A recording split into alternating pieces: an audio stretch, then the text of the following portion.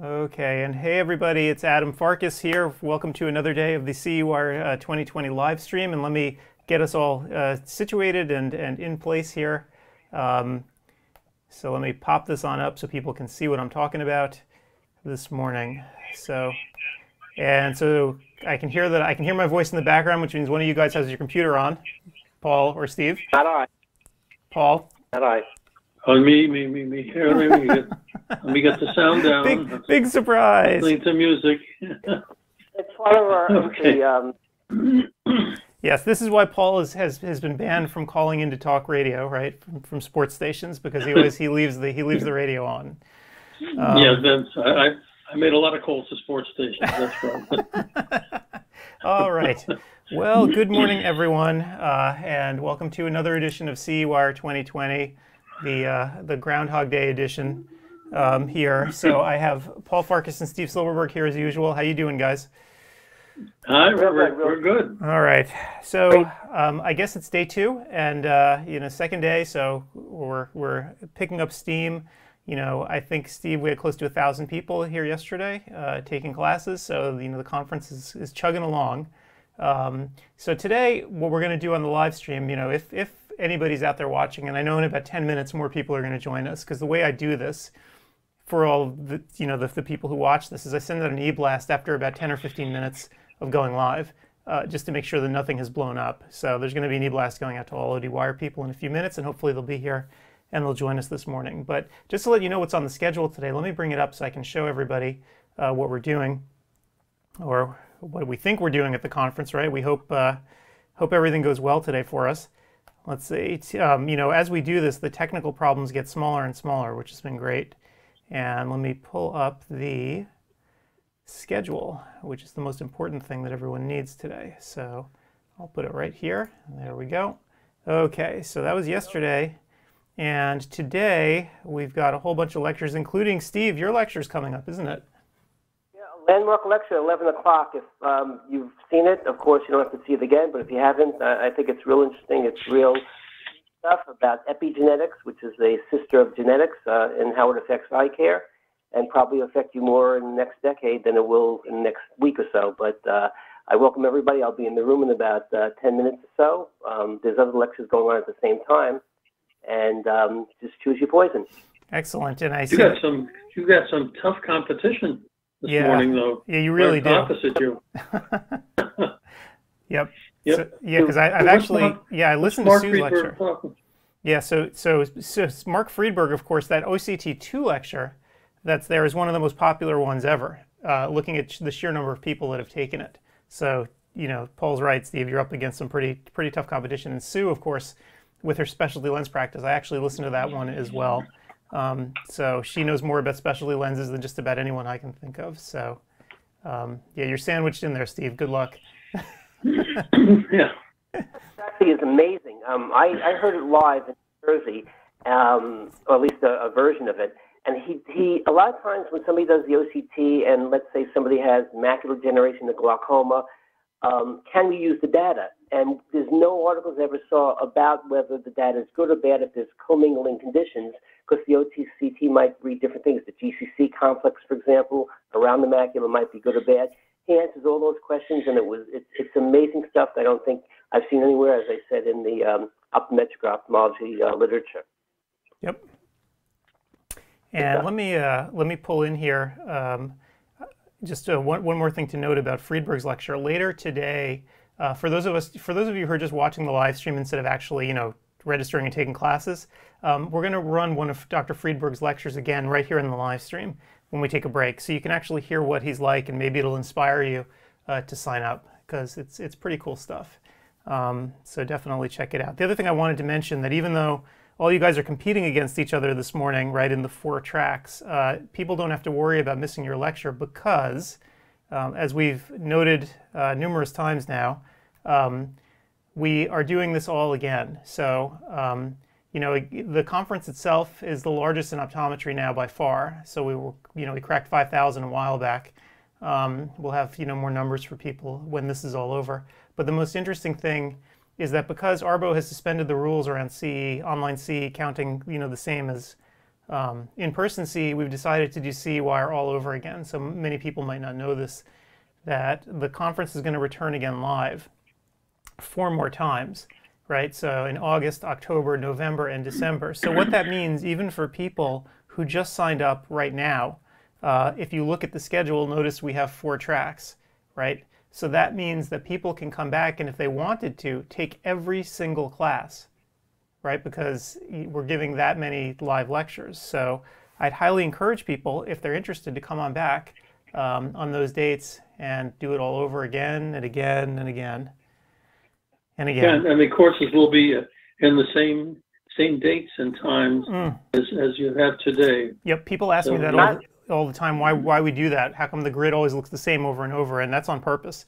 uh, so that people can keep taking uh, different courses. So if you take Steve's course today, next time around you can take Sue's course. So that's why we do it. And Ted, there's always a little bit of new content. There's a new lecture this um, conference with Sue Resnick and, and Dr. Whitney Hauser. Um, and we're going to add some more new content as it goes. We want to have you have the opportunity to take everything that we've uh, put out there over the last couple of months because I think every lecture is excellent. So uh, take advantage of it and watch me one time, Mark uh, Friedberg one time, Sue Resnick one time, and uh, Charles Shaflovsky one time. You can get it all. All very diverse and, and also, subjects. And also, if you like the courses, uh, tell your friends. We really do promote as much as you can promote, but it's remarkable how many optometrists still don't know about CE wire. That it's, it's like new information. Uh, yeah. Uh, so, well, you know, optometric friends, let them know. Yeah, it's, it's funny. I guess with marketing, you have to just pound pound into people's heads because they might have seen the name once or twice, but then forgotten about us or, or not know it. Um, yesterday, we had a really interesting case actually. CE Wire is good for orals for people who are in New Jersey um, who have an orals requirement. Uh, a lot of our lectures, I think it's how many, Steve? Like five or six of them actually qualify for that. Um, Narcotics counted, there's about eight or nine, eight yeah. or nine, which is almost entire New Jersey. Right, and so and what was funny to me though, Steve, is we were having this conversation with a doctor via email. He didn't realize that, and he didn't even know about it. And the fact that you know we are good for orals, I don't think many doctors in New Jersey even know that. Um, so there's definitely a whole bunch of people who haven't heard of the conference yet or don't even know you know what's inside and, and how useful it can be to them. So anybody who's listening to this, if you want to get the word out, please feel free. As you can tell we don't do any real marketing for the conference, right? We don't. Um, you've never gotten a mail flyer, right? In, in the using the U.S. Nope. Postal Service about us. Um, we just sort of go by word of mouth and working online on ODWire and, and a little bit on the different social media channels, but that's it. So, uh, we, you know, anything we can do to help us would be great. We do try to um, um, have courses for what states are requiring now. We have free uh, hours, for example, on opiates and narcotics mm-hmm. uh, by Dr. Bella and Dr. Vismenti. And I know certain states now are requiring uh, something on human trafficking, and we're going to add that to the schedule at some point in time in, in the far or near future. So let us know what the states need, and we'll incorporate it like we did the orals for New Jersey, like we did narcotics for several states. Uh, we need to know because every state's so different. Yeah, and you know what's fascinating too about that? Um, you know, looking like I was looking at Florida's requirements. A lot of times the states will have requirements that have nothing to do with eye care that all healthcare providers have to take, like human trafficking. And many of the courses that, that I've seen anyway, they're not necessarily COPE approved, right? It's, it's a completely different accrediting body, just getting it approved for that particular um, topic. And so, you know, you have to take a $50 course or whatever it is in Florida for human trafficking that sort of stands alone from the rest of, of their CE. Whereas what we'd probably do here is get that lecture COPE approved. So not only can people take it to meet that specific requirement, but then you can also use it as part of your COPE credits. Now, the one in Florida allows you to do human trafficking. I want to make that clear. It doesn't teach you about it. Just kidding. Sorry, guys. yeah. Uh, well, you know what's funny too is um, when I, you know, as a Florida license holder uh, in medicine, you know, I was I have to take those too. And when you get material from CE companies about these specific requirements, again, those courses stand alone. Like I'll get a thing, you know, with 50 um, category one medical credits and you know from a company but then i'll get a completely different packet just with those two or three specific special credits that you need just for florida and those special credits will all will cost almost as much as the other 50 general medical credits. um, so there's definitely some room for us to come in here and, and make it part of CE Wire and hopefully save people some money on these special credits that they might have to go elsewhere for. Yep.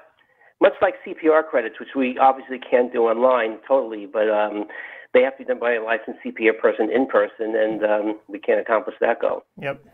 Okay. I'm going to beg off now to And go to my room. Oh yeah. Good. Good Um, luck.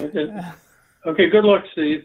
Yeah, and and the other thing uh, is that you've got to keep checking with your state board because even though some state boards have very limited uh, online requirements now, they may change their mind come September. So keep keep checking and, and Yep. see what, what your board is doing Yep. because it, things are changing. Yeah, that's a really good point. You know, and, and even if your board has not loosened up yet uh, on these things counting as live, if you take a bunch of credits at CE Wire, what you may find is that let's say they only would have accepted you know 15 credits, and now they're going to let you do 40. If you take 40 at CE Wire, you know you'll have them banked. So if your if your board does change their mind, you'll have them on their transcript. Arbo will have them in their files. Um, so you basically meet your CE requirement just by doing nothing but sitting there and wait for waiting for your state board to loosen up a bit. So, cool. So, uh, what else did I have to say? Oh yeah, plan your day. Critical thing. Uh, if you're here today, download that schedule. And again, it's at cewire2020.com. If you go to where it says courses, you can download the printable course schedule. That's the the thing I've been showing you here. Um, obviously, I have it on screen, but it's very easy to print. And this is probably the easiest way for you to, to plan your day versus you know looking at onesies and twosies. Um, so go check that out. And remember, you can't be in two places at once. If you want credit, you have to sort of stay in a room uh, and watch the thing. Um, you know, that's an ARBO requirement. Uh, even though they've started relaxing a lot of their rules this year, and we know a lot of CE providers are not, um, you know, they're playing a little bit fast and loose with the rules. It's important with our software that you sit there and you actually watch. And um, obviously, you can't tell if your eyes are open, but leave your browser window open um, as you're watching because it does have a timer Right. a timer that you can't see. It's And an also- internal timer, and then at the Yeah, end, and, Mhm. and, you know, you got to remember that uh, you, the courses are eight hours straight, so most people cannot sit there for eight hours. So if you want to take a break for an hour, a couple of times a day, don't worry about it because the courses will be repeated another four times. So you have a chance to take the, the other courses uh, in, in uh, August, October, November, December. correct. So, Yeah, there's so there's things always in a leisurely pace. Yeah, Don't kill yourself. yeah. There's there's there's always more time now. I mean, before, you know, this used to be kind of a one and done thing, but now with the rules loosening up again, we're doing this over and over again as we we put up here. Um, so you can always come back. So yeah, don't kill yourself over this. Uh, you know, if you get tired, you can always come back those other days. Um, and the lectures will, st- will still be there along with a few new ones. And I have a feeling that this year, you know, every year we have some crazy people who complete all the courses, and it gets harder, right? The more we add, the harder it gets. But we usually have a couple dozen people who will try to complete the whole thing. so, Well, the, for for the ones that are fanatics, don't you have a group from Estonia? Is it Estonia that, that signs up as a group? yeah, yep. So we do have we do have some people from there. They've they've uh, you're right. They do take every course that they can, and so it's not even a matter of credits; it's that they want to learn. Yeah. Yeah, so the, there are optometrists overseas, well, actually worldwide, that are uh, taking the courses now, and they really are eager because they can't get this quality, or I, I don't think, uh, that, we're offering. As a matter of fact, even in optometry, if you look at our list, we are so top heavy with, with MDs and giving medical courses. I don't think there is any other uh, core, uh, continuing education courses that offer this much medicine. What would you think, Ed? Yeah, no, not not in optometry. Certainly, we made an effort to reach out to a lot of ophthalmologists, and you know, we, we even have some some doctors here. We have a pediatrician, uh, the head of pediatrics at Mount Yep. Sinai, actually in New York. So we we we made an effort to reach out to give people CE that's a little bit different than they might be able to get somewhere else, which could be fun. You know, so you don't get the same old same old. Um, in terms of the people from Europe taking the classes, I think the interesting hook for them is, you know, like everywhere else, traveling for CE is expensive and to get a, a, group of people like this together in one place like even you know and i know that there are some big conferences in europe where they do it but again it's expensive to go to and, and a huge pain and a hassle time wise to go Um, so the fact that they can get it done here is great. Of course, the only issue with Europe is time zone issues.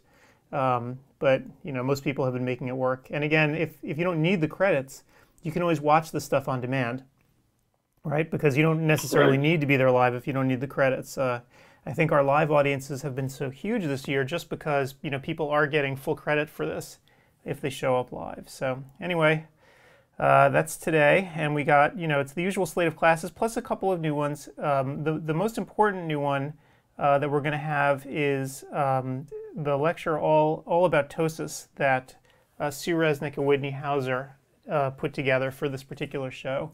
And what I'd like to do for that is show people the actual lecture here in the live stream. So if someone took the effort to turn up and listen to us this morning, uh, I'd like to reward that by having us play the lecture in the live stream. Now, if you watch here in the live stream, you're not going to get credit for the lecture, obviously, right? Because you're not inside of CEWire right now. You could be listening to me right now on ODWire. You could be listening to me, you know, in YouTube itself. Some people stumble across this that way. You could be on Facebook. So you could be listening to me in a variety of different ways. But if you want credit for this stuff, you have to listen to it within CEWire, where our software will track you, uh, and then you can enter your OE tracker number, and you'll get credit. But anyway, we're gonna uh, play Dr. Resnick's uh, and, and Hauser's talk in this live stream today. Uh, so you'll get sort of the world premiere of it, even though you're not in C Wire proper. So that should be fun. What, what, time do you plan on doing this? Is this going to be the first screen? Um, nah, I, that's a really good question. So we have a couple of other clips that I want to show people today too. Uh, you know, we have, like I mentioned, Dr. Friedberg's lecture that I'd like to put up there. Um, so I'll tell you what. Why don't we?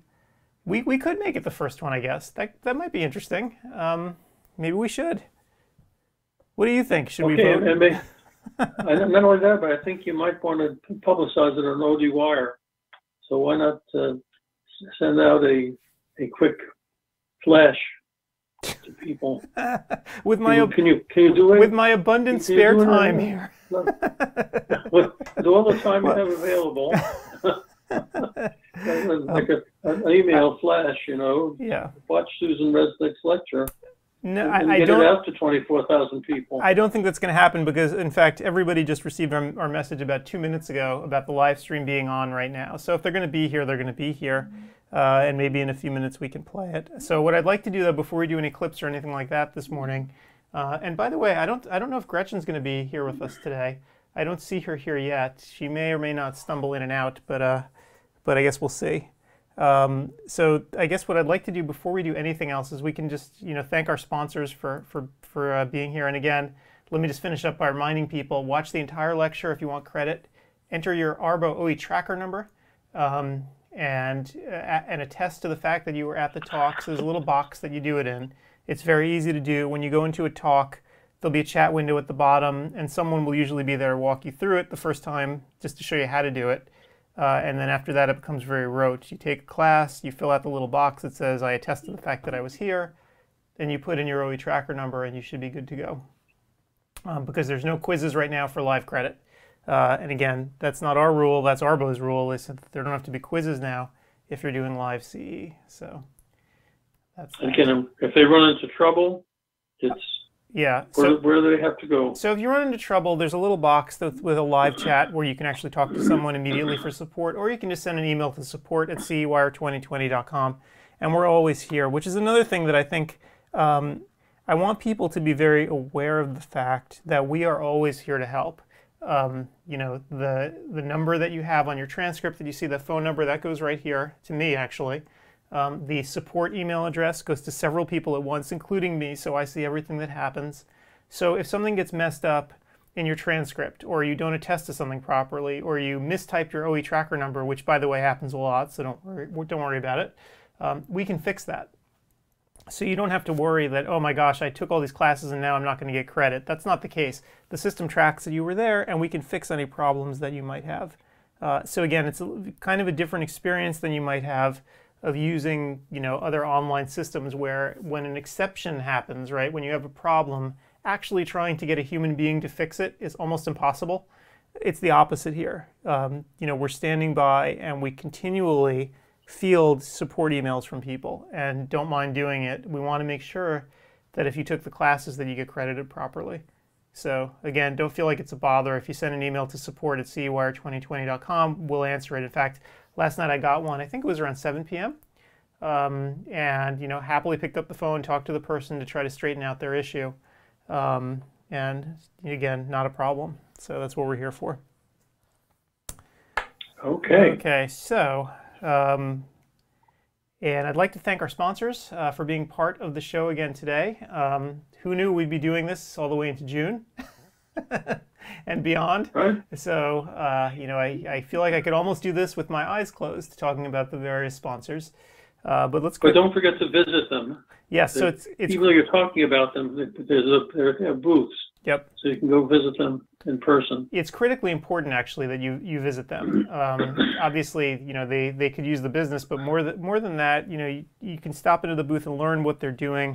Right now, you know, as the pandemic is continuing on, people are you know opening up their offices now, more or less, right? Or some people are operating under the new normal, where their offices are open, but they're modifying their procedures. And each one of these companies, you know, has been trying to help with social distancing and trying to get your, the, your practice back on its feet. And let me show you how. So first and foremost, we have Marco.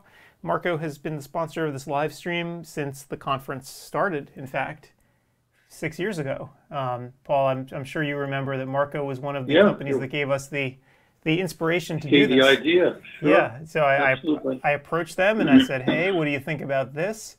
And they looked at me and they're like, you know what? If you feel like going ahead and doing this, go for it. We'll support you. It sounds like an interesting idea.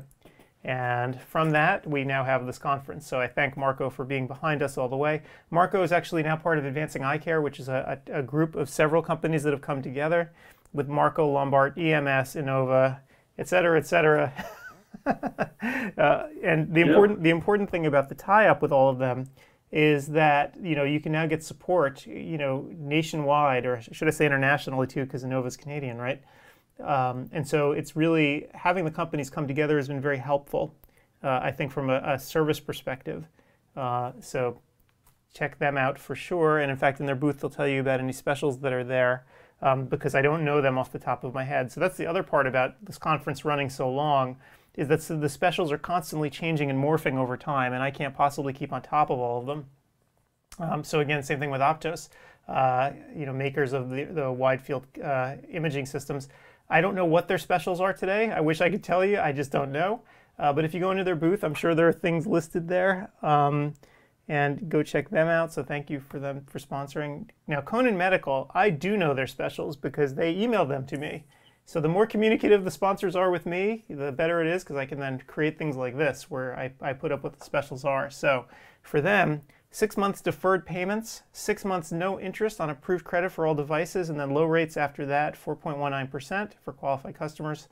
Um, and they're also having a, a, really good sale on the RetEval ERG unit, and it's going to be $2,000 off the list price, which is their best special ever. And we have a webinar about uh, ERG that we did with Craig Thomas that we're going to show later in this live stream. If you've never you know, done ERG in your office and you're thinking this is something you might want to do, uh, he reviews what ERG is all about and why it's useful. And in fact, he will talk about the RetEval unit as well, uh, so you can get a sense of it.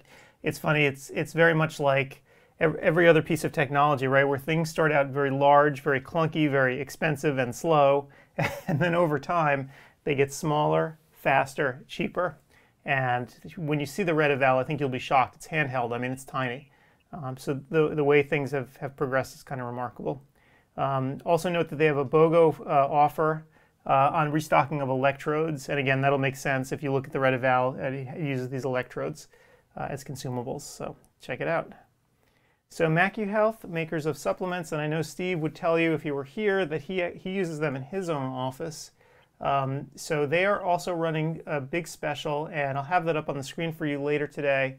Uh, typically, the specials that they have involve uh, when you buy a case of their product, um, they have volume discount pricing.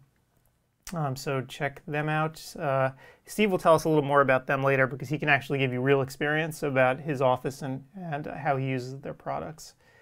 Um, so Luneau Technology, again, another uh, so-called tie-up. Um, I know, Paul, you were asking what is this Luneau and, and who are they and where are they?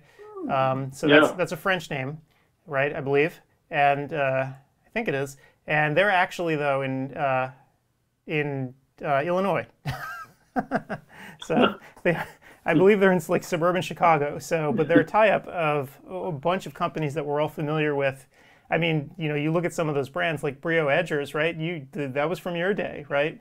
Briot has been around a, a, an incredible amount of time, and so they have you know things like Edgers, but also a, lot of high-tech pro- uh, products as well. Um, you know, and in fact, their their auto refracting systems are really cool and can help with social distancing. We had a good interview with them at the last C Wire, but let me just explain what they have going on special-wise.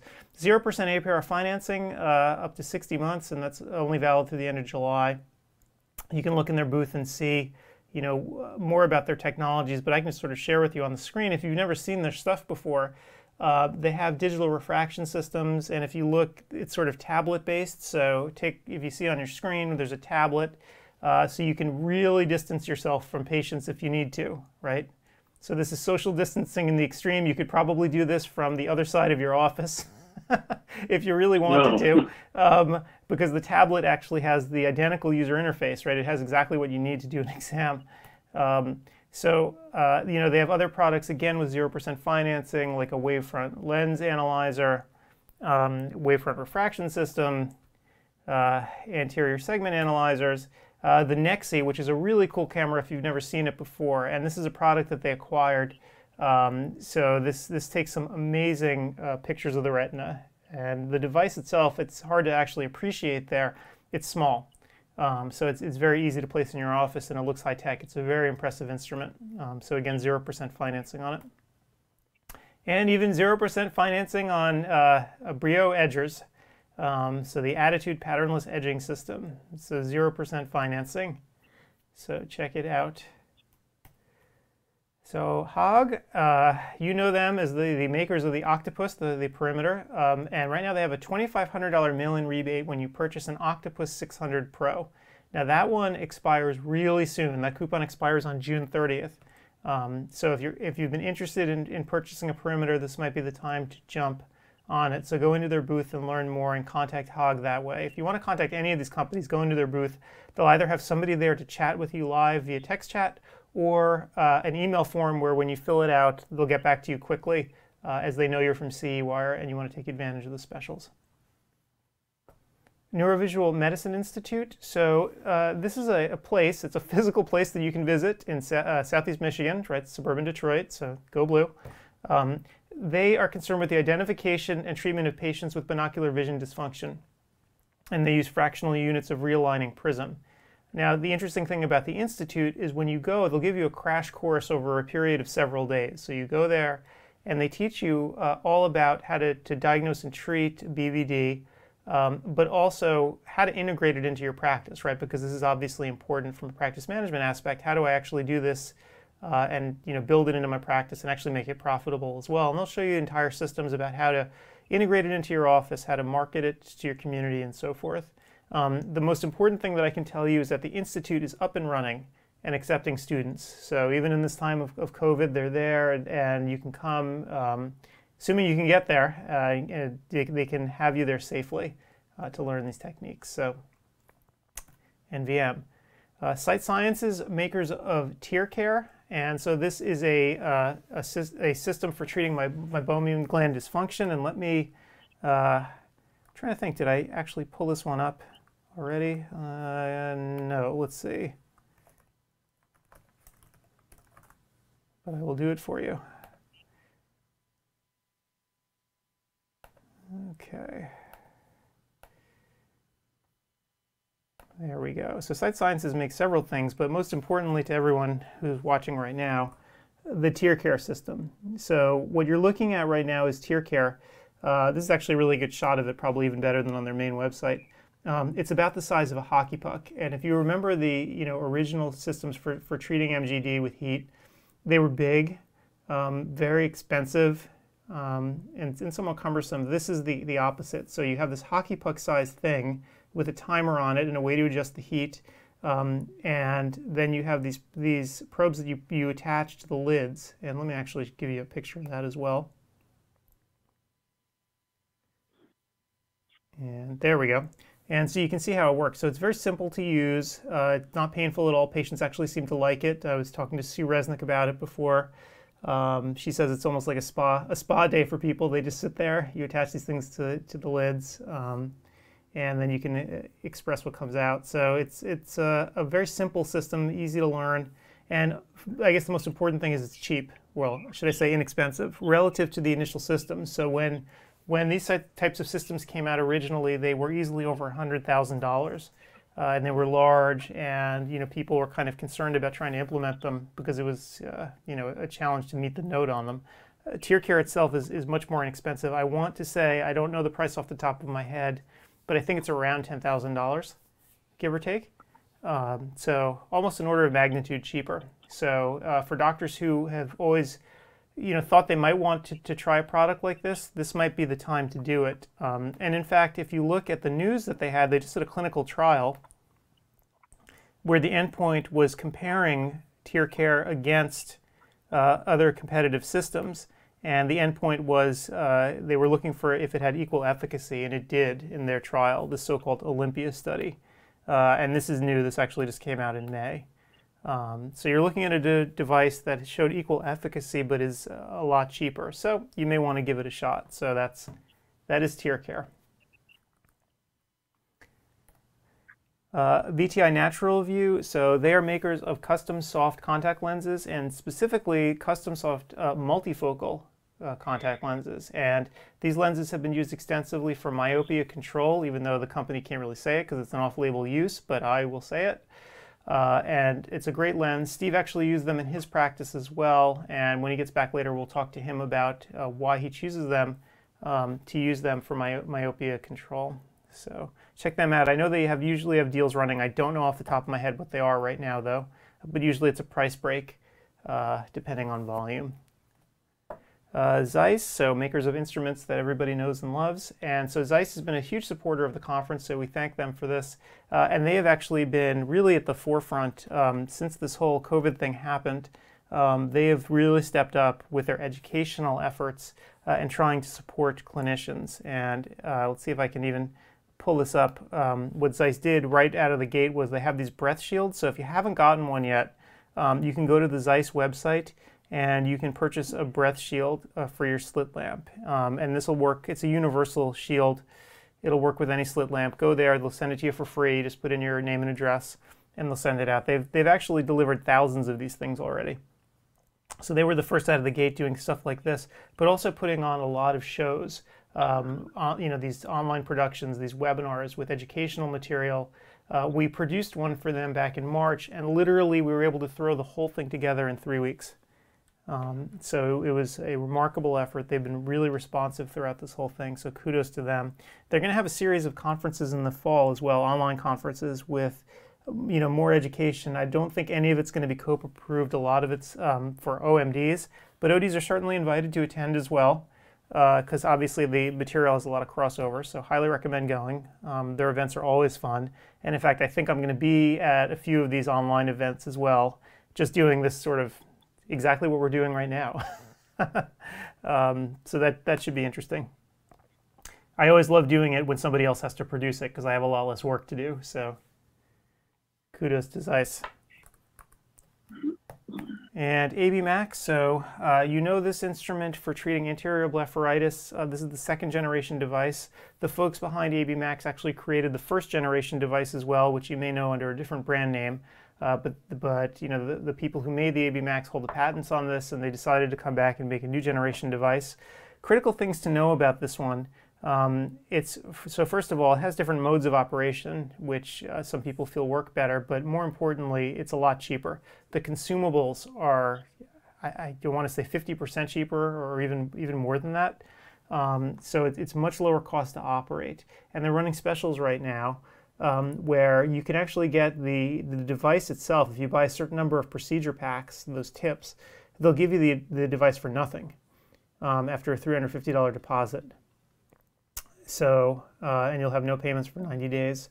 So uh, definitely, if you you know thought you were interested in this, this would be a good time to check it out. They're also doing other things like certifying your staff and your doctors. So right now, obviously, travel is not really happening for most people. Uh, but they have educational efforts online via video conferencing, and you can train your staff that way on how the device works. And we were talking to Steve about this yesterday how when he first got the device, he would be the one to use it. He'd keep his staff away from it. He was concerned, oh, you know, can I possibly trust them to use it? But over time, as he got more comfortable with it, he realized his staff members could actually do the procedure just as well as he could. Because um, it's not it's not hard to do at all. It's not painful. I've actually had it done to myself. Uh, it just tickles a little bit. It's not really painful at all. Uh, and patients seem to like it because they can see the results of it immediately. The before and after is very dramatic when you use it. And they'll train you via Zoom and you can get this really cute looking certificate.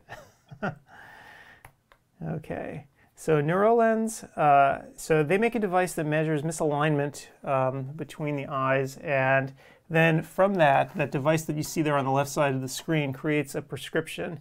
Uh, it's a really cool device actually. When you're, you're, taking the test, you stick your head in and they show you planets and there's all kinds of stuff going on uh, to try to measure that, that misalignment. Um, but anyway, it spits out a prescription for you with um, where they create lenses that have a contoured prism. So uh, I actually have my NeuroLenses right here so you can sort of get a sense of what these look like. Uh, my prescription, I just have nothing but the prism, and I think there's a quarter diopter in here. It's just, I use them when I'm at the computer. Um, and I find it, it really helps relax my eyes uh, just having them. And uh, you can actually, I don't know if you saw just how thin the lenses are as well. Steve was saying that he has a prescription as well, his full prescription, and they're still very thin. The optics of these lenses are really good. Um, so anyway, uh, one thing that they're doing for folks here at the conference is no payments until January 1st, 2020 uh, if you purchase uh, the device at MSRP. Um, so uh, it's a really interesting system, especially if you have patients who have sort of intractable headaches or other uh, symptoms of eye strain. You might, you know, want to give it a shot. It's unfortunate, you know, one of the interesting things about C-Wire is that we can't actually use the, the instruments. I'm, I, I know that we do a lot of stuff here, Paul, online, but I'm still a big proponent of in-person conferences whenever we can get to them. Uh, and unfortunately, we, we can't have you play with the NeuroLens device, tragically, um, because it is a really interesting instrument, uh, and it's something that patients find very impressive too. But take my word for it, uh, it's an interesting device, and uh, no payments until January 1st, 2020. So Oculus, you know them as maker of many instruments that you use. Uh, they have an offer of flexible financing options with no payments for six months, and you choose the installation date and receive 2.9% financing for 48 months on their instruments. Um, they also have refurbished units for sale. And I mentioned it numerous times, but I have to say it again. Oculus is a German company. Uh, you, you know, when you look at their website, it's actually got this big, impressive facility that they have, so it looks kind of imposing, and you think, oh gosh, is this company going to be difficult to deal with here in the States, but the reality is they, Oculus USA is a small company. They're out, out here near me in Washington State, um, not even in Seattle actually, way out in, out in the sticks, right? So it's a small, a small company here and very easy to deal with. When you work with Oculus, in fact, you a lot of times can work right with the, the CEO of the Oculus USA. You know, he's very hands-on and um, works with doctors who use the products to make them better. Uh, my own doctor here, Charlie McBride, uses a Pentacam to create scleral lenses. And I know he's constantly in contact with the folks at Oculus, giving them input into the software to try to make it better. And they, they roll a lot of his advice, you know, back out into the software. Um, so it's a very sort of small interactive company and great to work with. Um, and they have refurbished units for sale, and I'm going to guess they refurbished them right out here uh, in suburban Seattle. Um, so check them out as well if you've been interested in something like a Pentacam but perhaps didn't want to spend full price on it. This is a great way to sort of get your foot in the door with it.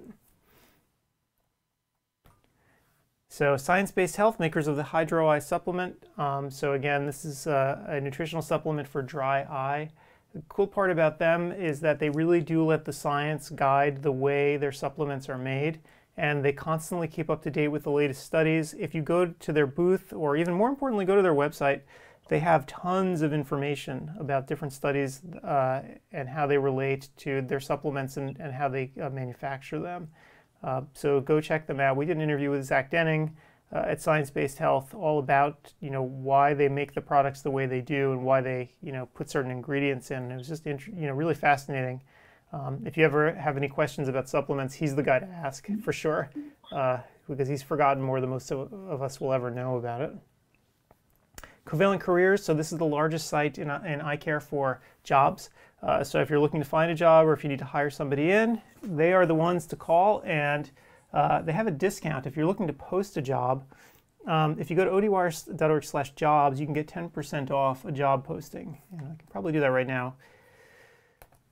I should remember how to get back to our own site after all. So see the link right there, jobs, click.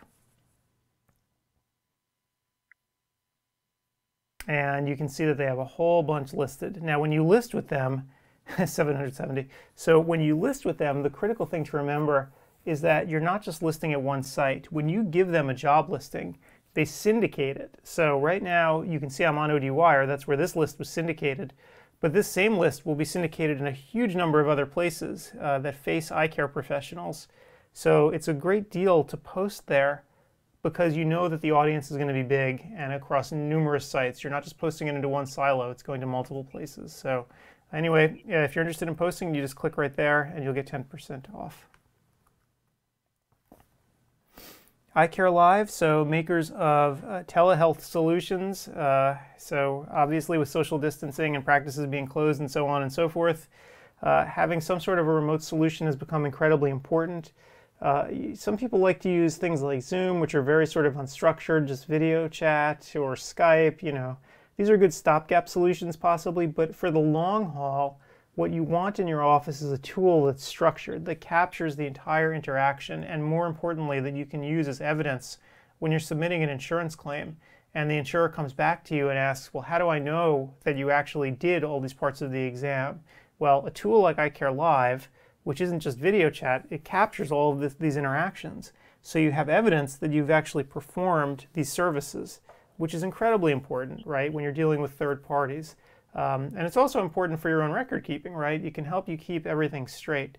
So check out eyecareLive and all the different features of their platform uh, because you might find that it's, it's worthwhile, especially if you're starting to do a lot of telemedicine or telehealth. And I have a feeling, you know, this is not going to shrink in the future. This is only going to get bigger. Um, so you're eventually going to be using one platform or another, and this might be one you want to check out EyeCarePro, if you have a website or social media presence, and basically everyone does, you might want to go with them to handle uh, or to basically let them run the whole thing for you. You're outsourcing it to them. They focus on eye care exclusively, so they know what works for eye care practices and what doesn't because they've done it hundreds of times. Um, so again, instead of you taking a shot in the dark and maybe knowing what will work and what won't, they kind of already do because they have the data. So you might want to let them run it for you. Uh, and you know you can focus on more important things in your practice. Lacrivera, makers of punctal plugs, they have a huge number of discounts at the show. Go into their booth to see their laundry list of what they have going on um, because it's literally too, too numerous to mention here. This is a PDF that's just a, a gigantic list. So thank you to them for sponsoring the conference. We have a talk today actually late in the afternoon about punctal plugs as well uh, if you want to show up for that. Um, you know, if you've never fit a plug before, or if, if you have in the past and have stopped doing it, you might want to stop into that lecture and just see what the latest state of the art is. As Steve mentioned yesterday, patient selection for plugs has become a lot better since our diagnostic tools have become better. Whereas in the old days, people would much more indiscriminately use them, and sometimes they would have success and sometimes they wouldn't now we have a much greater understanding of which patients would benefit from plugs. And uh, so I think people are moving back to them again for those patients that can really benefit from them. So check it out. Optometry time, so practical chairside advice. Gretchen, unfortunately, is not here today. Um, but what she would tell you is that they make a journal that has bite sized, digestible chunks of information that you can read.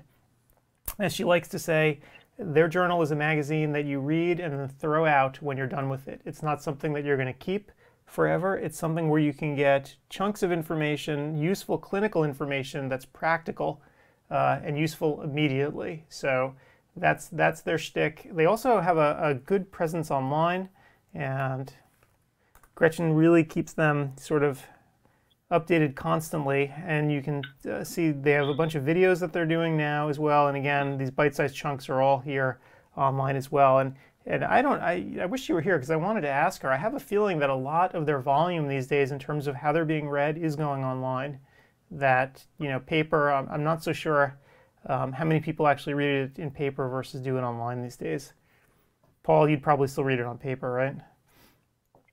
Uh, yeah, absolutely. you're you're a paper guy, but but for most of us now, digital is really the way, and uh, you can see that they have a pretty pretty robust website here, a lot of interesting content on it that doesn't take forever to read, and that that's the critical thing. And finally, Vision Equipment Inc. This is Leo Hadley's company with refurbished equipment. And again, he's got, you know, equipment that's literally, you know, almost brand new from practices that might have gone under recently.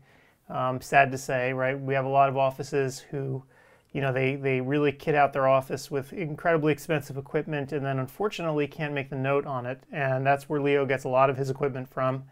Um, he takes the equipment in, he refurbishes it, and then he backs everything that he sells. Leo also has a wide array of older equipment as well. And if you, if we ever get to go to a trade show again, you know, knock wood, um, it's really fun to see his uh, displays a lot of the time because you'll see some classic equipment that he's refurbished that looks like new, even though you know it's not, because um, you can tell just by looking at it. You know, it looks like it's been in a time capsule. Uh, but a lot of what he has is actually nearly new. Um, and he refurbishes it, everything that he sells to like new standards before he sends it out again. So if you're looking to equip, you know, a, a second or third lane, or, or, you're just getting started and want to do it in a, in a much more inexpensive way, this is a, a great option. Uh, you know, Leo has been, we've been working with him, I guess, for over a decade now. And, you know, we've never actually had anyone complain about the equipment that he sold them, which to me is remarkable. Uh, and it tells me that he's actually doing a good job of, of, refurbishing it and making sure that it's good before it leaves uh, his facility. So that's Vision Equipment, so check them out. All right. Yeah, so, but what's also important is to understand that these uh, vendors are getting very anxious. There's a good chance that uh, the rest of the uh, uh, shows are, are not going to be live and they won't be able to exhibit Yep. And they have a lot of equipment and they want to negotiate. So go visit them, talk to them. You may be able to come up with uh, deals that are, are as good or better than at Vision Expo. Absolutely, so, absolutely. Because you're right. I know that there are still there are still several shows that are planned to be physical shows in the fall, but I just kind of wonder if that's even going to be a thing. I don't know. Yeah for sure. So, yeah. Uh, so, so take advantage of, of uh, them being here and, and talk to them. Yeah, definitely take advantage. I mean, you know, they, they have equipment they want to sell, and if you need, you know, anything, this is this is the time to do it. Um, isn't that always funny? It's like the, the the best time to buy something is always the the you know feels like the worst time, right? That's what they always say, sure. right? Buy you stocks know. buy stocks when the world's falling apart, right? Um, yeah, I mean, with the stock market, you always want to buy low, yep. and then uh, when, when when it's available, so go for it. Yep. So definitely check them out. All these companies are really great to work with, and uh, you know, I'm sure I'm sure they're willing to deal at this point. All right. So right now it is what time is it? Eight. 8:36 Pacific time or 11:36 Eastern time. Right. So what I'd like to do then now uh, is maybe we can we can show off. Why don't we? We'll start a little bit slow today, showing these videos. Um, I would like to show the Clark Chang video from yesterday, the surgical one. Uh, I don't know, Paul, if you sat through it or not.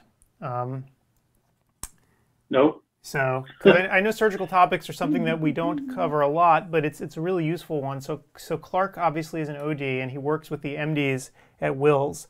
And uh, this is a, a, lecture that he did with one of the surgeons here at CE Wire, but I'd like to show it to everyone so they can get a sense of what the content in the conference actually is all about. Um, you know, if you've never attended a CE Wire before, but you're watching me, this lecture is very typical of the kind of things that you'll see here, where we want ODs and OMDs collaborating with each other and, you know, so we can all learn stuff. So why don't we show this one and then we'll come back in a little bit and uh, and then we'll talk some more. Steve hopefully will be back after his course. I'm curious as to how it went, and uh, we'll see you guys then. Okay, how, how long is the time on this one? That's a really great question. Well, so since it is a COPE-approved lecture, and it's probably about an hour, I would say. okay, so we'll see you in 50 minutes or more. All right. about an hour. All right.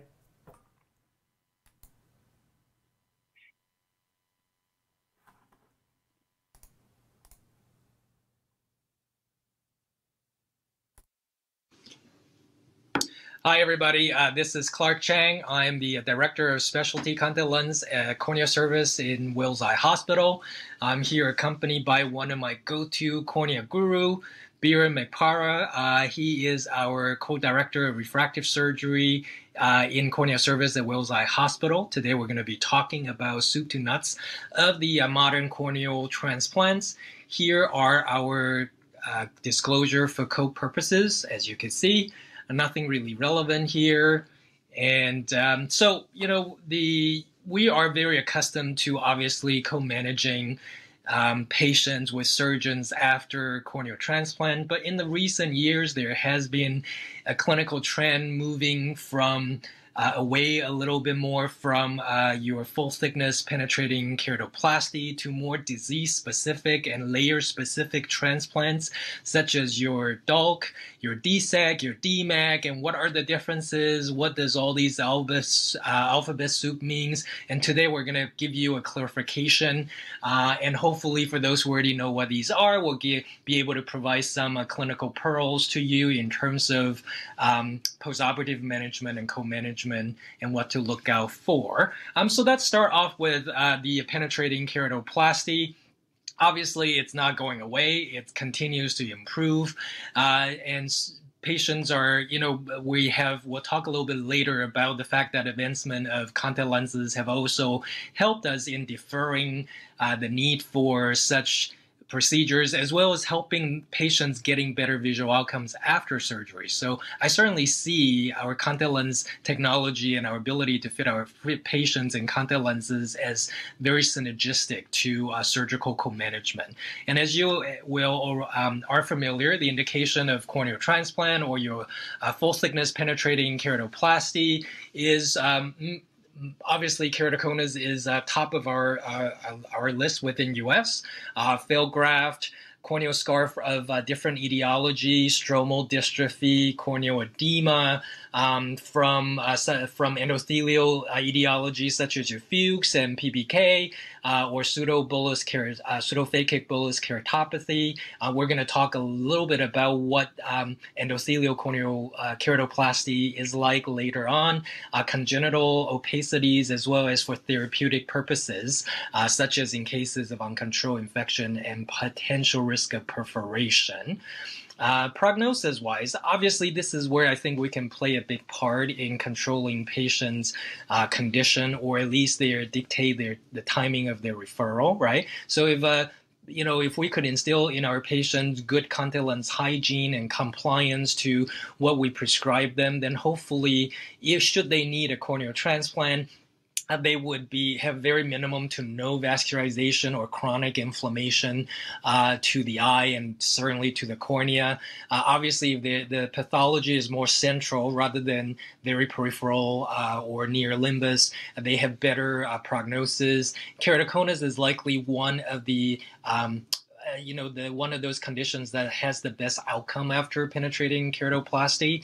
And so again combining with the advancement in contact lens uh, technology is really good news for our keratoconus patients um, and obviously again le- less favorable or more poor prognosis those with uncontrolled ocular surface diseases so ocular surface optimization is very important prior to referring patients to um, surgeons like Beeran to uh, uh, to discuss corneal transplant and and hopefully again again, no uh, uncontrolled inflammation and vascularization to their cornea. Uh, infancy, it's an interesting one because a lot of times, to me, uh, and Beeran, I want to ask for your opinion. If you have congenital uh, opacity, assuming that whatever underlying uh, condition is as controlled as possible, uh, at what age would you consider performing a corneal transplant for somebody so young? Yeah, it, it varies depending on the indication. So, for example, I would say the most extreme example is a patient with Peters anomaly. You know, Peters anomaly is present at birth, and these patients, if it's bad enough, if it's obscuring the entire entire central visual axis, they have no vision in that eye. And in order to prevent the development of amblyopia, we're we're on the clock here, and we're talking within the first few months of life are, are we doing transplants? And, and, and the reason the prognosis is poor um, in infants and, and in, in, in very young patients is one, the indication. So the indication Um, for example, like Peters, in and of itself, has a poor prognosis, but then two, the fact that, that the patient is a child or a baby. So one problem with that is is they're very difficult to examine. Okay, so things that I could easily pick up on an adult patient, I may not be able to see subtle issues that are creeping in until they become big issues. Um, they need a lot of follow up visits. So, you know, they need 120% commitment from the parents. Um, the, the patients are dependent on the parents to bring them to their appointments, to put the drops in the eye. Um, you know, you can't get hit in the eye when you have a corneal transplant. Well, Right. kids are doing crazy things all the time. Babies are all over the place, and and, and the patients have to be hyper vigilant. And then when things do go wrong in children, like you know, we'll talk about this in a little bit, but let's say rejection, rejection in an adult can oftentimes be stopped with treatment. Rejection in a child, once you get that you know boulder going down the hill, it, it is tough to stop and it, and it goes quickly. So there, there's a lot of reasons why the prognosis is not great um, for for any indication in, in infants. Yeah, that robust immune system is, is tough to suppress. Um, so this will be very similar to even after such uh, procedure in a young uh, patient or infant, even if we have to move towards uh, fitting pediatric contact lenses um, when we're co-managing, uh, you know, with uh, with surgeons like yourself, uh, we a lot of times also same thing have to recruit or solicit the help from parents in terms of insertion, removal, and lens handling and caring. So certainly, you know, there's a lot of parallels here uh, in terms of treating these patients.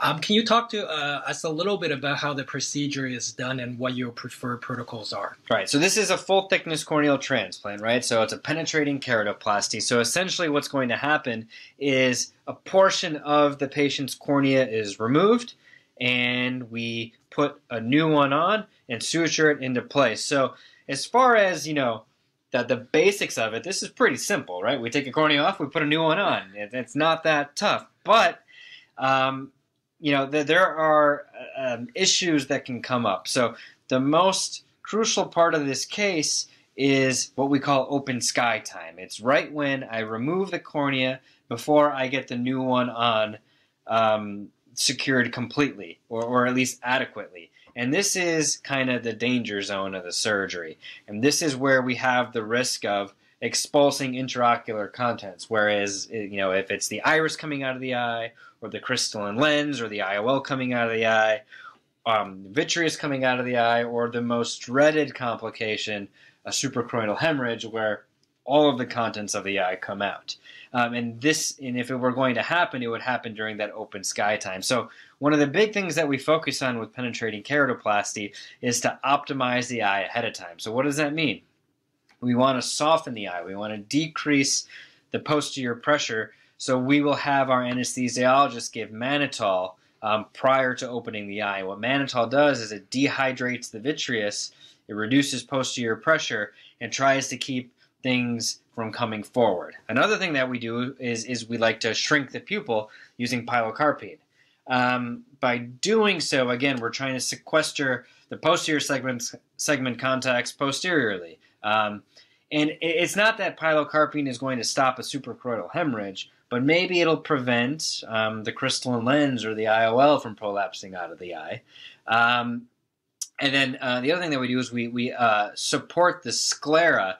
And if you imagine that you know, you, you you take off the cornea, the contents of, of the eye or the wall of the eye can kind of collapse in on itself, and we can put a metal ring on the eye. And I'll show you a video of this in just a minute, called a Flieringa ring, to kind of support the structure and prevent the eye from collapsing.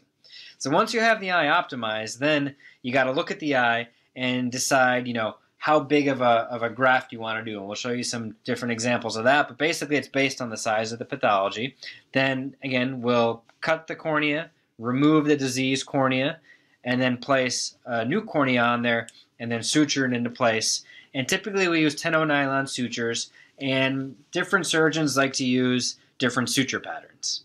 Um, there's interrupted sutures, running sutures, a double running suture, or some sort of combination. And in terms of these different suturing technique um, techniques that you uh, use, Beeran, do you can you explain the different purposes of, of uh, different type of sutures and what's your preferred type of suturing techniques to use? Sure. So an interrupted suture pattern is you place usually you know 16 to 24 individual sutures to secure that cornea into place, and that can be kind of a longer, drawn out, maybe more tedious process. The more sutures you put in, the longer it takes. Um, the flip side to that is to put what's called a running suture. So that's just one single suture that you kind of weave in and out um, 360 degrees, securing it into place. So the advantage to that is it is generally a quicker procedure. Now, what's the disadvantage? So sometimes sutures break Sometimes they can get infected, sometimes they loosen. If you only have one suture there, you better hope that's a good suture. Uh, because if anything goes wrong with that suture, that wound um, could be in peril. Whereas if you have 16 sutures or, or 24 sutures, if one or two or you know a few of them you know need to be removed, then then you're not in as uh, in, in, as much of a perilous situation as you would be if you had just a single running.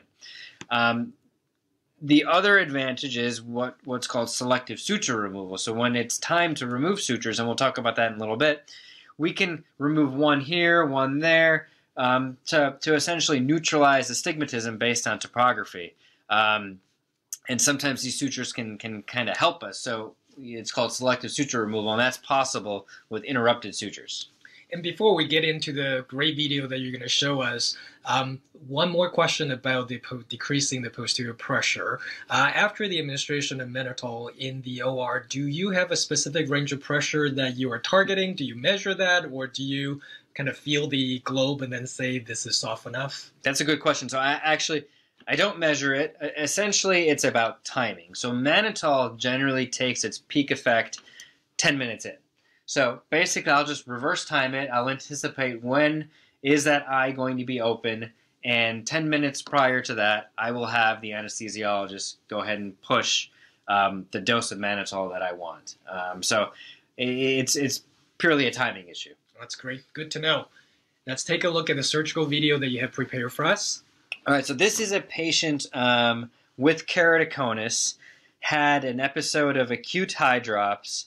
We let that hydrops heal, and then that patient developed a visually significant scar where the vision could not be improved with a contact lens. So, a couple pearls before we even get started with the surgery. Number one, when a patient has acute hydrops, we do not intervene acutely from a surgical standpoint. You want that edema to go away.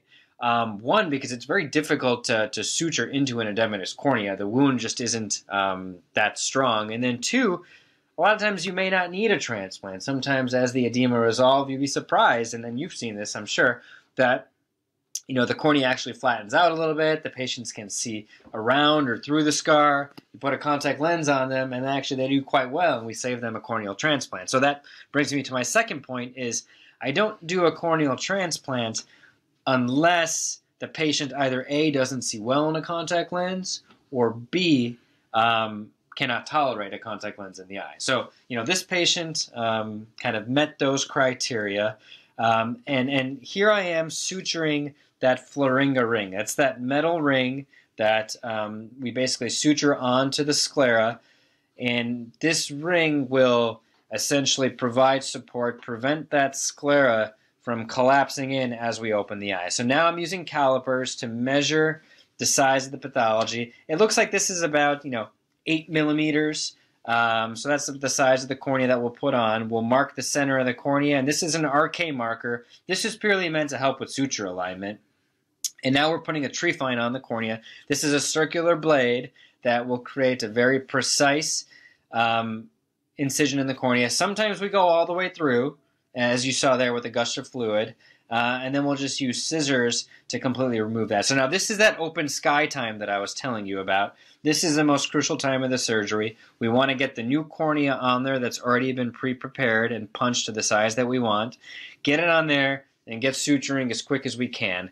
And, and once you have a few sutures on there, you can definitely breathe a little bit easier. And here, this is an interrupted suture pattern where I place 16 interrupted sutures, and you're trying to place each of them at equal tension or as close as you can. No one's going to be perfect. There's going to be a little bit of, you know, inequality as far as tension distribution between the sutures, but you want to try to get those as equal as possible. And the goal of that is to try to reduce the astigmatism that you're inducing.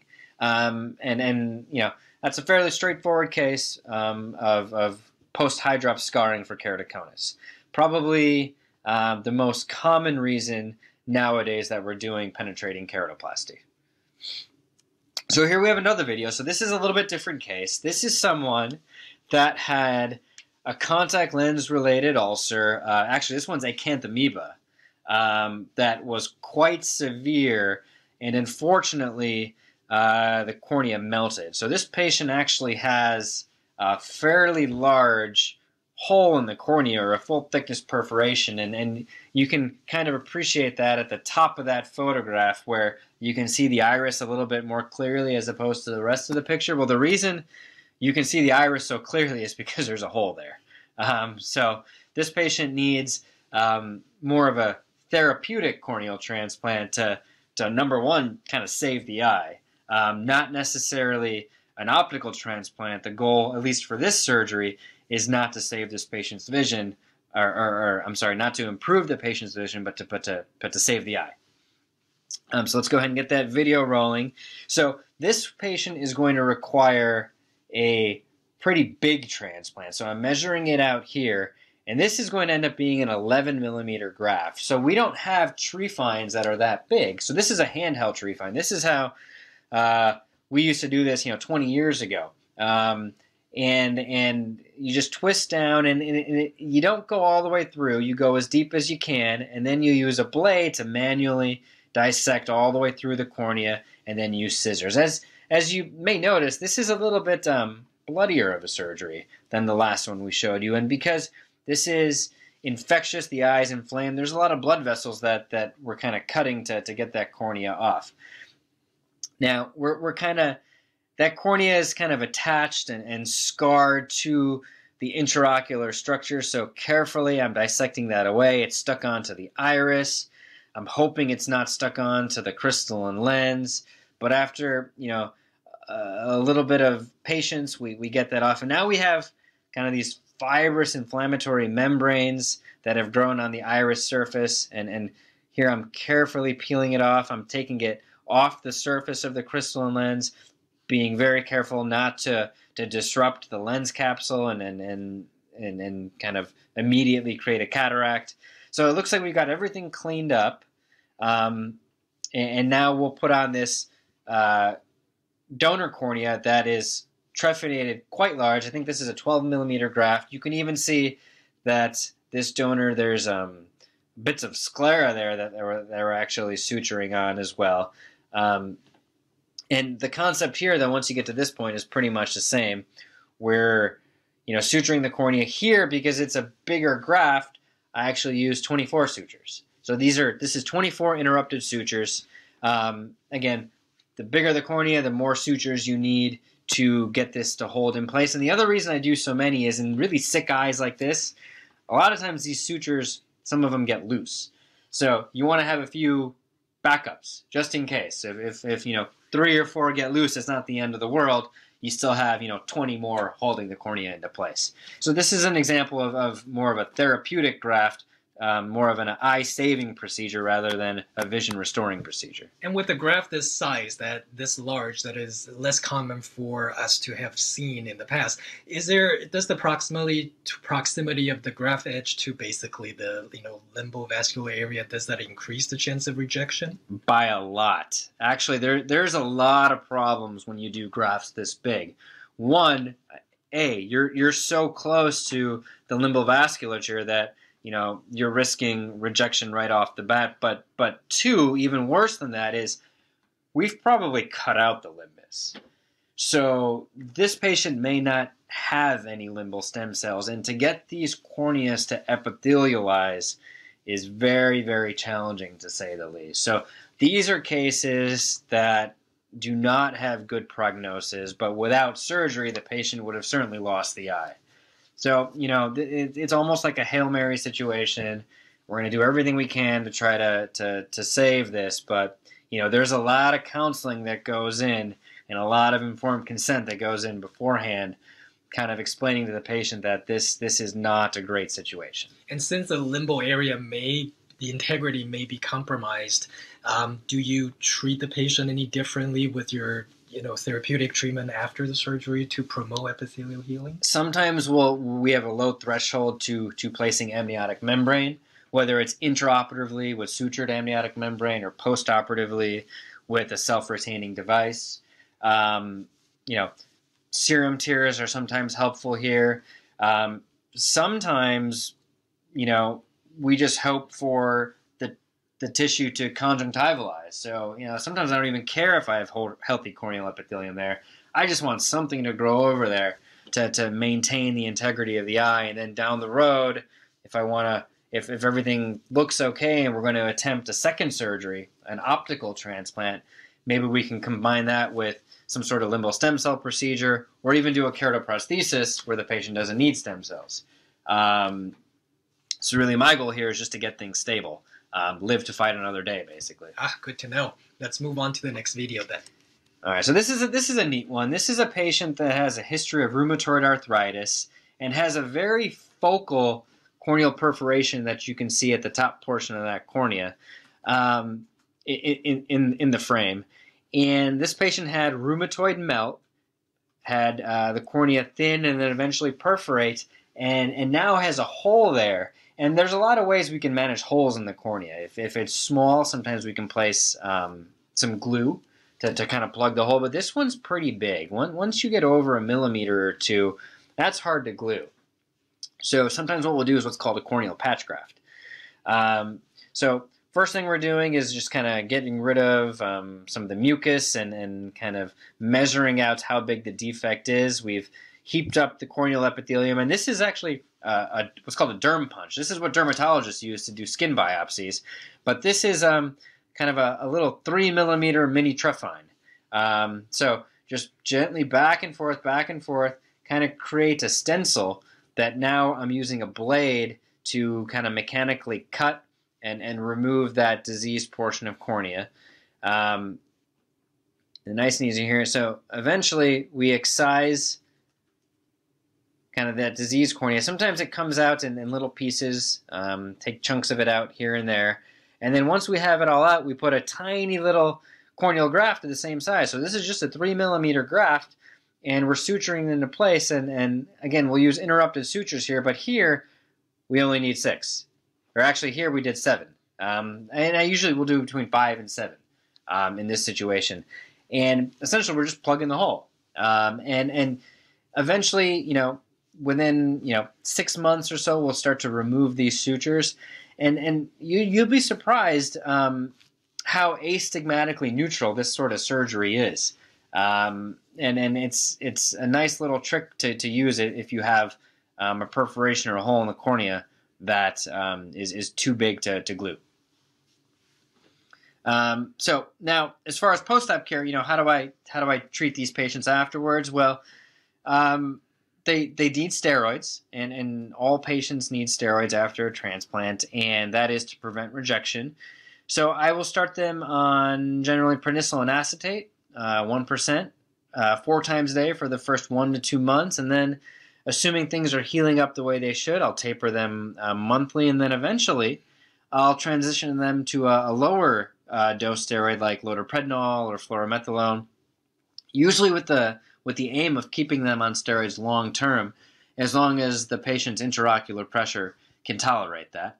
Um, for the first week or two, I do keep them on topical antibiotic drops. The key, though, is counseling after a full thickness transplant these patients have to be counseled over and over again that they must, for the rest of their lives, avoid eye trauma at all costs. Blunt trauma to a eye that's had a full thickness corneal transplant can be devastating, even years afterwards. Um, and then the most important thing, as far as the patient is concerned, is how do we get them to see better and, and managing residual refractive error. So we talked a little bit about suture removal because all of us, even the best surgeons, are going to induce astigmatism with their sutures. Um, and we can remove sutures here and there, but we don't start that.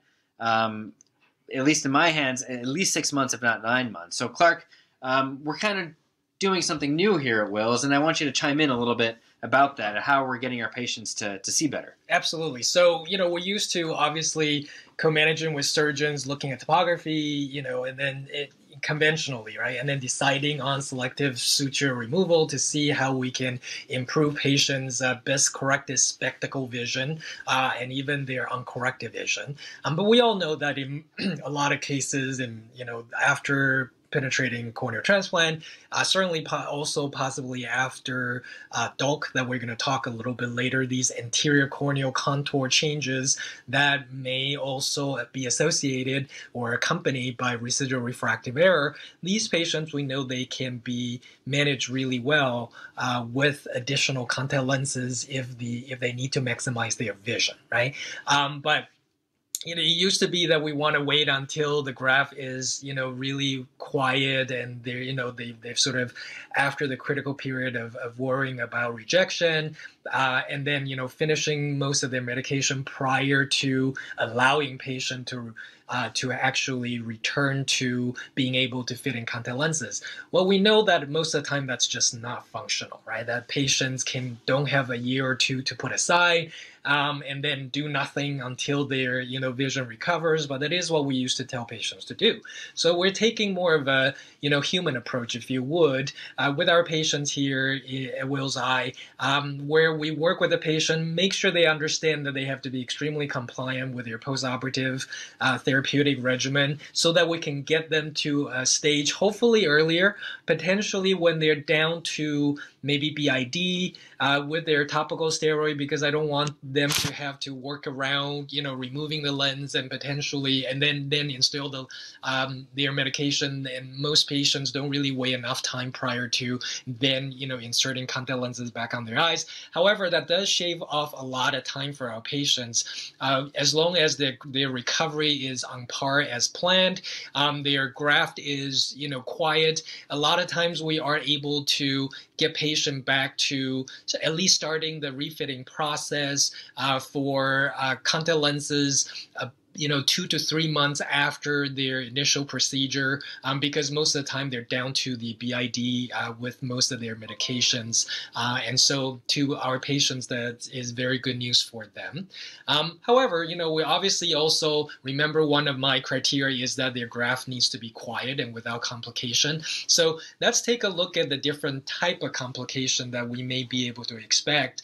Um, after the after the surgeon, uh, such as Beeran, sends patients back to us, and typically you Beeran would send patients back to the referral um, um, doctor, typically at about after, what about a month visit. When do you usually send your patients back? Yeah, you know, I think it varies from surgeon to surgeon. Um, my personal um, kind of regimen is is about a month. We want to kind of be out of the danger zone for a lot of the complications. Um, and, and this is a little bit more um, relevant when it comes to endothelial keratoplasty, which we'll talk about. But but still, e- even in the early post-op stage, you know, I definitely, I, I I feel like I need to see the patient, you know, post-op day one because early complications like a flat anterior chamber um, because of a wound leak or, or iris iris prolapse, those those need to be de- dealt with surgically immediately. I mean, there's there's no other way around that. That just needs to be fixed.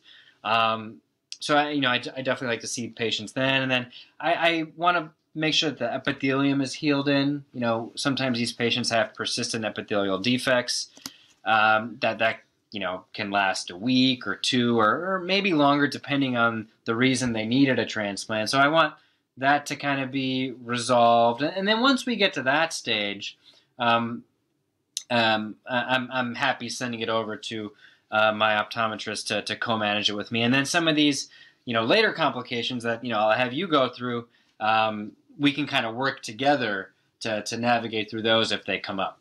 Absolutely, especially you know like astigmatism, uh, you know refractive rehabilitation really is what we can do best for our patients, um, and obviously also looking out to make sure that we're measuring the we're monitoring for IOP to make sure that there's no uh, increased um, pressure spike and that there's no given the fact that some of these patients most of these patients by then would be uh, out of their um, antibiotic topical antibiotic or at least would not be using their topical antibiotic. It's always important to look out for infection signs of infections um, and like you know their uh, CME, uh, macular edema, very like much like cataract surgery, the inflammation. Want to make sure that if the vision is changing, it's uh, run a topography, and then if there's an OCT, if we could do that, just to make sure that there's no retinal pathology that we are missing, and um, also obviously make sure there's no Seidel signs, so that even though we don't want pressure to go up too high, we also don't want the pressure to go down too low, um, just to make sure that there's no de- wound dehiscence and that there, uh, and make sure that there's no fluid leaking out uh, of the wound. I do want Beeran your opinion on because a lot of people correlate graft failure and graft rejection with regard to time. Most people tend to think that early on, if you have a hazy graft, it's rejection, and then after many many years, it's typically a failure. But that's not always true, is it? No, that that's definitely uh, not always true, and and you don't want to think of first of all graft failure and graft rejection um, are they're, they're they're not the same. They're they're kind of individual entities, um, and it's not necessarily time, but it's basically etiology. So both of these are implying a cornea that is no longer clear. Okay, and rejection is an immunologic phenomenon. It's your own body attacking this donor cornea, um, and and rejection can can manifest in in a variety of ways. Um, that first picture, top left, is showing us kind of epithelial or subepithelial rejection, where you get these subepithelial infiltrates, and then these look very similar to someone with EKC after a bad case of viral conjunctivitis.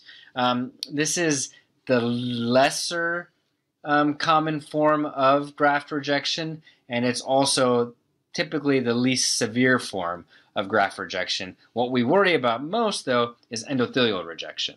Um, this is more common and potentially is more detrimental to the graft. So what we're looking for are um, early signs of this, would be, which would be keratic precipitates, which you see in the top right corner.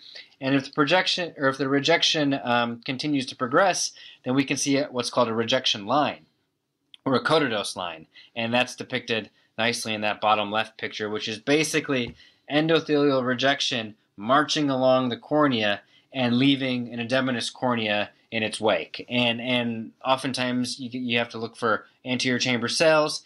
And if the cornea, if the rejection goes uncontrolled and, and essentially all of the endothelium has been affected, then you would have a diffusely edematous uh, graft. Now, as far as treating this, um, it, it depends on, on what type of rejection that you have. So if you have you know, mild subepithelial or, or epithelial rejection, typically what I do is I increase the patient's steroid dose to four times the current dose. So let's say they are down to one time a day on their Pred Forte. I will have them increase it to four times a day until this resolves and then gradually taper back down um, back to, to maybe twice a day, or maybe even go back to once a day again after a while. My preference, also, if I may interject, is to, in case they are tapered down, patients are being tapered down to a softer steroid, for example, like an FML for whatever reason, um, I potentially like to put them back into a more potent steroid, like maybe a Durezol. Yeah, exactly. Just just increase that that potency, and and especially in the case of endothelial rejection. So this is a more severe form of rejection with KPs and edema, like we showed there. And in this situation, you know, we, we break out the big guns. So we'll, we'll either do Pred Forte every hour or, or Durezol every two hours. Um, and then a lot of times, you know, I'll, I'll hit them from all different angles. So, you know, sometimes I'll give subconjunctival steroids, whether it's dexamethasone or Kenalog, and sometimes I'll even put patients onto oral steroids because we're going to try to do everything we can to save this graft. Because if we don't, and and the cornea becomes edematous, well then that is a form of graft failure. So you see, the two do kind of overlap. So rejection can lead to failure. Um, we call that secondary failure, and that can be late failure of a graft. So that's one reason a graft can fail. The second reason a graft can fail is just attrition. Okay, not necessarily rejection, but we do know endothelial cells diminish over the course of time. And we always tell our patients that, you know, these transplants aren't meant to last forever. Maybe they have a 20 year shelf life, maybe more, maybe less. Um, you know, here at Wills, uh, we had a very famous corneal surgeon by the name of Peter Laibson who started the cornea service here decades ago. And I'm still seeing transplants of his that he did 40 years ago. Um, they look beautiful, they look crystal clear. So, you know, it, it, that goes to show you sometimes they can last a while. Um, but but sometimes you know they don't, and then you just don't have enough endothelial cells, and, and the cornea fails. That's that's kind of late failure. You can have early failure too, um, and that's usually something related to the cornea itself. It just wasn't a good cornea, or um, some sort of issue during the surgery. And, and in, in, in early failure, what happens is the cornea never clears. So oftentimes what you'll see after a transplant is is the cornea it's hazy. It's not crystal clear from day one. It's hazy, but over the course of a few weeks it clears up to look quite nicely. But if a cornea doesn't clear, then we would call that primary graft failure. So failure doesn't necessarily mean rejection. Rejection is an immune attack on the cornea. Failure is just the cornea not being clear.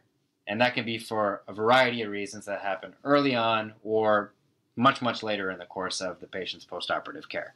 So hopefully that clears that up a little bit. Yeah, absolutely. And before we go to the next slide, are you more concerned about, given the fact that we're monitor, monitoring IOP, um, and you know, a significant rise in IOP is also not good for the health of the graft? Are you a little bit more concerned about uh, potentially pushing up the IOP with subconjunctival depot or steroid versus oral steroid? Um, you know what? If if the IOP goes up, um, I I I feel like you know we can treat that with drops usually. Okay, if you know sometimes it becomes way out of control, but but even if it's subconjunctival, you can cut out that depot of steroids and, and, and eliminate that. But if the cornea fails, that's it. The patient needs another surgery. So you know, yeah, of course, I, I definitely get those concerns, but sometimes you just have to do a risk benefit analysis and then decide what's best. Perfect. And we know that obviously, you know, luckily keratoconus is one that um, we do the most commonly with penetrating uh, keratoplasty. It also is one that has the highest amount of the best outcome and the best prognosis. Uh, Fuchs dystrophy, something that we see very often, also has very good outcome. And if you go down the list, your pemphigoid patient really has the worst. Can you tell us a little bit about why these pemphigoid patients have such poor prognoses? Yeah, you know, you're exactly. Pemphigoid patients do not do well with, with transplants, and that's for a lot of reasons. One, it's an inflammatory condition. These eyes are very inflamed. Often there's neovascularization everywhere. So the risk of rejection right there goes up. Number two, these patients have um, a very poor ocular surface. You know, they have almost a complete aqueous tear deficiency. Their meibomian glands are, are very abnormal. So, you know, they have a very high risk of that corneal epithelium on the graft breaking down. And then three, they have abnormal ocular adnexa. There's symblepharon, scarring, trichiasis. All of these are very bad prognostic factors for a corneal transplant. And now these pemphigoid patients have all three of these, all three of these. So it's the trifecta, and, and the success rate is, is very very low, unfortunately. Good to know. Um, and so obviously we're very familiar with the strength and weakness of penetrating corneoplasty. It's a, you know, from the surgeon's point of view, it's a more straightforward surgery, a little bit less time consuming compared to the other more complicated techniques that we're going to talk about in a little bit. Um, but it does remove all, all tissues, sometimes even healthy tissues. And that could be a weakness of doing a penetrating corneal transplant. Plus, Beeran had discussed about the, the um, the uh, the danger involved with the um, no matter how brief it is with the open sky time, and so that obviously then if you're looking at other surgical technique, you kind of you are able to bypass that. Um, so and such one such technique would be your uh, your DALK or your deep anterior lamellar keratoplasty. Uh, I've often thought that this can you know with luckily with the contact lens advancement now, you know patients keratoconus, especially keratoconus patients are getting very good outcome. But even prior to that, I thought, you know, the anterior keratoplasty, such as DALK, is really underutilized for a lot of patients. But obviously, it's not easy to perform, and you, you know, sometimes may not be able to uh, really re, you know remove down as deep as you want and you could have issue with interface haze um, that may take a long time to go away and patient may be on steroids if they have interface interface haze uh, between the graft the anterior graft and the um, or the and the donor tissue they may have to stay on steroid for a lot longer than you initially expected. Um, but we less we worry less about rejection because you, the risk there's no risk of endothelial rejection uh, still with other layers, but not with endothelium. Uh, and again, it's not an intraocular surgery in that there's no open sky time. I'd like to I have Beeran narrate through one of the videos for us that is combining cataract surgery with DALK. Yeah, so here's a patient of mine that had, um, you know, keratoconus and a visually significant cataract. Um, unfortunately, couldn't tolerate a contact lens, and without contact lenses, um, had very poor vision. So we decided to do surgery here. Um, you know, I won't show the cataract portion of the case. This was pretty much standard phacoemulsification, so that that's completed right there. So now we're going to do the DALK, and, and we start out the same way. So we, we take our trephine and, and we trephinate partial thickness. It's very key to be partial thickness because, again, we do not want to perforate Descemet's membrane and the endothelium at any point during the case. This is not an intraocular procedure. So what we're trying to do is we're trying to separate Descemet's membrane from the overlying stroma. And the way we do that nowadays is with air. It's called the big bubble technique. Um, you get a much cleaner interface, and essentially what we're doing is we're putting in a cannula and injecting air, as you'll see right here in just a second. And what this air is going to do is take the path of least resistance, which is between the stroma and Descemet's membrane, and, and essentially cleave that layer. Um, so now very carefully, we're going to remove overlying stroma, and you can tell that Descemet's membrane has been ruptured because we have air bubbles inside the eye, and the air bubbles are not coming out. So um, essentially what we'll do then is take a donor cornea where Descemet's membrane and endothelium have been removed and suture it into place. And the suture pattern is very similar to um, penetrating keratoplasty. I use 16 sutures. We still have kind of the same issues with suture removal and titrating suture tension and induced astigmatism.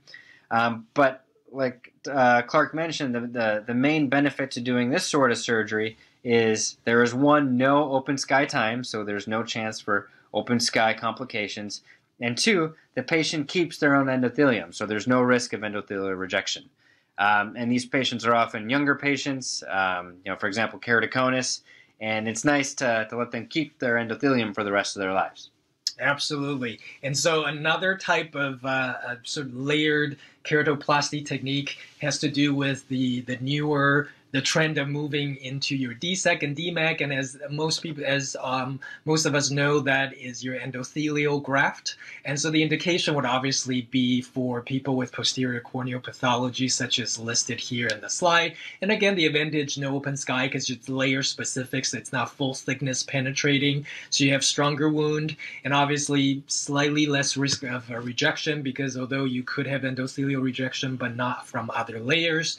Uh, again, it's technically little bit more challenging than doing a full thickness, uh, but you do have the uh, advantage, like I said before, with no open sky time, so a little safer for patients, no communication between internal and external environment. Um, there may be the concern of uh, pupillary block, and so inpatient need to lay flat uh, or stay in a supine position post-op for a period of time, a little bit longer for DMEK, a little bit shorter for DSEK. So we'll talk a little bit about uh, patient selection using those criteria that I just mentioned. Basically, for me, the, the difference between DSEK and DMEK graft is that DSEK, as you can see, has a red line here. So DSEK graft contains some um, stroma tissue from your donor, whereas DMEK is thinner and it doesn't have um, stroma tissue from the donor. So you have better vision and, and uh, reduced refractive shift, meaning they have better visual outcome and a quicker recovery, but they do have to stay in that supine position for a longer period of time. Um, so that's something that we uh, will have to consider when selecting patients. Beeran, can you tell us a little bit about your patient criteria, selection criteria? Yeah, so at, at this point, the way I kind of decide what patient should get a DSEK and what patient should get a DMEK is anyone who is a good DMEK candidate should get a DMEK. Um, just because I feel like with true layer for layer replacement of the cornea, it's all those things that you mentioned. You know, quicker visual recovery, less risk of rejection, better quality vision. Um, so if anyone, in my opinion, that can get a DMEK should get a DMEK. Um, so who is not a good candidate for DMEK? Who really shouldn't get one, and who is better off with the DSEK? So there's a few groups of patients here. One would be a patient with a tube or a trabeculectomy, and and kind of why why why is that the case? So DMEK again, it's just Descemet's membrane and endothelium. It's very flimsy. It's difficult to work with. And sometimes it's hard to get it to attach. That's the most difficult part of this surgery. That's the biggest challenge. And the way we get these grafts to attach is to put in a, a, a, or at least me personally, put in a bubble of gas into the eye that's supposed to stay in the eye for, for five to seven days. When you have a tube or a trab in the eye, you have now um, um, basically a pathway um, for that gas or air to escape and leave the eye much more prematurely than you'd like.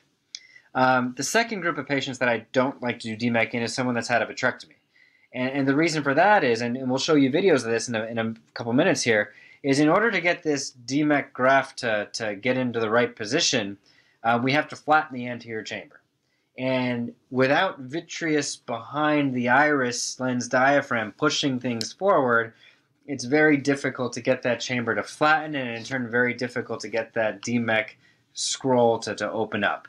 Um, the next couple are ACIOL, aphakic. It's it's kind of referencing unicameral eye, and, and, it's all about trying to keep that air bubble or gas bubble in apposition to the cornea. When you don't have that lens iris diaphragm there, the lens can, or I'm sorry, the air bubble can can migrate posteriorly. Other reasons why, you know, if you have a very poor view and you can't see into the eye, it is technically more difficult to do DMEK. And if you can't see well enough, then maybe you shouldn't do it. These patients, like Clark mentioned, have to lay flat for five days. DSEK patients lay flat for about 24 to 48 hours. DMEK patients for five days, again, because it is more difficult to get that cornea to stick on. So if a patient can't do that or refuses to do that, then they're not a good candidate for DMEK. And then finally, if we can't rebubble them. These patients often need to be rebubbled in the office, meaning more air has to be put in or more gas has to be put in. And if, you know, you know they, they can't do that, they can't position at the slit lamp or, or at the operating scope, then they may not be good DSEK candidates. Um, going back just one second. So who are good DMEK candidates? Again, anybody, but if you're learning how to do this, you know, um, for surgeons and, and, you know, briefly, you know, you want patients with light colored irises and then you ask why it's, it's easier to see inside of the eye against a light iris. Um, Fuchs patients are, are, are, good good patients, patients that are already pseudophakic, um, and then patients um, that that you know have an intact posterior capsule. And then there's a question of premium IOLs. So what I mean by that is, let's say a patient had a multifocal lens put in a cataract surgery, and and maybe the Fuchs dystrophy was missed, or maybe it got worse. Um, if you can truly replace that diseased Descemet's with new Descemet's, um, that gives the patient the best chance of still seeing well with the DMEK. Where if you had a DSEK and you had that kind of extra stroma there, sometimes the quality of vision or, or quality of the optics is degraded, and these patients may not do well with that premium lens, so they may need a lens exchange as well. So if we're trying to let our patients keep their premium lens, then then I think DMEK you, you should definitely try to do that. So let's talk a little bit about the surgeries. So as far as DSEK goes, you know, we, we went over this um, already, but basically we're going to remove Descemet's membrane and endothelium and insert a donor graft that has both Descemet's and endothelium, but also has a little bit of stroma. And that stroma is what allows that graft to, uh, to, to stick on a little bit easier. It just makes it easier to work with in the eye um, and then the, the chance of sticking on is better. Now, once you get it into the eye, you have to get it to stick on to the, the host stroma. So the way we do that is we use air. So we fill the anterior chamber with air, pushing that donor cornea up against the host cornea, and basically surface tension takes over. And as the endothelial pump starts to function, um, that cornea sticks on. Patients lay flat for 24 to 48 hours. Like I said, we do put air into the eye, but you got to be careful not to put too much air in because too much air will lead to pupillary block. So here's an example of a DSEK. So here's a this one um, is a little bit different because this patient had a DSEK already, and that DSEK failed um, for unknown reasons. So this goes to show you that the, the surgery is repeatable. So here I am, and I'm actually peeling away that DSEK, that old DSEK, and it comes off pretty easily. Um, and you can see it's swollen and edematous, and that, that that's a lot thicker than a DSEK graft should be, but that indicates that that graft has failed. Now, once that graft has been completely freed up from the overlying stroma, we just go in with forceps and pull it out of the eye. Um, next, we're preparing the donor graft. This has been pre-cut by the eye bank for us, and we're separating that posterior stroma and Descemet's membrane from the overlying anterior stroma and loading it onto, uh, this is what's called a Busin glide. There are a lot of different ways to deliver the donor cornea in. I prefer to use this technique where I load it onto this glide, reach across the eye with forceps, and then pull it into the eye, making sure that the endothelium is directed uh, down or posteriorly. So it's pulled into the eye, and you can see right there that it kind of just opens up for us. Once we get it in position, we'll take a cannula of air, inflate the anterior chamber with air, Again, this tamponades that donor cornea up against the host, and here I'm just kind of nudging it into place. The wound has already been sealed at this point with three 10 nylon sutures. Um, and then prior to leaving the operating room, we'll, redu- we'll release a little bit of air um, to, to, to, prevent that patient from going into pupillary block. So that, that's a good example of DSEK. Now, DMEK, um, like we talked about, is just, is again removing Descemet's and endothelium but just replacing it with a graft of Descemet's and endothelium only. So again, donor, or I'm sorry, layer for layer replacement. There is no stroma, and when this goes in, it, it's not, it doesn't have as much substance. So what happens is the graft folds up, and then and, and basically it's inserted into the eye. And what we have to do is we have to unfold it, position it, and then I like to use SF6 gas to tamponade this because SF6 gas lasts longer. That'll last about five to seven days, so we'll have our patients lay flat for five to seven days. Um, and um, the advantage of DMEK uh, versus disadvantage. I feel like again Bjorn had done such a good job at touching up on this, but uh, it's worth repeating that the difference is obviously with the newer DMEK technique, even though it's harder to, it's more complicated. Uh, it does offer patients faster visual recovery. Uh, remember, they do have to be flat on their back for a little bit longer because of the FS6 gas bubble. Um, but you know, if they could, if they don't have back issues and neck issues, they could do that. They, in return, they get better visual outcome quicker um, and also less rejection. Uh, refract refractive outcome is better, so also less change in their refraction. Um, now, Bjorn, I do have a question for you. So, number one, since these are specially prepared tissue uh, with both DMEK and DSEK, do, is your preference preparing yourself? Do you have the eye bank prepare for it? And since you, number two, you specifically mentioned about cell loss during surgery for DMEK, is there more of a concern about endothelial cell loss during DMEK versus DSEK? Yeah, so to your first question, you know, um, what's really been a game changer here in the United States is um, the eye bank's ability to prepare this tissue for us. Early on in the game, surgeons would have to essentially strip Descemet's membrane off the cornea themselves, um, and that resulted in a low um, adaptation rate um, and, and, and, kind of increased surgical time and, and kind of wasted tissue. And now that the eye bank is doing that for us, the vast majority of U.S. based surgeons get their tissue prepared and sent by the eye bank. Interesting enough, um, overseas, for example, in Europe, even some of the most famous DMEK surgeons, some of the pioneers of surgery, are are still preparing the tissues themselves.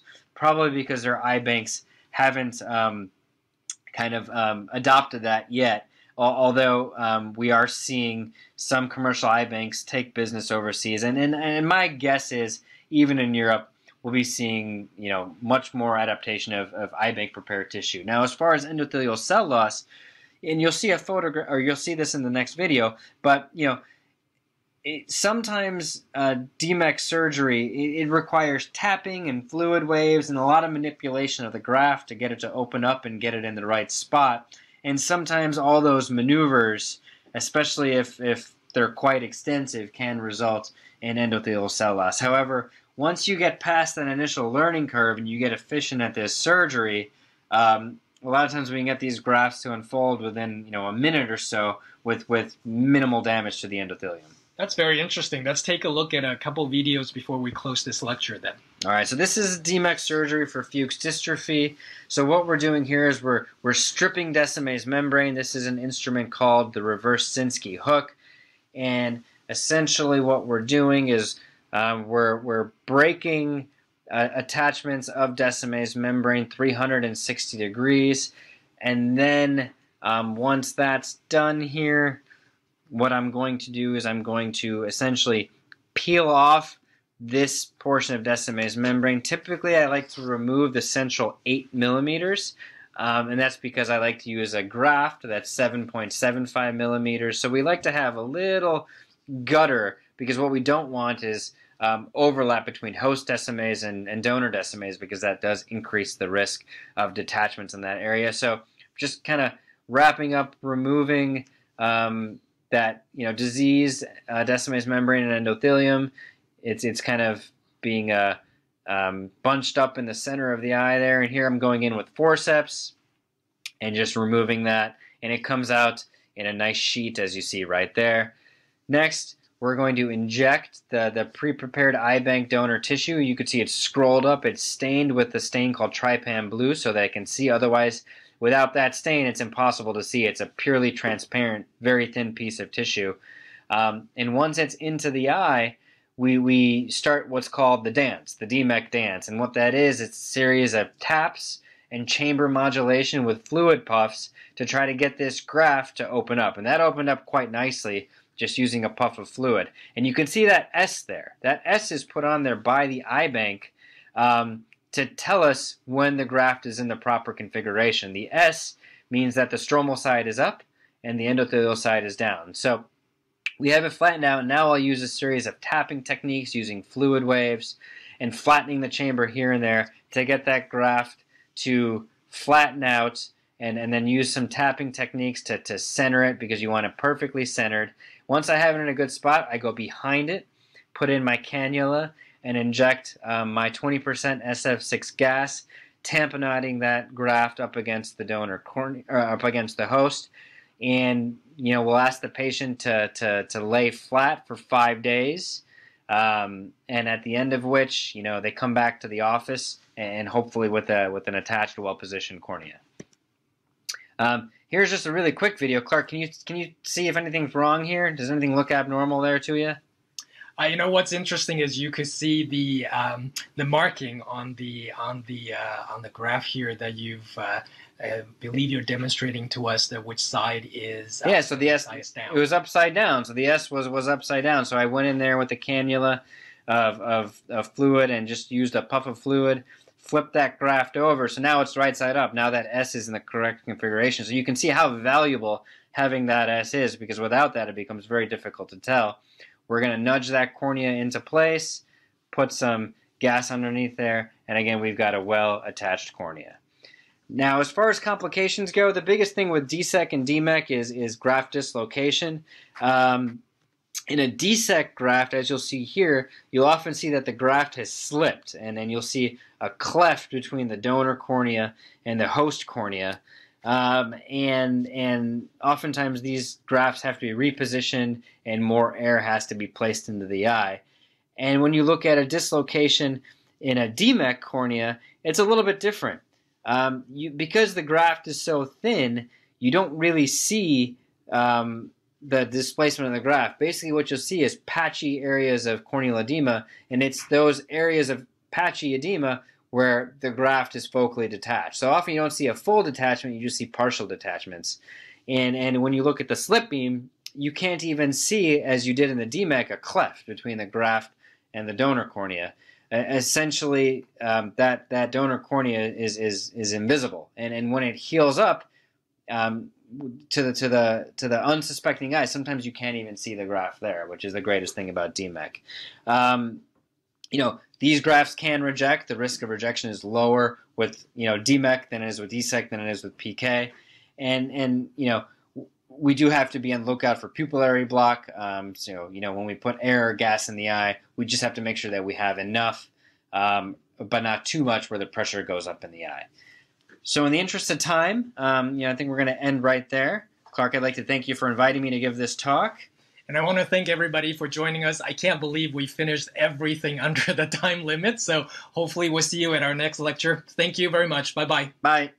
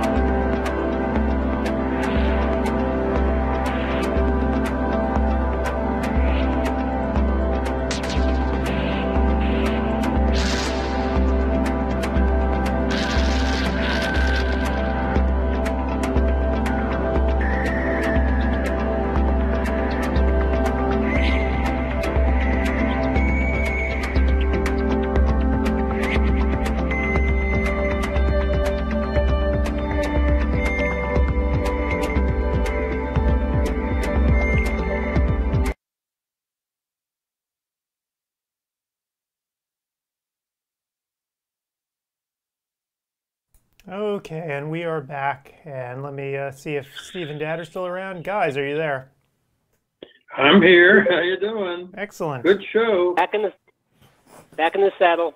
Excellent. So yeah, so that was a really fun uh, presentation with uh, Clark and Beeran, and uh, I think it shows sort of the breadth of what we're doing with CEY, right? So having the MD and OD uh, sort of coming together, and uh, I really like this the back and forth that they had in that particular show. Yep. So, Steve, how was your how was your course? Oh, the speaker's just excellent. I mean, I, I'm kidding. Uh, it went well. it's um, uh, luckily uh, my subject um, is timely, but has is not out of date, even though it's a, a couple months old. So um, uh, I, I, I think it's uh, done well, and I, I hopped into Mark Friedberg's second hour just to listen to it again, and um, just as good as always. So um, everything's working well. Um, sometimes we had problems with sound quality. That's not a problem. Speakers are there. Uh, and like we found last time, because the attendance is so high given the COVID virus and the amount of attendees we have, there's a lot of interaction. Mark said was Mark Friedberg was inundated with uh, questions and really good questions, and I think the speakers like um, having people interact with them. So um, done well. I had um, some actually good compliments at the end of mine. Um, so uh, compliments. That well, that's good. My topic was that's great. It's hard to ask questions, but uh, I think they got the idea, and everybody wants um, uh, to be immortal and to me to develop some sort of way of uh, making telomerase uh, uh, not shorten our chromosomes. But that's that's a subject for another day. Um, yep. How's the attendance? How, how many people in, in classes?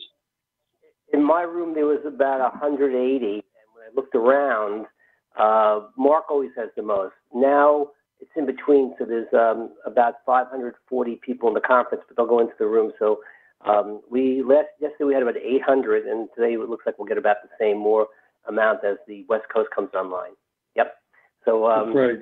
I mean, lectures are. Uh, I've pretty much heard every single lecture, and there's not one uh, bad apple in the bunch. And I want to uh, listen to uh, Dr. Resnick and Dr. Hauser's um, to see uh, the new content.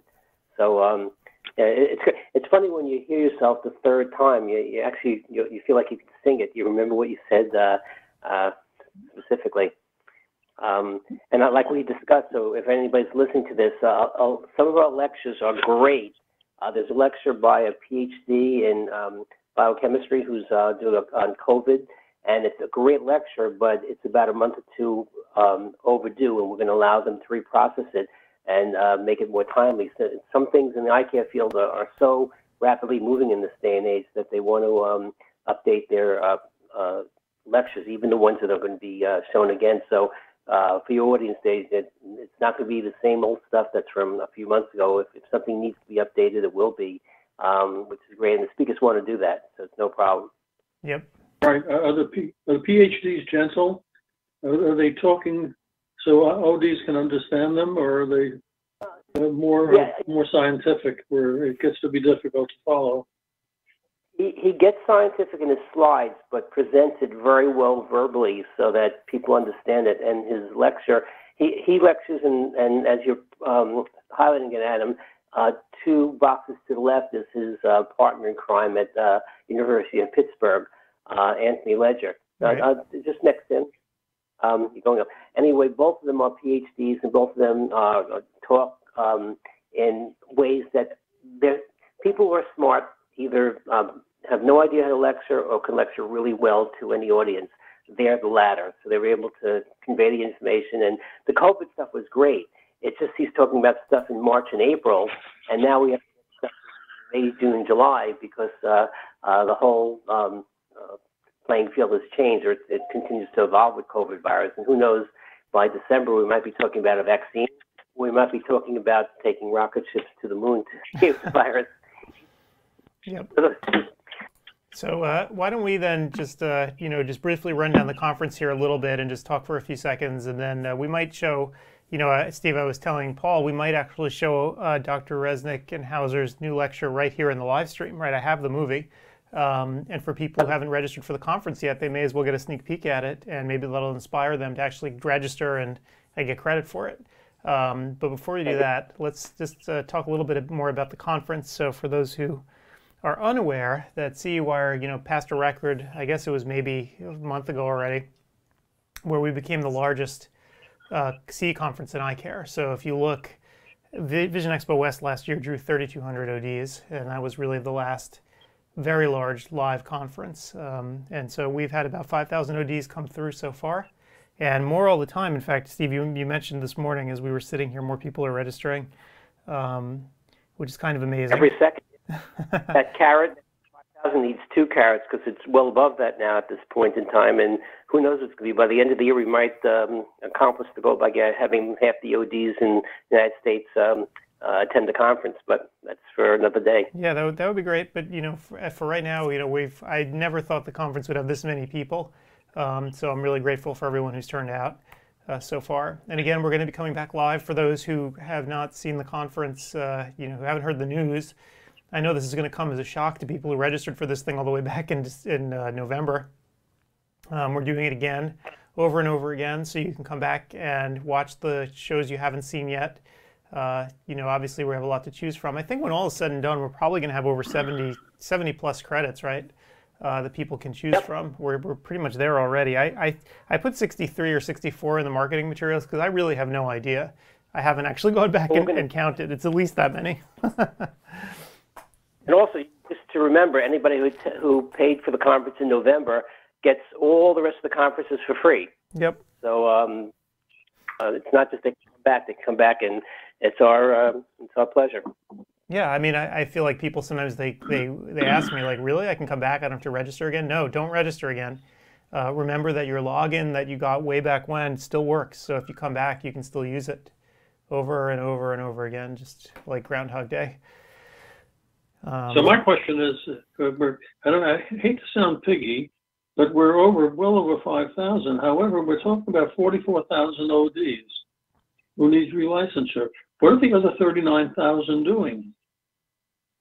Well, you take the 3,000 out of Florida to begin, which is a sore spot to start. Um, some states don't have that many requirements, and some people have gotten them someplace else, or their heads are in the sand. Even when we were doing this a couple years ago, and we were charging uh, this fee even a lot less, um, our attendance was a lot less, and, and now it's becoming more well known. I think people are are signing up for it. But you're right. Um, uh, I have no explanation other than people um, have their heads in the sand. Yeah, I mean, I think and I think some people now too are trying to get a you know with these onesies and twosies. Um, if you have a state that has a small, a very small requirement, you know, you could easily get away with doing that, right? If the requirement for you to to take is just tiny, so why not? Uh, but if you if you're at a state where you need 20 credits, 30 credits, I, I don't know. I don't know what people are doing. Um, Yep. It would be challenging. It could be since it's 2020 that people who attended SECO and got 100 credits there, I'm kidding, they got some. At least SECO was not affected by the virus at that point, but now um, all the live things. I think going forward, uh, whether it be our platform, which you know, you know I feel is the best, or others that are going to come online, people are going to start doing more if the virus is still in effect. Uh, uh, for Vision Expo, for the Academy meeting, for next year's Vision Expo East. Uh, but I think it's going to be the new paradigm, and hopefully the states will loosen up completely at that point. They, they're going to have to do one or two things. It's just the math because there's no live conferences. Either they have to uh, eliminate the need or reduce the need for CE, or allow people to take online CE as their requirement. So one of those two things ha- has to budge, or um, it's impossible to maintain your license. Yeah, my feeling is we're going to see another push of people here probably in October at our October conference. That what's going to happen Right. is in August, or maybe even August, what'll happen is the bigger conferences will announce that they're just going virtual um, when when they decide that Las Vegas is uninhabitable. um, then at that point, then I think people are going to make the decision to start getting more more online.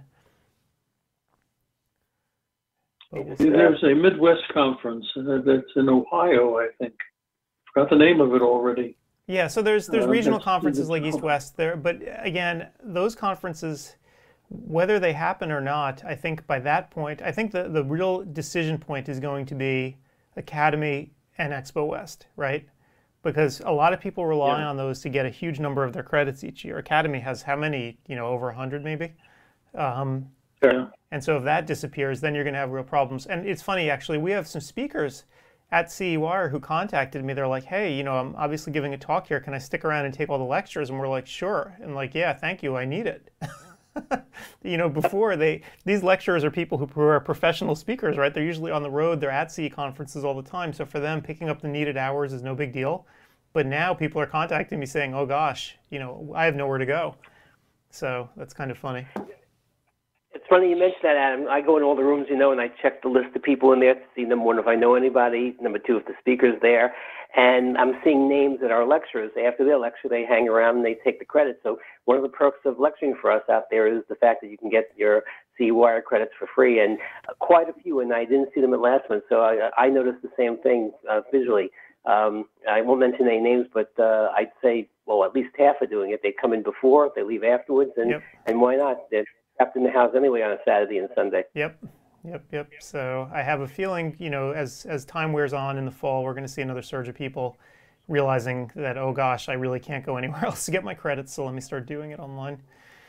Um, I don't know how it was in New York, Paul. You probably could tell me, but in Jersey, we have um, local meetings of the societies where uh, you get 40 or 50 ODs signing up or coming every single month, and you'd be able to get 16 to 20 credits, and you kind of counted on that. It was a way to um, hobnob with local counties. Uh, they're not happening now because you're not going to get 40, 50 people in a room at a, at a country club or whatever. So it's it's not only the national, um, Adam, it's the very local ones that are not taking place, and then there's the regional ones statewide that certainly aren't taking place, and then the national ones just add to it. right. Yep, and then of course the, the local ones, they if it's ophthalmology sponsored, they always throw in a meal, and that that brings out the ODs for the free meal. So uh, so there you So wait a go. second. We we met at Jumping Brook Golf Club, and we got not a free meal, but it was part of your registration fee, which was very very reasonable, and it was good food actually. So um, I don't know about New York. I mean, you, you're probably cheaper than us. But we we gave them a free meal and uh, and wine and beer. Oh, okay. Oh, really? Well, you know, uh, I- I'm still of the era where you didn't have to take CE uh, in New York State for a lot of years, and most optometrists didn't show up anywhere. Uh, the the Oh. uh, New York Academy of Optometry was one of the few venues where you got some lectures, and they did it where the uh, but basically there was not, not a free meal thrown in, but you you got a meal at the hotel. Uh, but those, those were the days uh, before CE was needed. in the early 80s, um, when I started to practice, um, even then you needed a 60 credits in New Jersey of CE. Now, what they did is if you're a new graduate, you didn't have to take it for the first two years because you obviously just out of school. Then it was scaled up. I think it was 30 the third year, and then it went up to the full amount by the fourth or fifth year. Uh, but that was you were practicing then, and you were down the show then, so you must have uh, New York must have been a little bit um, uh, more lax. Yeah, well, you know, on the- showing I remember the, the uh, New York uh, New York Academy. Um, you you spoke to the Academy at your own risk because it was like a Wild West show. After the speaker was done, all the big guns would stand up there and start shooting them down. You know, there, it was a, a very interesting type of uh, intellectual discourse, but mainly the Academy people in New York State were the educators Mm. There are very few non-educators that, that belong to New York State because you could not get into the academy if you had a downstairs location. If you practiced Wow. in a store, forget about it. It, it didn't happen. So all the professors were there. Hmm. All right, guys. Right. well, how that let's let's quickly well, instead of talking about the old days, I want to remind people who are here today in 2020 um, that they can't be in two places at once. So uh, this is a, a quick reminder: when you go to a class, pick a class and stick in it uh, for, for the the hour that you're going to be there, uh, so that you'll get credit for it. So very important. Don't just kind of run from room to room to room because it's not going to help. Um, and the, the system won't actually let you get credit for it. So just quick reminder, uh, stay in the class to get your credit. Um, so because the thing's watching you, so don't leave early. Make sure you enter your tracker number at the at the end. Uh, there's a, a box. People will explain it to you when you walk into the classroom. You'll actually see it there. It's very easy to do. Once you do it once, you'll have the procedure down. And again, there's no quizzes for live credit at this point. So um, it makes And, makes and it also remember to, to give us give us a critique what you thought of the meeting. Right at the end of each lecture, there's a, a link for a survey. Feel free to fill it out uh, and tell us. We're getting a lot of data now this year because we made the survey super short and easy to do. But there's a place where you can also write in free form text, and people are. Uh, if you liked something or you hated something, and don't be shy about it. The results are anonymous. We don't actually tie your name to any of the surveys, so I have no idea unless you tell me who's who's responding. So feel free to be as you know honest as you like. yeah. When I- Um, so what else? And again, I, you know, just want to thank our sponsors one more time, so you can see all the names up there. Go into the exhibit hall and check them out. Um, they all have discounts, as Paul mentioned before. Many are probably willing to deal, right? We I, I mentioned all the special deals that they have going on. I don't want to run through it again right now because there's so many of them. Um, but I think a lot of these companies are very eager uh, to start, you know, moving the metal, as they say, again. Um, so feel free to go on in and, and talk to them. They're, you know, most of these companies are, are very willing to work with you to try to get stuff going. It's interesting the number of low uh, interest rate deals we've seen here, or zero percent interest, or no payments, you know, until next January. Um, so Yep. I, I think they're trying to really help you, you know, as we recover here and get open again. Um, so it'd be kind of nice, you know, you'll have you know five or six months to actually use the instrument before you have to pay for it in some cases. Funny, the same things were happening back in 2008 um, when um, the economy was tanking. They had zero interest rates at that point, but interest rates were not that low. Now, I guess they can incorporate whatever financing they get from the bank into the cost of the equipment and, and eat the interest. But it's uh, it's great for the ODs. Um, I remember I bought an Optos. You were with me, Adam. Yep. Um, must have been about eight years ago. Yep. And I could calculate my payment. It was the amount of months divided by the cost because the interest rate was zero then. Yep. So um, take advantage of it now. I, I, don't know if they're going to go up, but uh, certainly. And now, now you're right. You can negotiate perhaps with them because nothing's going to happen in July and August. There's going to be no conferences. It's the summertime. People are going on vacation in their backyards. And so um, they're probably hot to sell stuff at this point, and uh, they might have some inventory they have to get rid of, especially the higher tech, bigger companies that can. Well, I think, think the smaller ones might be more limbo, uh, nimble in trying to get uh, product or at least samples, whether it be from La Rivera or some other companies that um, have smaller um, items. Right. Well, what's interesting, what's interesting to me too, I just put up Konan's thing up here, you know, talking about the deferred payments, right? There's so many companies we see now where they'll do that for six months, defer the payments, right, through January, uh, as well as having no interest. So, you know, it gives you some real lead time to actually try to generate some revenue with whatever instrument it is that you're buying. Um, whether it's like, you know, and I, yep. and I guess you can juggle playing with taxes and start depreciating the Oh, yeah. equipment. So the, the question is, how do you depreciate if you don't pay in advance? And Just, you just have to um, take delivery. If you took it to July 1st, but made no payment, it doesn't matter. You you have a bill. You own the equipment, or you you leased it with a dollar buyback. So, little like you say, if somebody wants a little bit of math, you can buy a piece of equipment July 1st, take delivery then, um, deduct the whole piece of equipment from your taxes, and and also see the patients generate income from that during that time period, but never pay a dime until let's say January 1st. So you're you're correct. It's called uh, 179 election, I believe. Well, what about, so I have up on the screen Neurolens. This is an interesting case, right? Because they have no payments until January 1st, 2020. So I guess you're, you're buying the device, you're not making any payments on it. Uh, obviously, you make your money back on this through the uh, product that, that it generates, right? It generates a prescription and you get custom eyewear from it.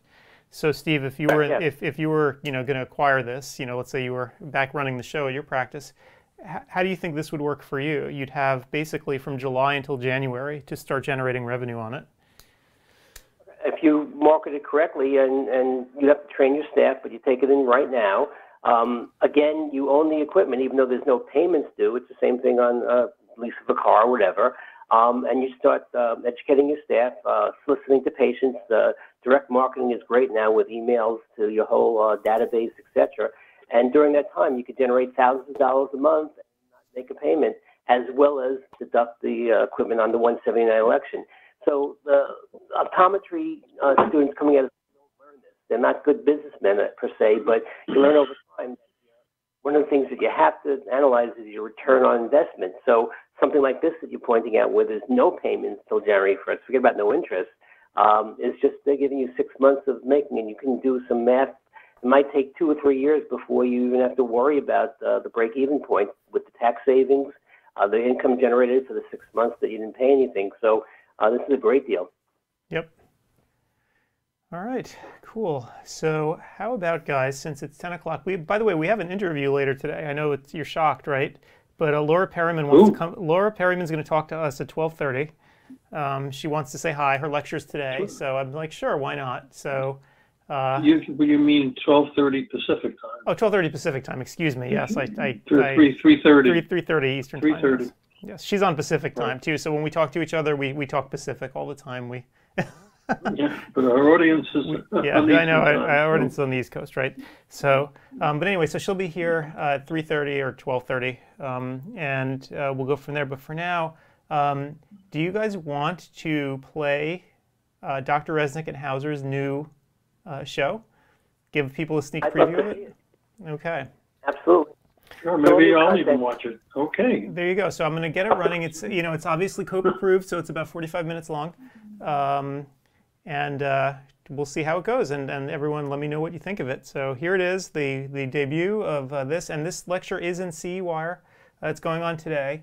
Uh, so if you really want credit for it, what you need to do is not watch it here, but watch it in CE Wire itself. Sign up for the conference What, login. what time is, what time is it for credits? Ah, good question. See, you think I know the I answer? believe. I think it's four o'clock, but don't hold me to it. Yeah, Uh, four o'clock Eastern. Okay, so there's still plenty of time to sign up. Yep. So here's a sneak peek. Good luck, and uh, we will see you guys uh, in about an hour. So here it is. Bye bye, guys. Hi everyone, welcome to our talk on acquired blepharoptosis. We thank CE Wire for the opportunity to present on this uncommonly discussed topic. I'm here today with my co-presenter, Dr. Whitney Hauser. I'll be starting off the discussion by reviewing normal lid anatomy, the changes in structure and function which lead to blepharoptosis, and an overview of the etiology and classification. Dr. Hauser is then going to take us through the clinical workup and conclude with an overview of current treatment and management options. These are our disclosures.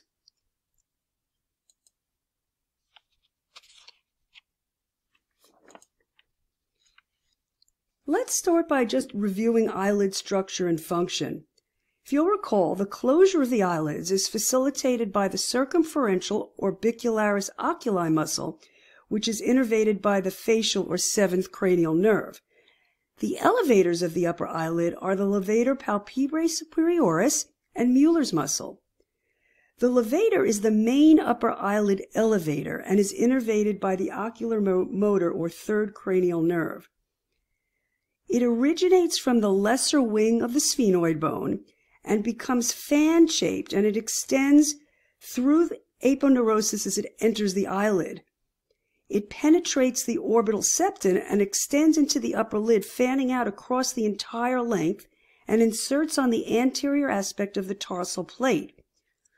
Mueller's muscle is a smooth muscle. It arises from the undersurface of the levator, just posterior to the fornix, and inserts into the superior tarsus. Mueller's muscle is innervated by the sympathetic nervous system.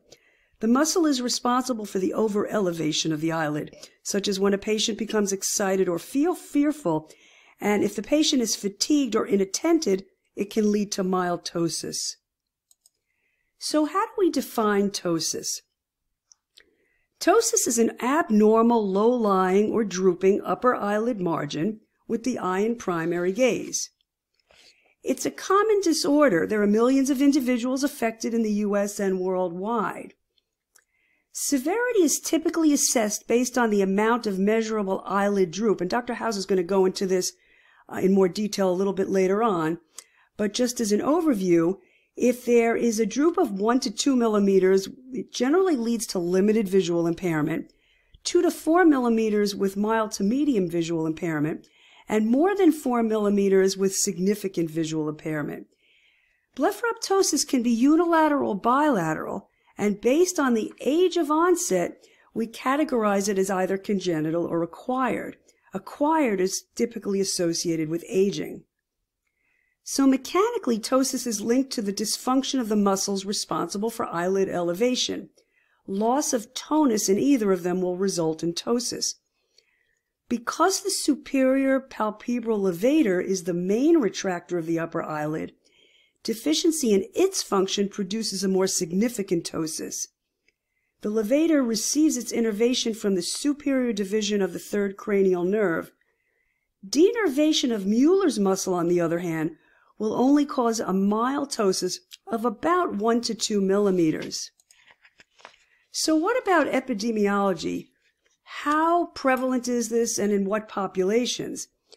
According to the American Society for Aesthetic Plastic Surgery, Eyelid surgery was fifth among the top plastic surgical procedures in the U.S. in 2018 at over 110,000 procedures. It is the most common surgical procedure in the 65 plus age group.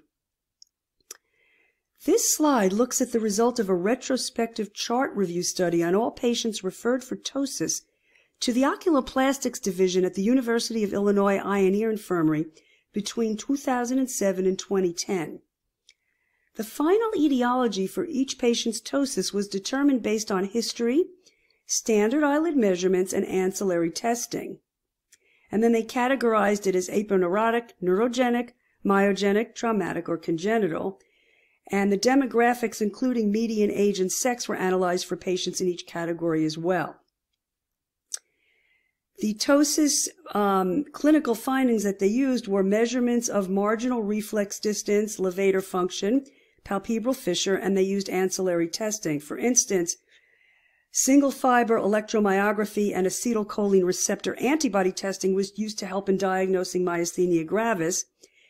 Neuroimaging was used in cranial nerve 3 palsy, and Horner syndrome was tested for pharmacologically and then further investigated with imaging. And they concluded that a significant portion um, or proportion of patients referred with ptosis had more serious conditions such as neurogenic or myogenic ptosis.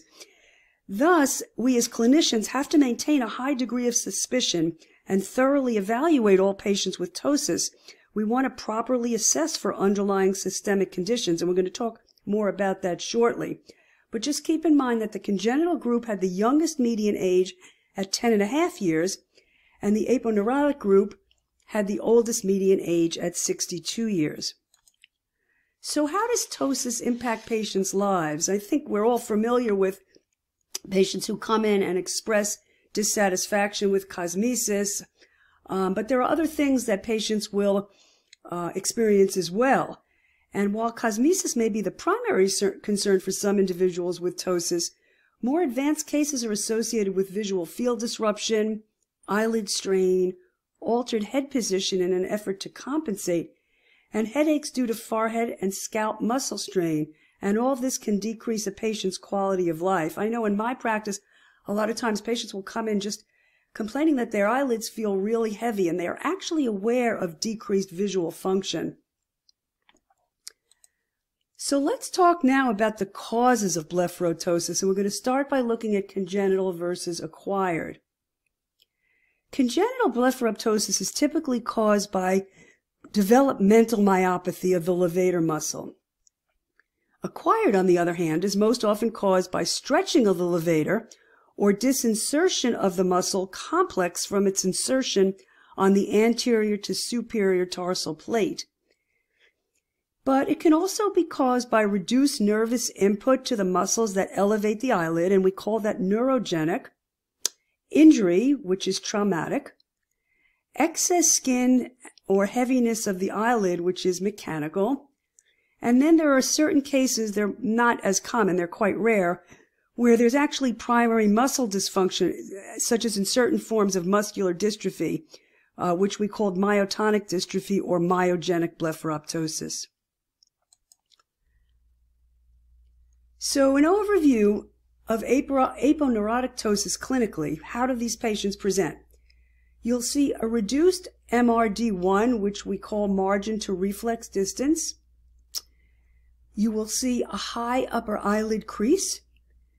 There will be near normal levator function, and there will be decreased palpebral fissure in down gaze. So as the patient looks down, the palpebral fissure actually reduces at a higher rate than somebody who does not have levator dysfunction. In myogenic and congenital ptosis, you'll see a weaker absent eyelid crease. You'll see poor levator function and again eyelid lag on down gaze. So this is just a schematic um, on how to break down congenital versus acquired. You'll see that congenital will define as occurring or diagnosed at birth to about a year, and then acquired um, from a year on. And in both categories, we can further subdivide them into isolated and non-isolated. So let's first talk about congenital ptosis. It's ptosis that's present as, at birth, as we said, or within the first year of life, and it's most commonly isolated, which means it's not associated with other ocular findings. In about 75% of the cases, it's unilateral. The majority of congenital ptosis is due to myogenic dysgenesis of the levator muscle. It most often does not affect vision, but in severe cases, the drooping eyelid may occlude all or part of the pupil and may interfere with vision, resulting in amblyopia. Congenital ptosis may occur through autosomal dominant inheritance. So when we see a child with um, ptosis, we want to be sure we are finding any underlying cause.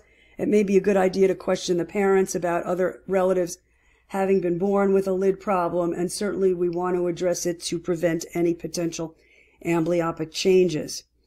To briefly review other possible causes of um, isolated congenital ptosis, there's something called synkinetic ptosis, which many of us will remember as Marcus Gunn jaw winking syndrome.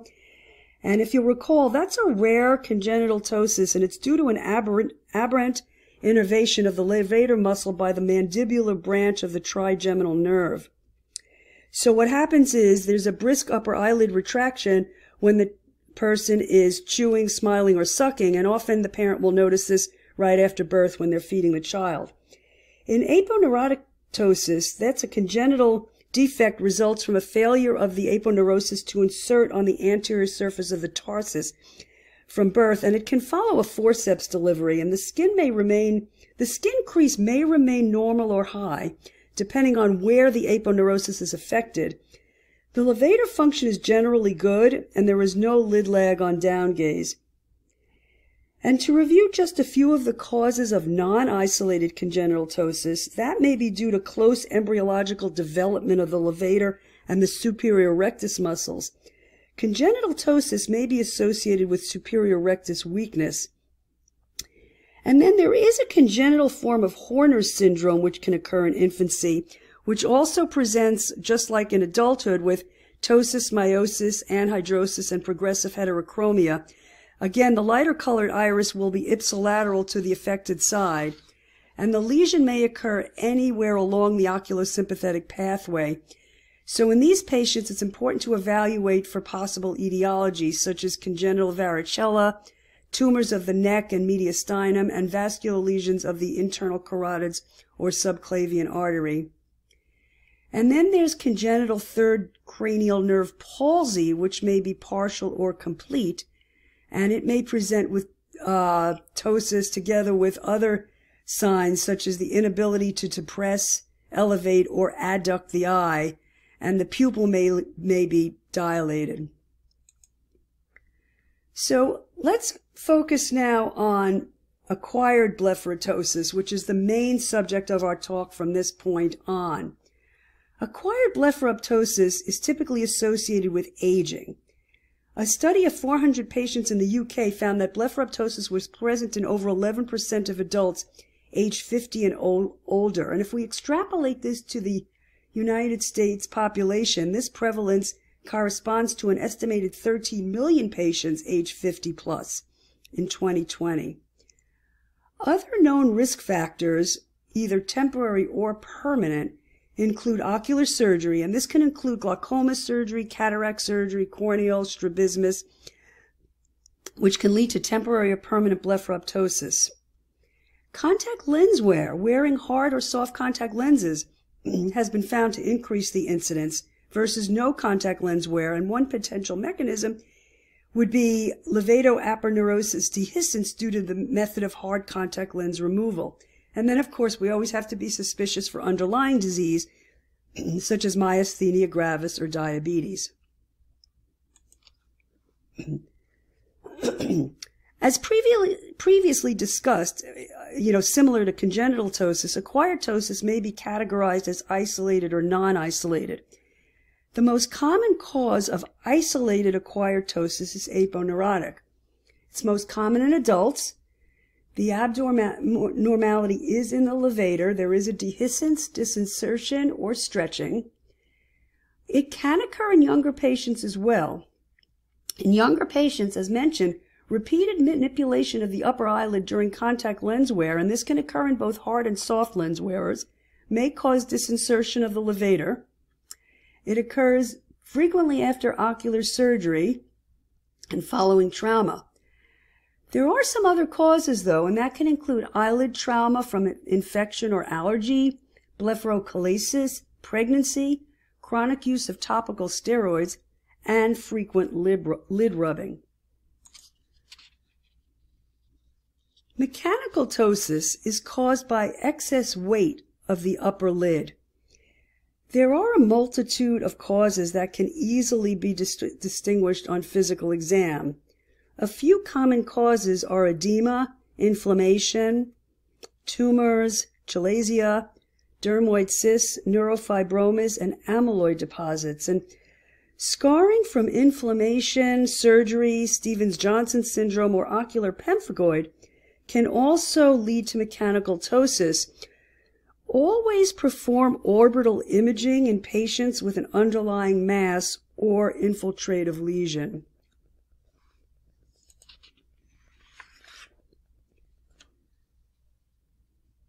Acquired traumatic ptosis can develop as the result of any trauma to the orbit. Traumatic ptosis can be neurogenic, aponeurotic, myogenic, or mechanical in nature. Iatrogenic causes account for roughly 50% of traumatic blepharitis. And traumatic ptosis has been reported to account for 11.2% of blepharoptosis in a tertiary care oculoplastic setting and there was a study that showed 4% to 12% after cataract surgery procedures, and there's about 10 to 12% after trabeculectomy alone and combined trabeculectomy phacoemulsification. The causes can include disinsertion of the levator muscle or damage to the levator tendon with scar formation, Alternatively, cranial nerve 3 damage can also sustain damage leading to the ptosis. In severe cases that result in significant damage to the levator, patients may require multiple surgeries with a poor probability of restoring natural eyelid anatomy. Patients who are at increased risk for cranial nerve 3 involvement includes those, include those with head trauma injuries, post-traumatic cavernous sinus thrombosis, orbital apex fractures, and nerve compression by foreign bodies.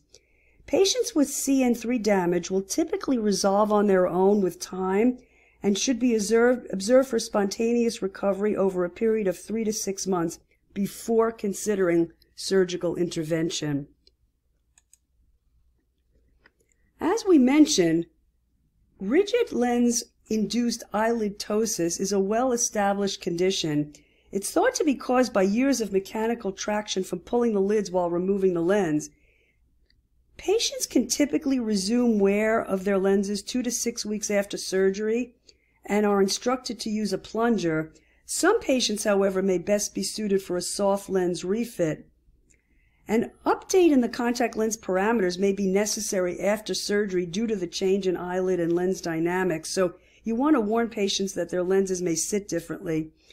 They may have more problems wearing their lens even if the lens is in exactly the same positions, and patients may feel drier and have more trouble wearing their lenses after surgery.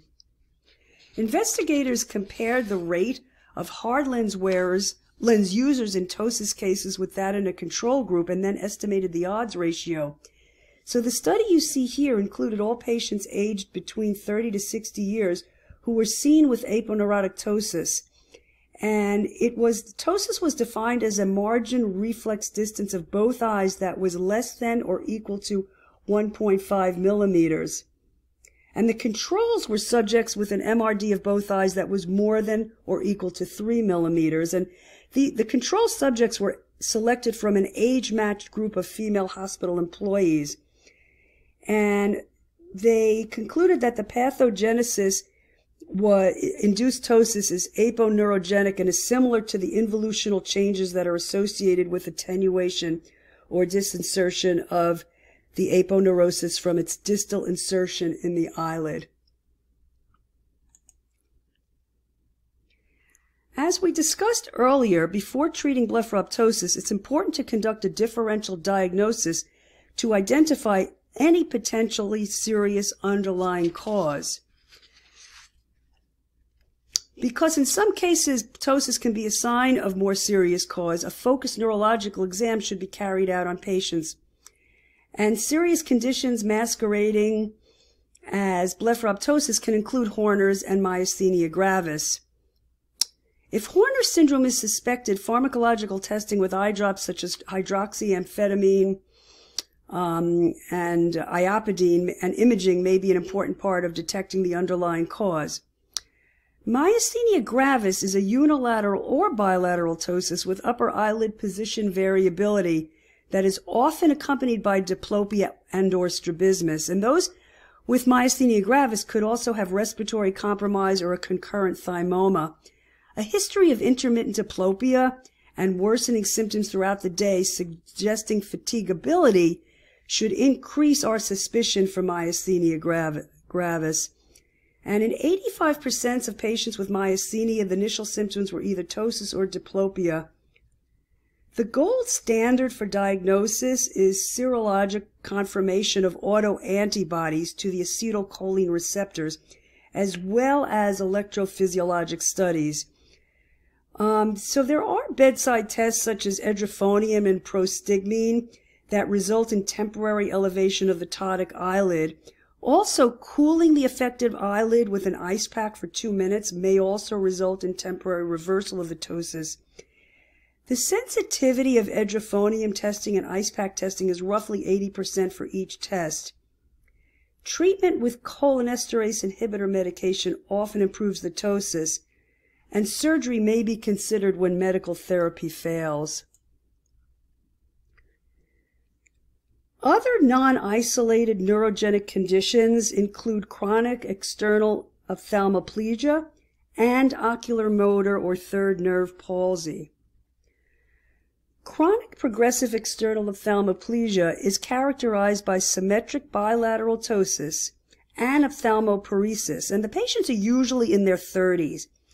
A family history showing a maternal inheritance pattern, imaging studies to rule out other possible causes, and a muscle biopsy can aid in diagnosing this. It's a mitochondrial disease. Because, because CPEO may be associated with Kearns-Sayre syndrome, these patients often warrant additional workup for cardiac conduction defects and pigmentary retinopathy. Another cause of myogenic ptosis can be medication induced, typically steroid or tenofovir. These have been described in the literature and, stre- and stresses the importance of reviewing a patient's medication. Ocular motor nerve palsy is characterized by ptosis accompanied by ophthalmoplegia, diplopia, and poorly reactive dilated pupil, and can be a result of ischemic injury or aneurysm. CN3 palsy may necessitate imaging to rule out a compressive etiology. So let's just take a look at a couple of cases here. The upper image shows CN3 palsy. So just recall that the ocular motor nerve innervates the medial rectus, inferior rectus, superior rectus, and inferior oblique. It also innervates the levator palpebrae and carries sympathetic innervation from the Edinger-Westphal nucleus. So dysfunction can result from ischemia, infection, compression, trauma, and demyelinating disease such as multiple sclerosis. Some patients may present with any combination of ptosis, ophthalmoplegia, diplopia, and a poorly reactive dilated pupil. The ptosis may actually be profound. So when seeing a patient with um, CN3 palsies, you have to differentiate between complete and incomplete. Um, in other words, pupil sparing and pupil involved. Pupil sparing CN3 palsy is commonly due to ischemic injury in patients with vascular risk factors such as hypertension or diabetes. In older patients, typically older than age 55, giant cell arteritis needs to be considered.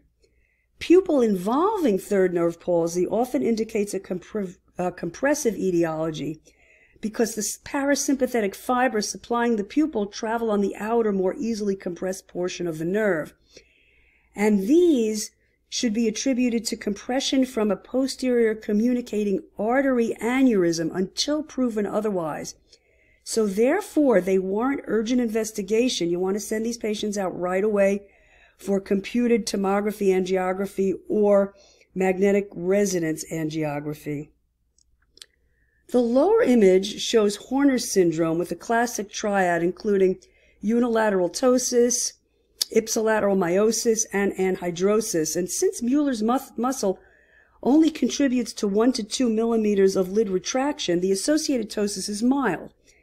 The syndrome results from damage anywhere along the sympathetic pathway, which can be divided by first order neurons.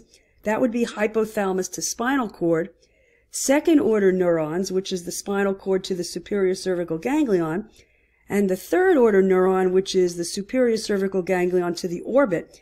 So it's important to determine which order neuron is involved because Horner syndrome secondary to involvement of the first or second order neurons may be caused by underlying malignancy. The diagnosis of Horner syndrome is confirmed if a apraclonidine drop testing results in reversal of anisocoria. And then you use hydroxyamphetamine drop testing to localize the level of dysfunction. The drop will result in pupillary dilation if the dysfunction is at the level of the first or second order neurons, while no dilation will occur if the third order neuron is affected. So now Dr. Hauser will conclude this section on differential diagnosis by talking about pseudoptosis, and then she'll take us through the clinical uh, evaluation of ptosis patients and talk about current therapies. Dr. Hauser. Now, what is our differential diagnosis for pseudoptosis? Pseudoptosis, again, you're having that upper lid droop and the absence of pathology of the upper eyelids. So what are our options here? Our causes can be dermatochalasis, brow ptosis, superior sulcus deformity, microphthalmos, and hemifacial spasm. What we're going to do next is take each of those piece by piece and kind of unravel them a little bit and figure out which one of these may be impacting our patients. First, let's look at dermatochalasis. Dermatochalasis is redundant or sagging eyelid skin. Depending on what your practice is or where your practice is, odds are you're seeing this almost every day. The patient population that I primarily work with is patients, generally speaking, 50 and up. I see dermatochalasis all day, every day. So it's an important thing to identify in our examination. Manual lifting allows for assessment of that positioning of the under eyelid skin. And the reason that's important is, and we'll find out later as we look at brow ptosis, it can really be a differentiating factor between true dermatochalasis and more of a brow ptosis. Now, the prevalence of this in individuals over the age of 45 is about 16%, and it affects males more than females. Now, why are we seeing these changes? We're seeing this because we're living longer. And the longer we live, the more chronic problems that we have and more involutional eye problems that are identified. Now, with dermatochalasis, there can be a couple causes to that. It can be the traction due to the contraction of the orbicularis muscle over time, but there's also a second part, and it's the second part that really is, is not a friend to any of us, and that's gravity. So gravity can also play a role in it. So we're looking at traction and gravity uh, to play a role in dermatochalasis. And eventually we're going to see a change or a loss of that quality and quantity of elastic tissue in the skin that causes those lids to kind of droop. All these factors ultimately are going to result in a lowering, particularly of the lateral one third of the eyebrow and that excess skin kind of weighting it down on that lateral corner of the upper eyelid. So the thing about dermatochalasis, not unlike what I said about ptosis in the beginning, is dermatochalasis has a cosmetic concern to the patients. The patients have those droopy eyelids and that, that dull appearance. However, they also can be subject to ocular irritation, and sometimes this goes unnoticed uh, clinically. So why do they have ocular irritation? It can be secondary to chronic blepharitis. They can also have dry eye issues and sometimes misdirected lashes can also cause problems for the patient. Additionally, dermatochalasis can cause a reduction in both superior and temporal field of vision and quality of vision changes as well. So there can be definite visual impacts both from how the patient sees and how the patient feels. Now, it's fairly predictable that you're going to see as the margin reflex distance measured in millimeters decreases, you're going to see an increase in the percentage of superior visual field loss. But this study proves that uh, point for us. So as you can see here, as the lid goes lower and lower, you see an increase in the percentage visual field loss. Now, what this study doesn't say, but other studies have found, is that you can also have a decrease in contrast sensitivity with some of these patients who have dermatochalasis. And there have actually been reports of significant improvement in contrast sensitivity of patients undergoing blepharoplasty surgery for dermatochalasis. So it actually can improve the quality of that patient's vision. Now, why does that happen? The proposed explanation is that that redundant or heavy skin that overlays the eye actually blocks some of the light entering the eye and can cause some level of diffraction. So having a surgical opportunity to go in and resolve that, it's not just an aesthetics component. It's not even just a visual field potential improvement, but the patient may actually have better quality of vision as well.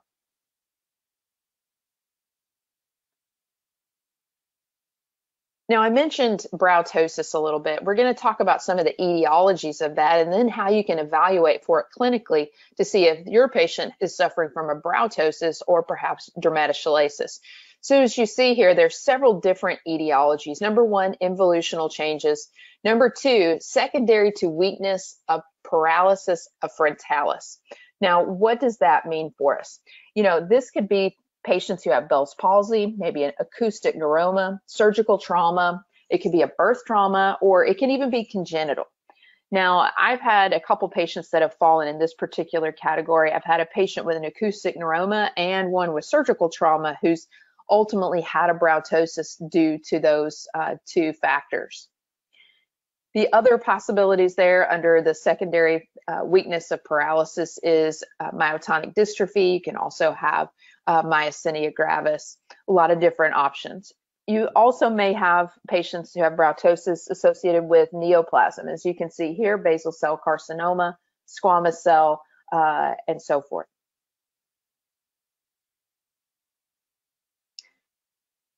Now, how do we do that differential diagnosis testing? This is, you know, really easy test to do in clinic, uh, requires no special equipment but it's really valuable. And perhaps some of you are already utilizing this, but as you can see here, we have a patient uh, on the left. This is the same individual, but patient's image on the left is his natural lid posture. And you can see the, the brows look a little lower.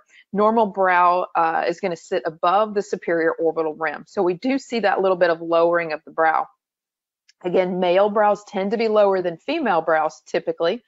Uh, but what we see in the, the second image, the image to the right, you have to kind of take a peek right up at the edge of the top of that image where you can see some fingertips that are in there. What we have here is the, is the patient's brow is manually being lifted. You're seeing it elevated. So maybe that frontalis isn't fully engaged. And when we manually lift it and stabilize, you can see that there's a resolution of what appears to be an acquired ptosis. So we don't even have a frank uh, in this patient. If you look at it at just face value in that image on the right, one may interpret that as a dermatochalasis. However, with elevation of that brow, you can definitely see that it's not exactly so much about those heavy sagging lids as it is the brows not really fully engaged and lifting the brows as they should.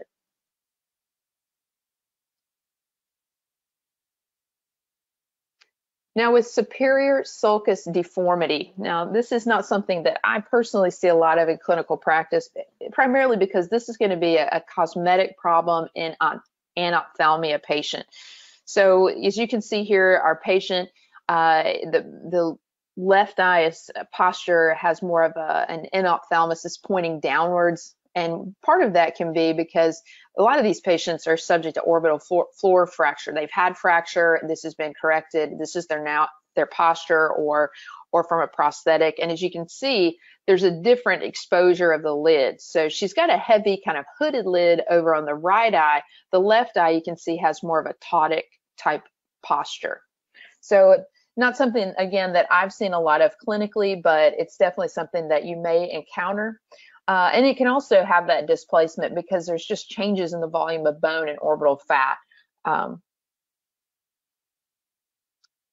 microphthalmos, again, as I already identified, many of my patients that I see are in that uh, older patient population, 50 and up.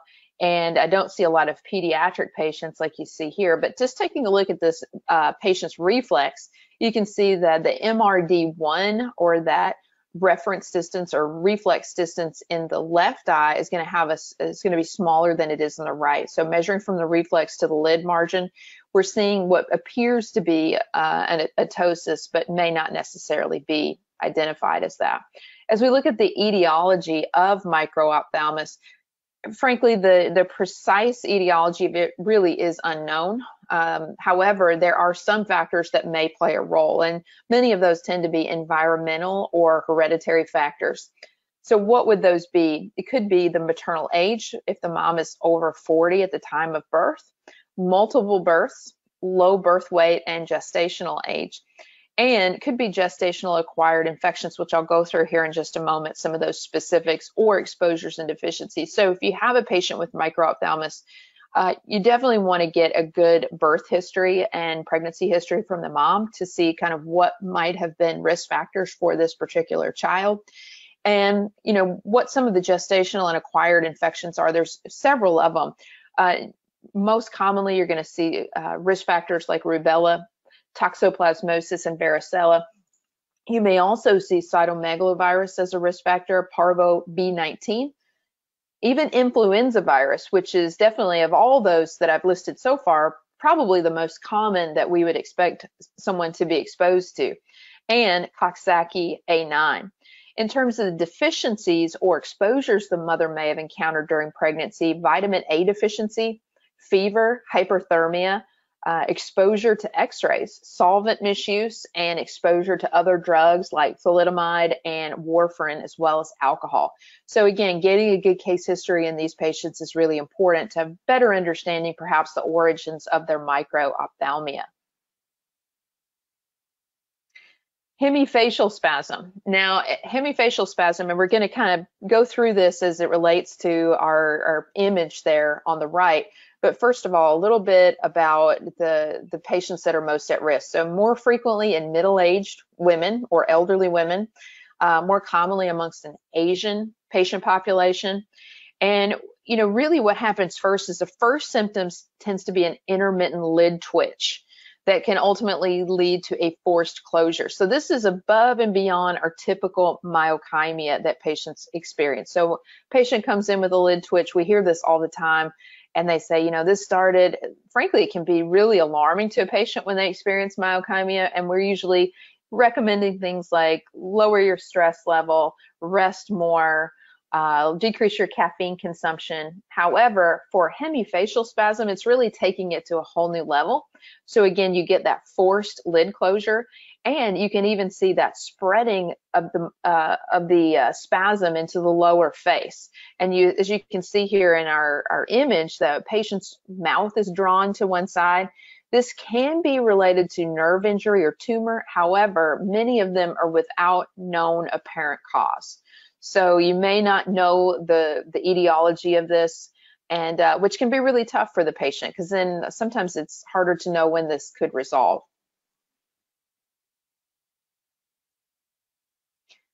Now, as we look at assessing acquired blepharoptosis, so from a clinical perspective, how do we not only identify our acquired blepharoptosis, but how do we make quantitative and qualitative assessments of this? Now, one of my favorite tests for this is the marginal reflex distance or MRD1. And we've talked a little bit about that already, but just to kind of circle back and, and hit on that one more time, as you can see here in the illustration, MRD1 measures from the corneal reflex to the upper lid margin. Now, MRD2 measures from the corneal reflex down to the lower lid margin. But in assessing acquired blepharoptosis, we're going to be focusing on MRD1. Now that marginal reflex distance, again, is really important because it's giving greater precision than measuring strict total fissure height. I know a lot of clinicians like to measure just fissure height, but you're really getting a, again, more clear assessment by measuring that MRD1. Additionally, in my own clinical practice, I'll use visual field testing, and we're going to go through those various types here in just a minute. Uh, I have not leaned as much on levator function and the eyelid crease height which is used in superior sulcus deformity evaluation.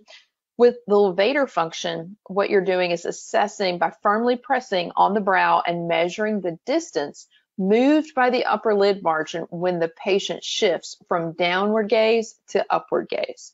So just food for thought about how you might want to incorporate this differently into your practice as you're evaluating a patient uh, with acquired blepharoptosis. As I mentioned, some different visual field types. We're pretty familiar with all of these, Goldmann visual field, Humphrey visual field, and LPFT. However, you know, many of us in clinic are using the, the Humphrey visual field type of, of analyzer. It's, it's sort of a, a mainstay, if you will, of clinical care one of the things that I would say in terms of a ptosis patient, I might potentially rely on a Goldmann visual field in a few cases If a patient has some mobility issues, if they have trouble concentrating, uh, you know, some of my elderly patients, and, and these folks are ones that are going to be more subject to that acquired blood blepharoptosis, they may need that little bit of extra time to get the precise measurements that we want. So, you know, I might kind of go towards a, a Goldmann visual field for that subset. So all of these work for, for measuring what we need to do in terms of superior field, but they do it a little bit differently. Again, Goldmann being our kinetic perimetry versus our static perimetry with our HVF and LPFT. Now, what about severity? You know, as you look at these illustrations here, the first one you might look at and say, no big deal, right? One to two millimeter droop, assuming there's no underlying systemic issue and, and perhaps this is a function or cosmetic concern, that's not too big of a deal, right? It looks it looks like a pretty normally positioned eye. Now, certainly, I think patients um, may be more aware of that one to two millimeter droop. It may pop out to them a little bit more than it does to us clinically, even though there's limited visual impairment. Patients starting to get that little bit of awareness raised when they look in the mirror. As we transition now to a two to four millimeter droop, now we're in that mild to moderate category. Patients definitely going to have some awareness of it. We're going to be noticing it clinically because now we're getting some coverage from the pupil. Uh, so not all the light is going in the way it should be. And now that's when we're going to have to start that discussion. What are we going to do? Is this something that we need to do more about? Is this going to patient going to become a referral to oculoplastics? It's almost a, a point of discussion and negotiation and really kind of feeling where that patient is living in terms of their motivations. Now, as we go into that four millimeter greater uh, droop, we're seeing significant visual impairment. We can see half the pupil is now covered by the lid. Not only is that going to be a functional concern, it's also going to be a pretty significant cosmetic concern for the patient. At that point, I think all parties on board are going to be on board to make that referral to oculoplastics and get further evaluation and consideration for a blepharoplasty treatment or some type of repair. So we do see our our discussions kind of change with patients as we see the the worsening or, severity of blepharoptosis. So what are our current options for treatment? Now, I did talk a little bit about surgery as we're looking at those greater than four millimeter people with more of a severe acquired blepharoptosis. So surgery is an option. The pro, the pro of that always is going to be improved function and hopefully improve quality of life. Now, the con is, is that not all patients are good candidates and there are complications. Now, the complications that are listed here, bleeding, scarring, and infection, those are things that are almost ubiquitous across surgery. So these patients, you know, the risks, benefits, and alternatives need to be discussed with them before that referral is made. Now, if we look at different options, off-label medication or use of apraclonidine is another approach the good news there is we're going to see an increase in that upper lid elevation. So we're going to see a change in posture.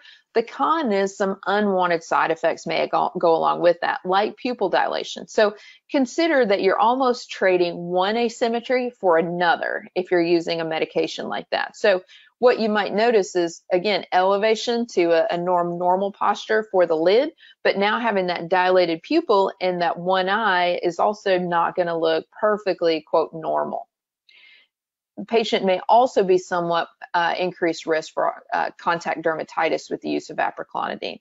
Now, as we go into non-surgical options, mechanical intervention. These are probably my least favorite.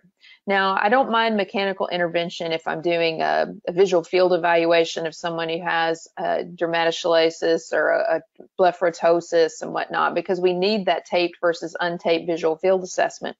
However, it's not a great long-term answer. Is this definitely a temporary solution? Patients, you know, if you're thinking about it from a functional perspective, we can elevate that lid, but from a a cosmetic or quality of life, but you're certainly doing your patient no favors by recommending, uh, you know, medical tape to elevate their eye, eyelid. It is a conservative approach for sure, uh, and it can be done pretty quickly, but at the same time, it's very temporary and there are some associations with discomfort.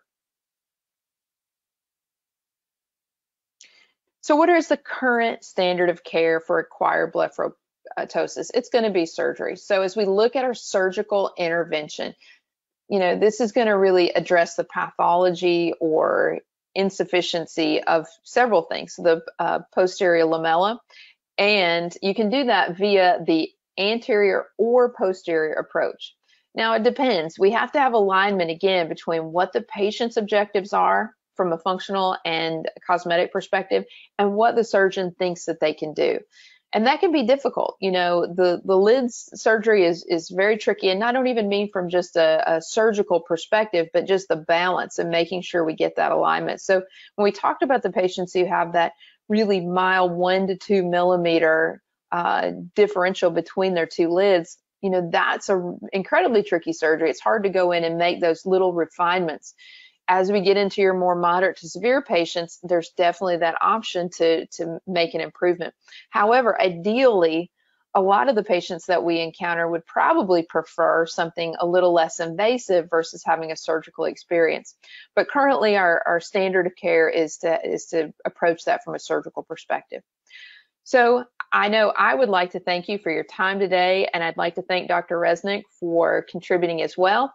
Uh, we appreciate your time. Hope that you've taken away some pearls for how you can evaluate acquired blepharoptosis in your practice. And thank you so much for being a part of CEwire.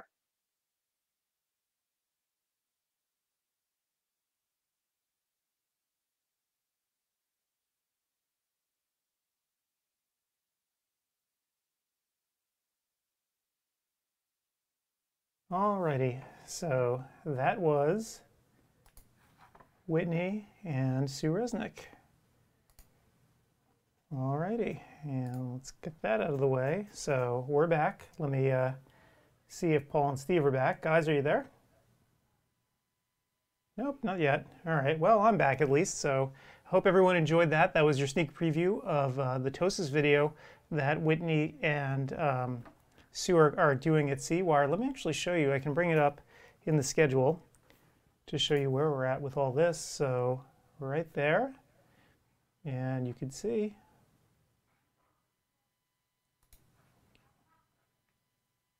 is at 1 p.m. today, 1 p.m. Pacific, pardon me. 4 Eastern. So if you'd like credit for that lecture, all you need to do is come to cewire2020.com, register for the conference, go into the room and then watch it there. There's no um, quiz or anything today uh, because ARBO rules have obviously changed. So come on in and uh, give it a look-see, and I think it'll be a lot of fun. So there we go. The conference has been going well today. We know that there have been about a thousand people, I think, give or take, who have been in the classrooms uh, watching today. Uh, not a surprise that it's you know it's been pretty steady uh, since ARBO made their rule change, allowing folks to do online CE the same as being there in person. Um, and I'd like to, while we're here, can uh, review a little bit and sort of thank everyone uh, for being part of the conference today. So if we uh, run this back, I can show you where we're at with the conference. So. Um, the reminder is that we're going to be back live again on August 22nd and 23rd, October 17th and 18th, and November 14th and 15th, and December 12th and 13th, doing basically the same thing uh, all over again. Uh, so you don't have to feel rushed or pressured to take too many classes right now. So you can come on back then. If you're getting tired and don't feel like sitting through the rest, you obviously have all these other dates to do it. Um, the fact that there are four more dates is kind of interesting, right? Because we have four tracks running. If you look here, uh, you can get a sense of how many more classes will be available for you to do. Um, in theory, you could take just about all of them if you wanted to, all of them live, although there's no state that I know of where anybody needs that many credits. And Adam, I'm back. Oh, hey, Steve, how's it going? Good, good, good. I was just complimenting Sue. I sent an email. Uh, great lecture. I can now watch the live one and heckle her because I know all the answers before. right. Uh, I, yeah, it was a good it was a good talk, and and you know as I was mentioning to everyone, it's at 1 p.m. Uh, our time, 4 p.m. Eastern time.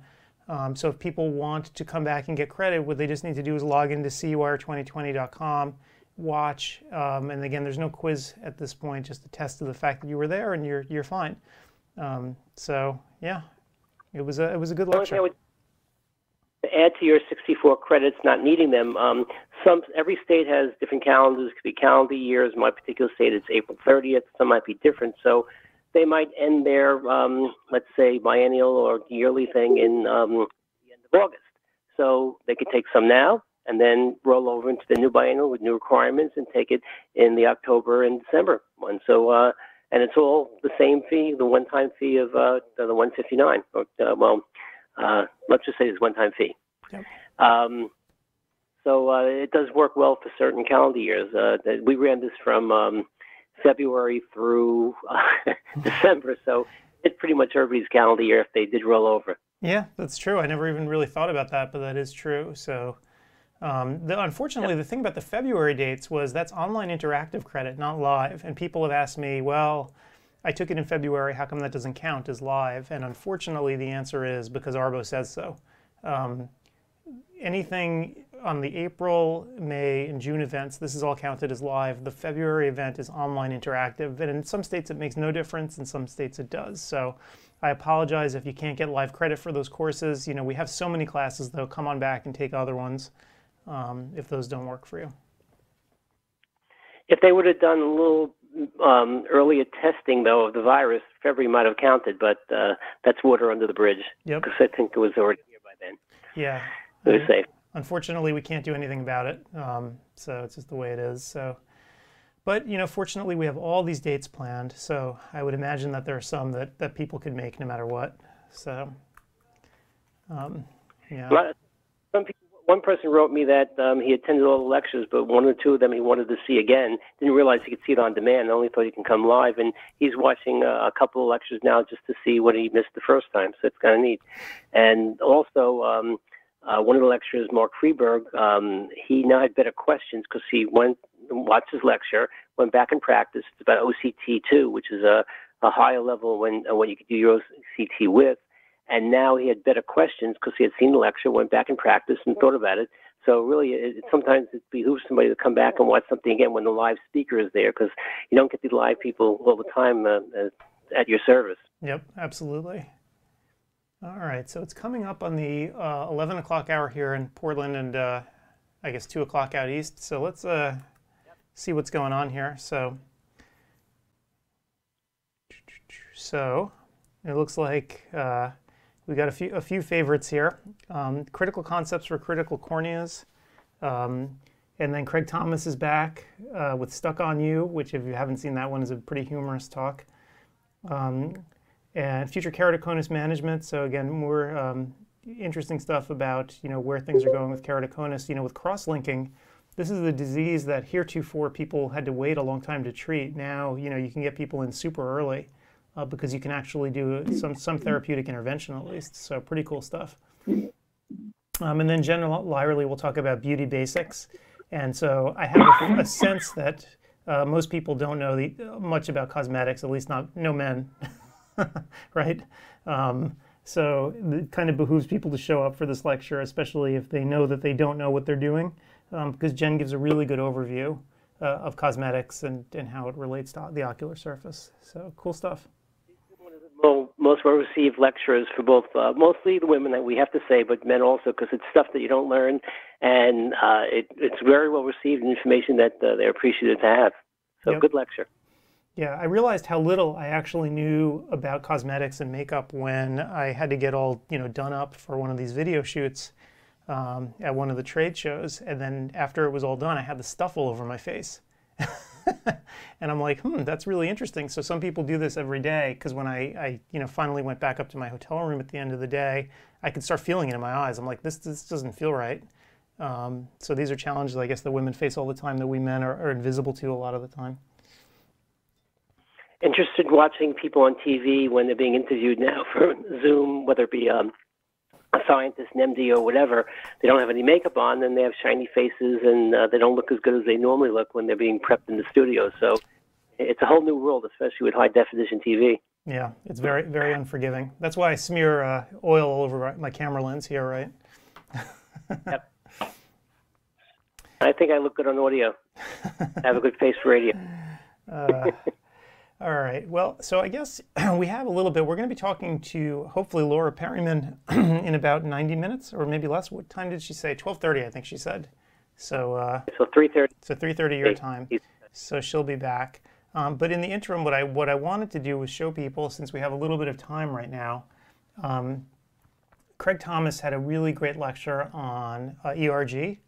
Um, and so, Steve, I know this is something that you implemented in your practice a long time ago, but remarkably, the vast majority of practices uh, don't test this at all. Um, you know, that, that was always one of my big surprises, by the way, after doing this now for so many years. Do you know that there are still, I, I want to say it's like half the practices, maybe more, don't even have an OCT, um, which many people would consider sort of, you know, the baseline equipment that you'd like to have in a, in a full scope office, but a lot of people still don't. So something like ERG is even probably more exotic to people at this point. We had the same conversation though 10 years ago about, um, let's say, topographers and visual fields 15, 20 years ago. It's amazing how um, I, I, what you're talking about, I, I couldn't practice without an it. Right? Uh, the ERG, uh, the EP machine, of course, it, it, it helps, and I probably could get by without it, but it becomes part of a daily routine. But you're correct. Uh, a lot of slow adapters, and I don't want to, um, you know, isolate commercial versus uh, uh, professional because, uh, for example, Kerry Gelb is in a commercial environment and has more bells and whistles than I'll ever have, including that uh, machine. And, and Iris, Anais, Mhm. uh, the one that went out of business. yeah, Anitas, yep. Um, so you're correct, uh, and I, I just you can't treat glaucoma without it. It's like in it's like in the old days treating glaucoma with uh, with um, touching the eyes to feel their their pressure. So um, Right. Yes, they either don't or whatever. There's a very I think optometry has a much wider uh, let's say practice uh, profile than ophthalmology and general medicine, and people do what they feel comfortable with. Uh, I'm not going to uh, judge them, but uh, certainly things like an OCT is important. What Craig's going to talk about. And by the way, Craig is great. If if you don't buy uh, use something like his after Craig talks about it, then you're never going to use it. right. So, in particular, in his talk, which I just want to show to people now, um, it's uh, all about this RET eval device. So, this is an, a handheld ERG, which is crazy, right? If you look at this thing and its size, and I'll put it up on the screen so you can get a sense of how small it really is, the technology has become so small and compact uh, and easy to use versus the, the old, old school devices. It's really amazing. Um, but he's going to talk about ERG in general, um, you know, why this might be a useful thing to have in your office, and then talk a little bit more specifically about codes you can use and so forth, and how one actually bills for this. Um, so uh, why don't we turn that on, and uh, when we get back, we'll have uh, Laura on the line. How does that sound? Sounds good. All Be right. back. I'm going to make sure that everybody's there. All right. See you in a Bye bit. bye.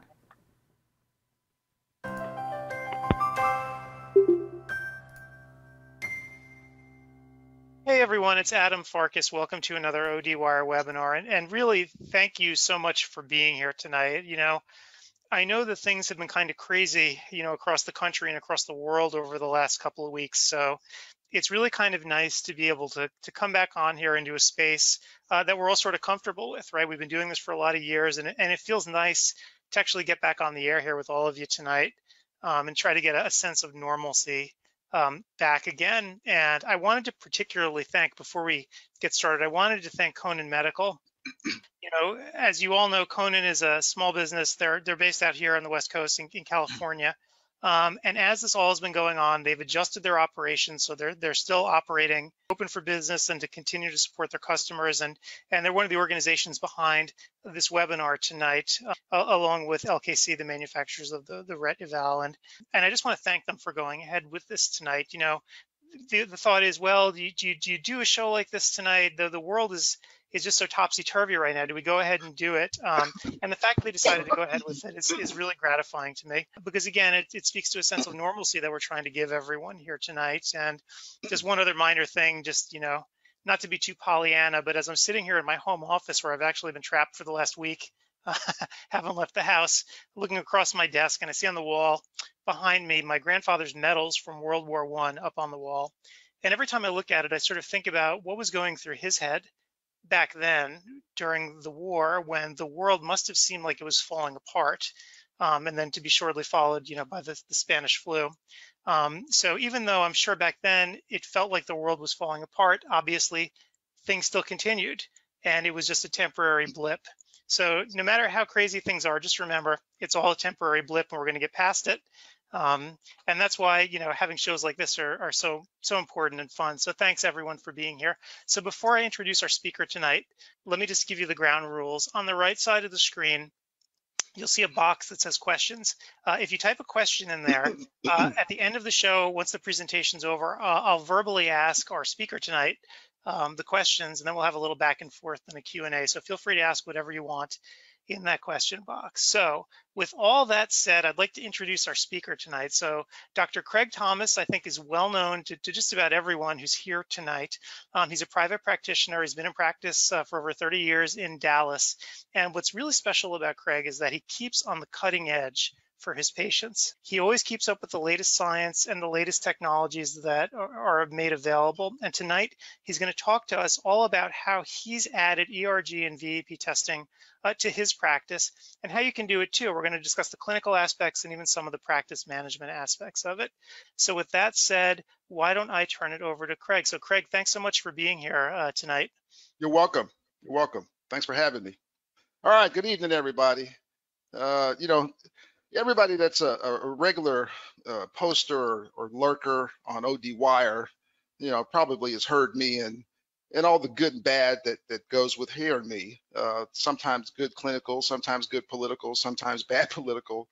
Uh, but I always circle back, no matter how bad our our disagreements are on the website, that we all are optometrists. I've said that a hundred times over the past ten years, uh, and just like when people are against us, when we have fights with ophthalmology and, and all of our, our other uh, uh, adversaries, we're all in it together. Uh, that's why I've always I always said optometrists are my friends. I said uh, when I'm attacked, when my livelihood is in jeopardy, uh, when my profession is being challenged, when my, my, my integrity, my credibility is being being challenged for no reason, uh, the people that are standing next to me are optometrists, and it's always been that way. I've been practicing 36 years. Uh, it's always been that way, and it's probably, hopefully, always going to be that way. Uh, so we're all in this weird time together. It is pretty weird. I got to tell you, I've never seen anything like this in 36 years. Uh, we are under sh uh, shelter in place here in Dallas, Texas, and we started sheltering in place uh, uh, yesterday. everybody knows that I stay pretty busy. I saw three patients today, urgent patients, essential care. I think that's the term. Uh, I saw seven yesterday. I have two scheduled for tomorrow, and we're closing Friday. Uh, so I mean, to, to go from you know slamming and bamming and, and all the stuff that I'm I used to do all, every day and have fun, and to what we've got right now, it's quite a change. And and uh, I guess there's only the only solace is I'm not alone. So, so I, I want to welcome everybody here because we we are in this together and and the, the concept I'd like to have going forward, trying to be positive, because I am positive. Uh, you know, in my 36 years, even though I've never seen anything like this, I don't expect this to last, and I base that on my 36 years. Uh, you know, my experience counts for something, and and I don't think this is going to last. Uh, I'm hoping it's going to be a month or two, maybe. I'm hoping. Uh, I don't think it's going to be a week or two.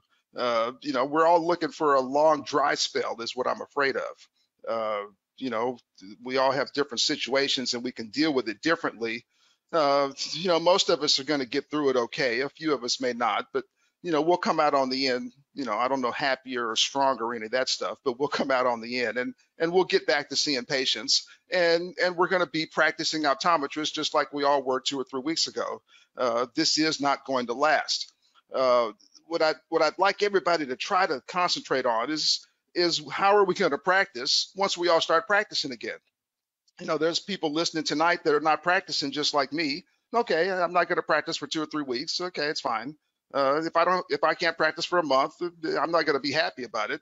Uh, you know, but I don't, I can't control it. But I'm going to be practicing again, uh, and, and, I'm going to be practicing this summer. You know, I mean, I'm going to be practicing.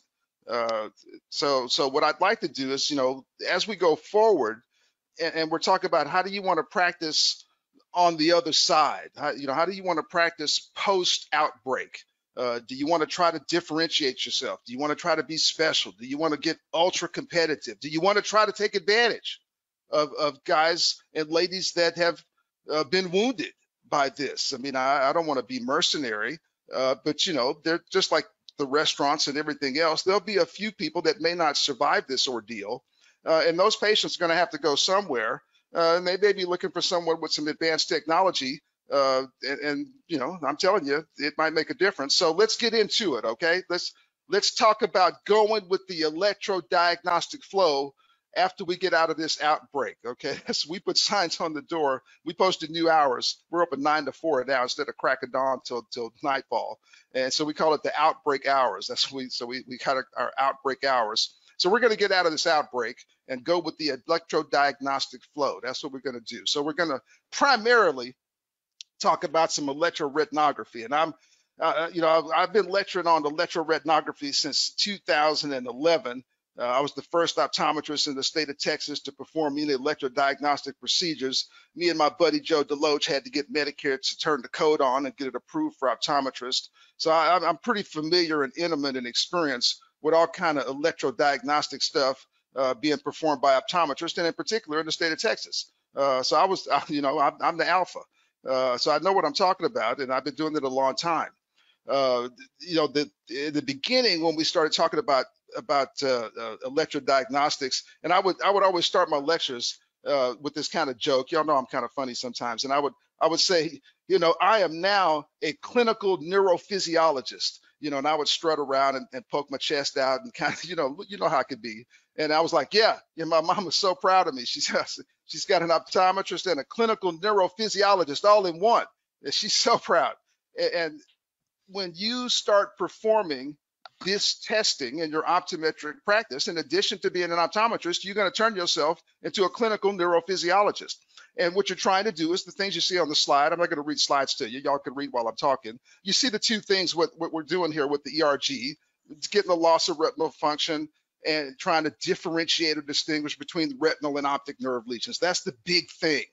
And, and the big thing on the newer technologies that we're getting ready to talk about, like this handheld RET eval device, is all the different protocols, the different test protocols that you can do with this very small device, uh, different than the earlier first generation. I consider this technology second generation technology. That, that's how I look at it. So this is what I'm talking about. This thing is so cool. Uh, I've had mine for about three years. I got to tell you, I mean, I you know, I, y'all know how I am. Again, I hate to say it, but I, I'm like a kid at Toys R Us. I've got every machine that you could get, every everything that'll generate a code. I've got it in here. I, I, I'm on my third electrodiagnostic device. Okay, this thing is the bomb. Uh, you see how cool it looks. It, you know, it's it's real small, portable, handheld. You go from room to room with it. It is really, really slick, really slick. So it's called Ret Eval. And and I'm go back real fast. So you see the RET eval and when I first started doing electrodiagnostic stuff, you know, back in 2011, 2012, we were doing mostly PERGs, the pattern electroretinogram, primarily for uh, uh, glaucoma indications, glaucoma suspects, stuff like that. Uh, and, and, so the, the PERG was the, the primary ERG that we used to do, or that I used to do. Uh, and, and this light adapted, these flicker and flash ERGs, that was not something that I was into in the beginning of my electrodiagnostic journey as the technologies evolved and we're into second generation technology, uh, now you've got stuff with more more testing protocols. So again, you've got multiple ERG protocols and some VEP stuff. We'll talk about it just a little bit. This is this is mostly an ERG kind of presentation, but this handheld device will do both tests. It'll do an ERG and a VEP, one back to back without unhooking them or new electrodes or anything. It is so cool. It is really slick. So let's keep going. So the big thing now that the, the, the most there's two big things you know i don't know if one's bigger than the other the first big thing is what's called the photopic negative response that's kind of a new thing it's it's new in the literature it's been out the, the information talking about this has been out eh, you know three four five years uh, you know i started looking at stuff back in 2010 2011 2012 and i don't remember seeing this this photopic negative response thing until just a few years ago and you see my, my reference article is dated 2018. I always try to keep keep current with stuff. I mean, these are the ISCEV articles, the protocols. I mean, this is modern, real science. It's not just me making it up. It's not Konan trying to sell machines. You know, this is from the from the guys that make up all the rules. So, so this photopic negative response is a, a new thing where it provides information about the, the innermost retinal layers, the, the function of the innermost retinal layers, the ganglion cells and their axons. So we're gonna, you know, you got to kind of get that that term in your head, photopic negative response, okay? Now, in addition to that photopic negative response, uh, the, the, the more the more traditional, if you could say traditional, about a device that's only a few years old. But the the the initial testing that we did mostly with this device was these flicker tests and, and these flash ERGs.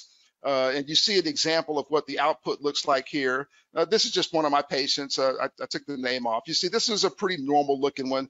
Everything is color coded.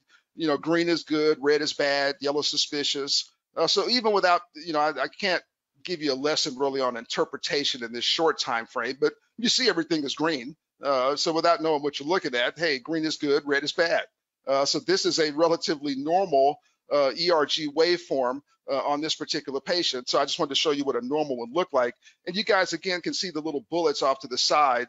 You know, when we're doing a test like this, I want to get information about these cone bipolar cells. Uh, you know, in, you go back, that's why I put this slide up here, you know, a little bit of of retinal anatomy and neuroanatomy kind of coming into play, all the, the, the layers of the retina forming these retinal cortical pathways going through the visual pathways of the brain back to the visual cortex. You gotta you gotta feel that neuroanatomy a little tiny bit for all this stuff to kind of fold in and make sense. So I just wanted to give that little review there. Uh, you know, and we all had a, an electrodiagnostic class. Uh, I don't, you know, this is a nationwide lecture, so I can't harp on going to U of H, but anybody that went to University of Houston, you know, we were down there in the dungeon with Dr. Walters, you know, hooking up people and sticking contacts in their eyes with wires in them and taking three hours to do a test. It was outrageous. It was it was it was comical. Uh, and and while we were doing it, it was nobody. It was, it was so ridiculous that while we were learning about electrodiagnostic technology, everybody looked at each other and realized that we would never be doing this again for the rest of our lives. And that once we got out of this room, once we got out of the dungeon at U of H, we would never touch a piece of electrodiagnostic technology again. And that's exactly what happened until 2011. I got out of school in 1983. Okay, so so this we've we've moved up a notch here. So let me I digress. Let's keep going. So you see what the what the the flicker and the flash uh, testing is based on and, and the parts of the retina uh, that you're evaluating with this test. So that kind of just a, hopefully a refresher for those of us that remember all of our electrodiagnostics. So again, another, uh, just a picture of the device being used. So again, the thing is, uh, the thing, the device, the device is called the RET eval. You see it there. Uh, it's made by this company called LKC. Uh, they seem to know what they're doing. It's real lightweight. It's not heavy. it's got a real short test time uh, from the time that that that you start washing the lady's face with a lid scrub and putting the little electrode strips on there and holding the thing up and saying, look at the light uh, until you're finished and putting it up on my computer screen, it's like five minutes. I mean, it's incredible. Uh, you know, I, I, I kind of would tell people 10 minutes start to finish, but 10 minutes is, is five minutes to me talking uh, and then five minutes of the technician doing the work. Uh, so the test time is five minutes, you know, kind of start to finish, just getting the thing set up and telling the patient what's going on. You know, you might have a 10 minute run, but but actually the technician time doing it and, and displaying the info, it's five minutes. Uh, there's absolutely no discomfort. And you see the little electrode strip there, uh, you know, without me being doing any kind of comparative analysis, uh, these just, just suffice it to say these strips are less expensive than competitive strips. so I'll just leave it at that. So this thing's not real expensive to use. Uh, so this is what it looks like when it's being used, real quick, real easy. Okay, so now let's keep going. Let's let's get into the, to, some meat and potatoes here. Okay, so let's talk about some some cases. You know, the best way to learn to me is just talking about real patients being treated by a real optometrist that's practicing modern optometry and still and working in 2020. Okay, that's the best information. So that's what you get ready to get. So this guy here is and and this is you know, with new stuff. So I'm talking about this new device. You know, it's new, new if you don't have one. I mean, I've had mine three years. Uh, you know, so I'm talking about this new device. So to to introduce it and kind of show you what it does and, and what it's capable of, it's I think it's best to just use a demonstration case as opposed to some case where you got to really figure stuff out and, and you're you're you know really scratching your head and got to have the patient come back three or four times to make a decision. Okay, we're not going to do none of that. So this is a this is a demonstration case. This is like we're in fifth grade and you're the science fair judge and somebody made a volcano out of vinegar and baking soda. Okay, okay, we demonstrate a, a known physical property. Okay, that's what that's not we're not really experimenting. So this ain't no experiment. I'm just going to show you how everything blends together and how it works and the value of it, you know, why you would want to do it and what does it add to the mix? You know, why why why would you be adding ERG technology to your practice? Okay, the, the, let me show you why. So so this guy here, this is one of my regular guys. I got a thousand of them. They just keep coming in. I don't, I don't know what it is. Uh, so this guy comes in, and he's 61 years old now. I saw him two weeks ago. Uh, you'll see the printouts in a moment. So I saw this guy. He comes in for for uh, regular. I think it was a six month glaucoma check. I couldn't remember, uh, but I saw him two weeks ago, and and uh, we had already started talking, me and, and Adam Farkas, about doing this webinar. And I always, I never want to repeat stuff. I always want to use new stuff, no matter what. Every presentation is different. So as soon as he said, "Hey man, let's do this webinar," okay, I'm thinking, okay, he's telling me Monday, let's do the webinar. So on Tuesday, I'm like, okay, what patient can I find to do the webinar on? I don't want any, you know, I'm, I'm trying to get some fresh, fresh, fresh blood.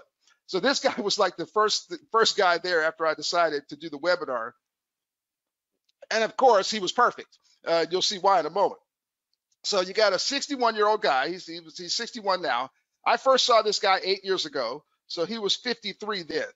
He's like a minus six. Uh, he works at UPS and he wears contacts. You know, he's, he unload the trucks and all that stuff. He don't like wearing glasses.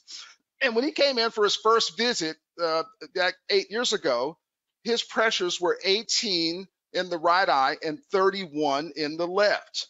Um, and for any of us listening tonight, that would be sufficient to, to raise some level of suspicion. Excuse me. And you would think that the guy either is developing glaucoma or has glaucoma. Excuse me. So that's certainly what I thought. And and I, you know, I mean, y'all know me. I mean, you know, I, have never met a glaucoma I didn't like. So I'm thinking this guy's glauc- has glaucoma. And I performed a series of, of diagnostic tests uh, and I determined that he actually did indeed have glaucoma. Uh, we don't have the time for me to review all that stuff and, and, go back to the beginning eight years ago and start flashing stuff, but I did want to show you a couple of things. Uh, here's a, a, an OCT retinal image of this patient in 2016. So this is several years after I had initiated treatment. Uh, he was kind of spotty with his compliance. You know, I'd, he'd come in, you know, pressure would be 22, 23 in that, that bad left eye you know, and, and I had him as high as 37, 38 sometimes uh, when he wouldn't use his drops. So this is what he looked like uh, in 2016. Kind of interesting on this OCT printout, and this will all uh, blend in together in here in just a moment. Uh, you can see, you know, kind of the, this is a, a Cirrus 400 OCT. Uh, I bought it new. I mean, it's a really cool machine. I mean, I like it. There's nothing wrong with it. Uh, you know, it's wrapped up in bubble wrap in my garage right now. But last year, when this, and when this guy came in, when this guy came in in 2016, that was my primary OCT, and, and, I made all my decisions based on it, and I had no problem with it. Uh, you can see the deep cups, you can see the statistical analysis. Uh, you know, this guy has glaucoma. Okay, so you see what it looks like there 2016. So he comes back, he's a good patient. He comes every six months pretty much. So when he comes back, uh, I've got this brand new, that brand, I've had it now two years. Uh, I've got this this Optovue, uh, AngioVue, the, the OCTA with the angiography, and it is superior technology. It is simply superior. Uh, I circled the date here so we can see that I am discussing current patients with current information and current technology. So this guy was here on March the 10th. That's when I obtained this scan. It's two weeks ago. It's two weeks ago, okay? Uh, you see the statistical analysis. It doesn't look terrible. It's not like he's going blind. Uh, this is a combination printout where you get the optic nerve head analysis, retinal nerve fiber layer analysis. You get your TSNIT curve profile over here. And you've got uh, ganglion cell uh, analysis, not the full deal. Uh, I'm just trying to save space and not have three or four slides. But you see this little little tongue of atrophy kind of scooting in on on the ganglion cell analysis complex uh, printout. That's kind of kind of interesting, and look how it's symmetrical.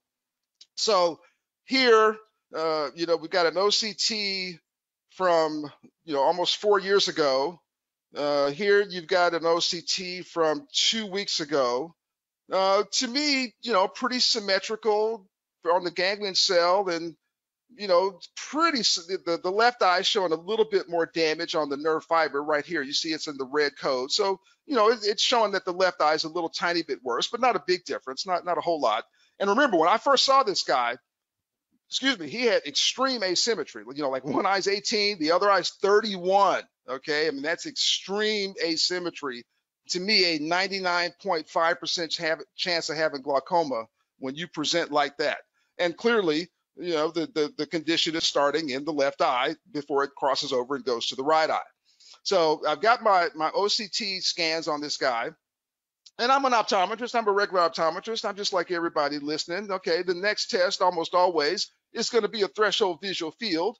You know, when you've got a patient that that you either think has glaucoma or or that you know has glaucoma.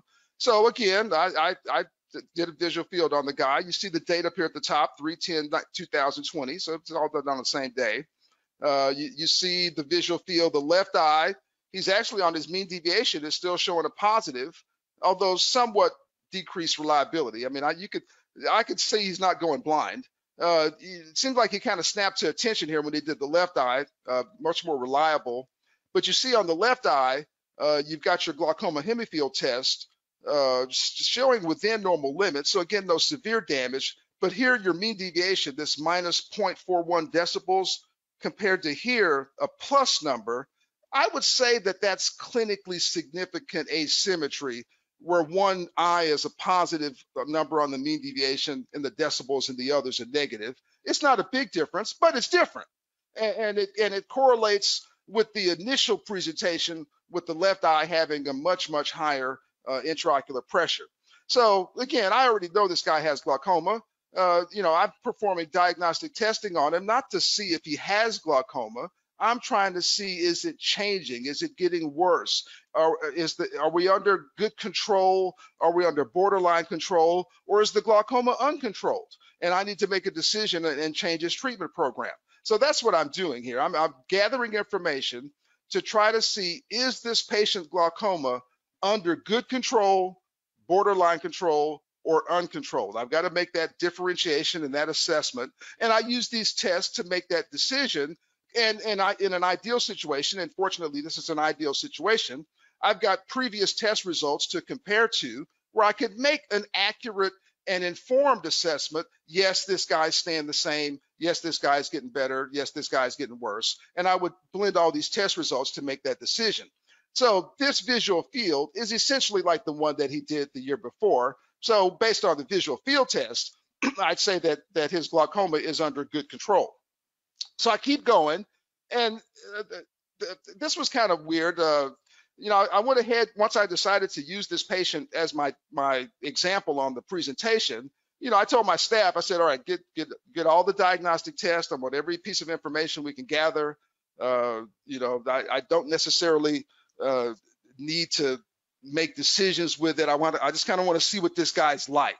Uh, and I did a test that I had not done on him before because I didn't need the information to make a decision on him when he came in with the, with the 18 and the 31. And so I decided to check the guy's color vision, and these are the results. And so again, I once I make the decision to, to order some diagnostic testing, I usually you know exit the building and let my staff take over, and then I come back in when they're finished, and all the stuff is flashed up on a big flat screen. And so I walked in the room and I looked at these color vision test results, and I turned to my patient. I said, "Hey man, are you colorblind?" He goes, "Yeah, I can't see a lick." I said, yeah, you can't, you got nothing. He says, oh man, it's been like that my whole life. I said, why do you tell me that? He says, you never asked me. I said, I've been seeing you for eight years. You never told me you were colorblind. He said, you never asked me.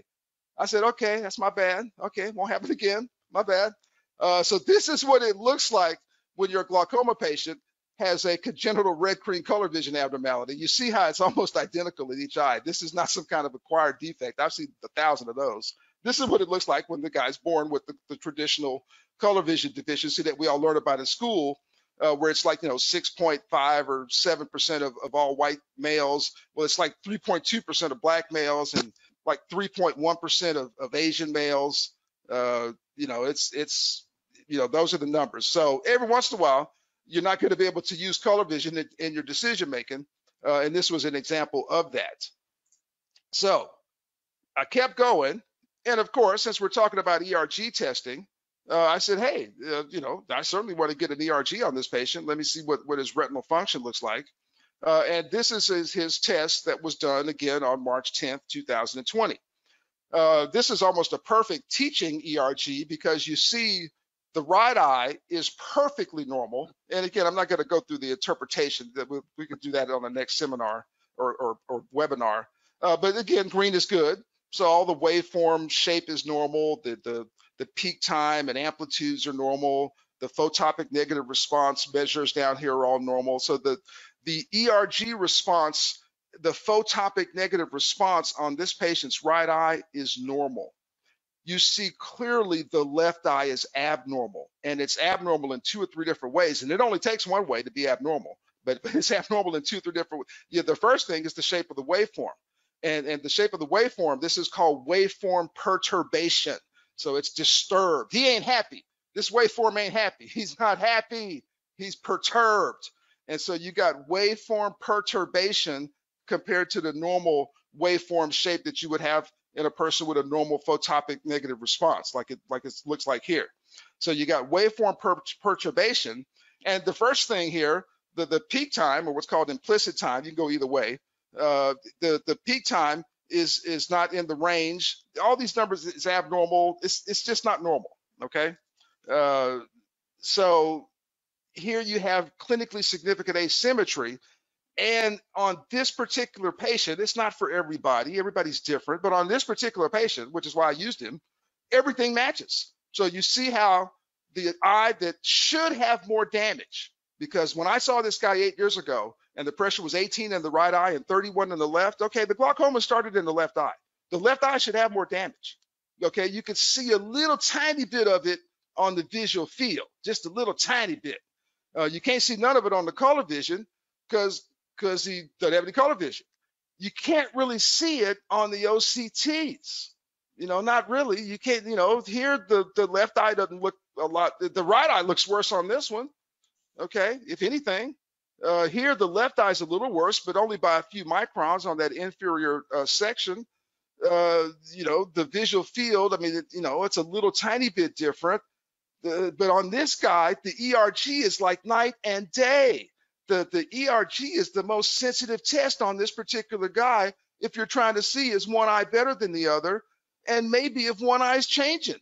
You know, to now I know that this right eye is perfect. If I see any change on this right eye going forward, I know that my glaucoma is out of control. That is the correct term. My glaucoma is uncontrolled and I would need to get more aggressive with the treatment. So I, I will use, not can use, I will use the ERG test results on this patient going forward to make medical decisions. I'm not doing it to make money. I'm doing it to make decisions. You see how valuable it is and how I could get so much information here. Ordinarily, I'd get a lot of information there. Okay, on this guy, I couldn't get any information there. I got to get it another way. I could be dependent on this visual field test, but it's got low reliability. Uh, I got I got the best OCT in the world, and it's telling me that the eyes are almost the same. Okay, you know, I, I, gotta I can't go with just one test. I gotta look at three, four, five different things and blend it all together to make a decision. That's the best way to practice to me. And when you do it like that, this is what it looks like. So you know, we, how you do how do you report this stuff? Again, you know, I'm not reporting this tomorrow because I got two patients scheduled, but in two months, this guy's coming back. Okay. and, and we all got to get this thing up and running two months from now, or six weeks from now, or eight weeks from now, whatever. Okay. It's coming back. And, and when it comes back, this is how you do it. So, you know, this is, this is this guy's visit. And, and again, I, I'm not trying to, uh, you know, boast or brag or this or that. I, this, I just want to show you how I do it. Okay. The people still don't understand I give lectures pretty regular, uh, whether it's clinical lectures, practice management lectures, billing and coding lectures. I did two consultations this month before the virus broke out. And, and I, I'll go to an office where the guy's making $2 million a year and, and the, the, the billing and coding clerk will come up to me and because they will say, Craig, I want you to talk to my, my insurance, my insurance person. I goes, yeah, sure. And like two minutes into the conversation, every time, every time, it's like, well, okay, now I, I, know we can't do this with this, and, and I know we can't do that with that, and, and I know I could do a OCT if I stand on my head and it's Monday morning, and then I could do a color vision on Tuesday afternoon if it's dark early, and they start going through all these rules and and these modifiers that don't matter. I'm like, what are you talking about? Stop it, okay? Stop it. And I, I mean, the most common thing I say when I go visit these offices and talk to the insurance person is I say, stop it, Okay, everybody's fixated on what we can't do and this don't go with that and this doesn't mix with that. I'm like, stop it. Okay, that we can do whatever we want. I'm, getting to show you. Almost always, we can do whatever we want, uh, anytime you want, for whatever reason you want, as long as it's reasonable and medically necessary. And we should stop with the scare stuff on the billing and coding and just do what needs to be done to figure out what's wrong with the patient. You know, this is what I did for this guy's visit. You see the visit, you see the numbers, okay? The only thing that's of any, excuse me, significance, y'all got me excited. The only thing that any significance on here is that on occasion, and it's primarily some of the Medicare carriers, but uh, you know, just to be aware of it, I just put it here as an educational tidbit. You know, on occasion, you'll have some of these uh, insurance carriers where they will state clearly that they do not want you to use electroretinography or VEP testing, any electrodiagnostic stuff, in the diagnosis and treatment of patients with glaucoma. Uh, it's a lot of room for abuse. Guys have messed it up, doing a thousand scans a, a, a, year. You know, so so the insurance companies got tired of paying for it, and they put a bunch of rules on it past two three years. And so they say, hey, you know, you don't need to use an ERG to determine if a guy has glaucoma. All right. Well, if that particular insurance company says that, and some do, some don't, you have to check your own local rules. This is a, a nationwide, you know, presentation. But I, I, I went ahead and, excuse me, I checked uh, Texas's rules, and in Texas, you would do it like this, where if they say, you know, if you look up the LCD for for electroretinography, and if it says, hey, we don't want you to use this stuff for glaucoma, okay, then don't. Uh, but if it says, hey, glaucomatous optic atrophy is on the covered diagnosis list, which is always is, uh, then then that's the code that would be most appropriate. Because if you remember back at the beginning, the very first slide, what's the reason of an ERG? So you're trying to see is there a loss of retinal function, number one, and if there's a loss of function, is the function primarily in the retina or is it primarily in optic nerve? So if you got a person that can't see right or has got an abnormal OCT or whatever, some kind of optic atrophy, is it optic atrophy caused by glaucoma or is it optic atrophy caused by something else? You know, that's what you got to play doctor and figure that out. Uh, so, you know, this particular one, this is how you would report the service. Let's keep going. We're doing good. All right, number two.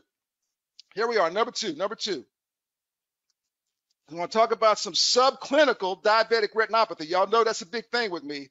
I've been talking about this for a couple of years. People are gonna start learning eventually. I've got some people that's been learning, uh, you know, but but we got to keep going. And still, people don't understand this stuff. It's like the like the insurance clerks don't understand how to file optometric services, and they're making it harder than it needs to be. Uh, we still got a bunch of optometrists not understanding this subclinical diabetic retinopathy thing. Okay, so we're gonna keep we're gonna talk about that. So what you got with the with the subclinical diabetic retinopathy is basically retinopathy you cannot see with an ophthalmoscope. That's the basic definition of it. Okay, so you look inside, you dilate them up, you're trying to see if there's something wrong with them, and you don't see nothing. They look fine. Okay, they look fine. So that's that's it, but they're not fine. There's something wrong with them. You just haven't looked the right way.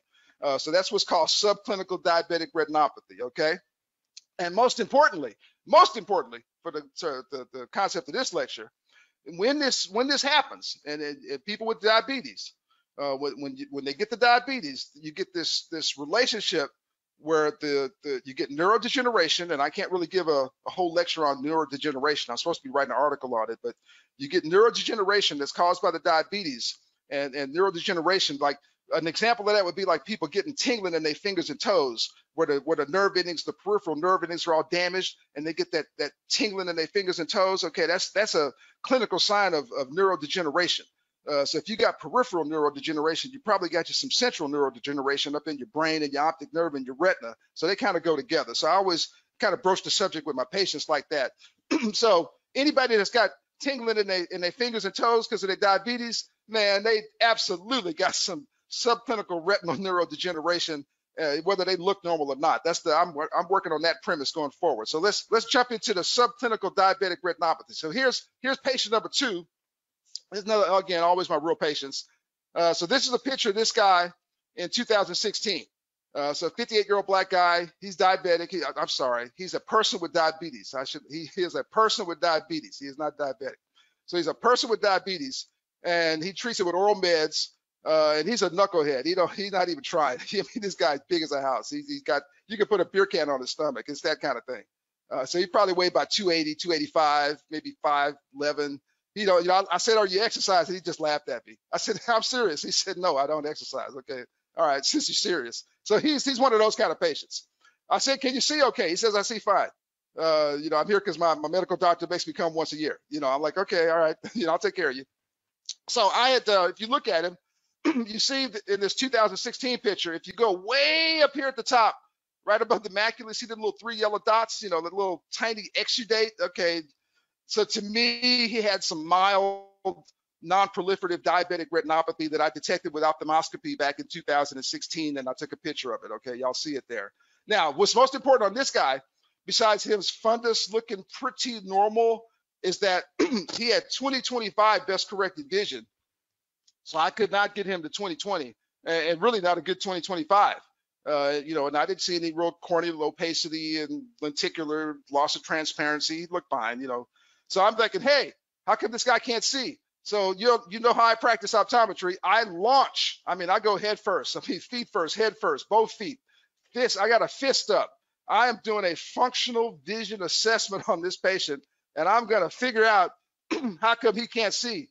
Because it's because to me, a 60 or 58 year old man, he should have 20/20, unless I can explain otherwise. Okay, this ain't normal. It ain't close to being normal. Anybody says that's normal, they're crazy. Okay, it's not normal. So you got 20/25 minus vision in a person with clear media. Okay, they taught us in optometry school that wasn't normal. All right, so I don't think that's normal. So I'm gonna try to figure out how come that ain't normal, and I'm gonna run a bunch of tests on it.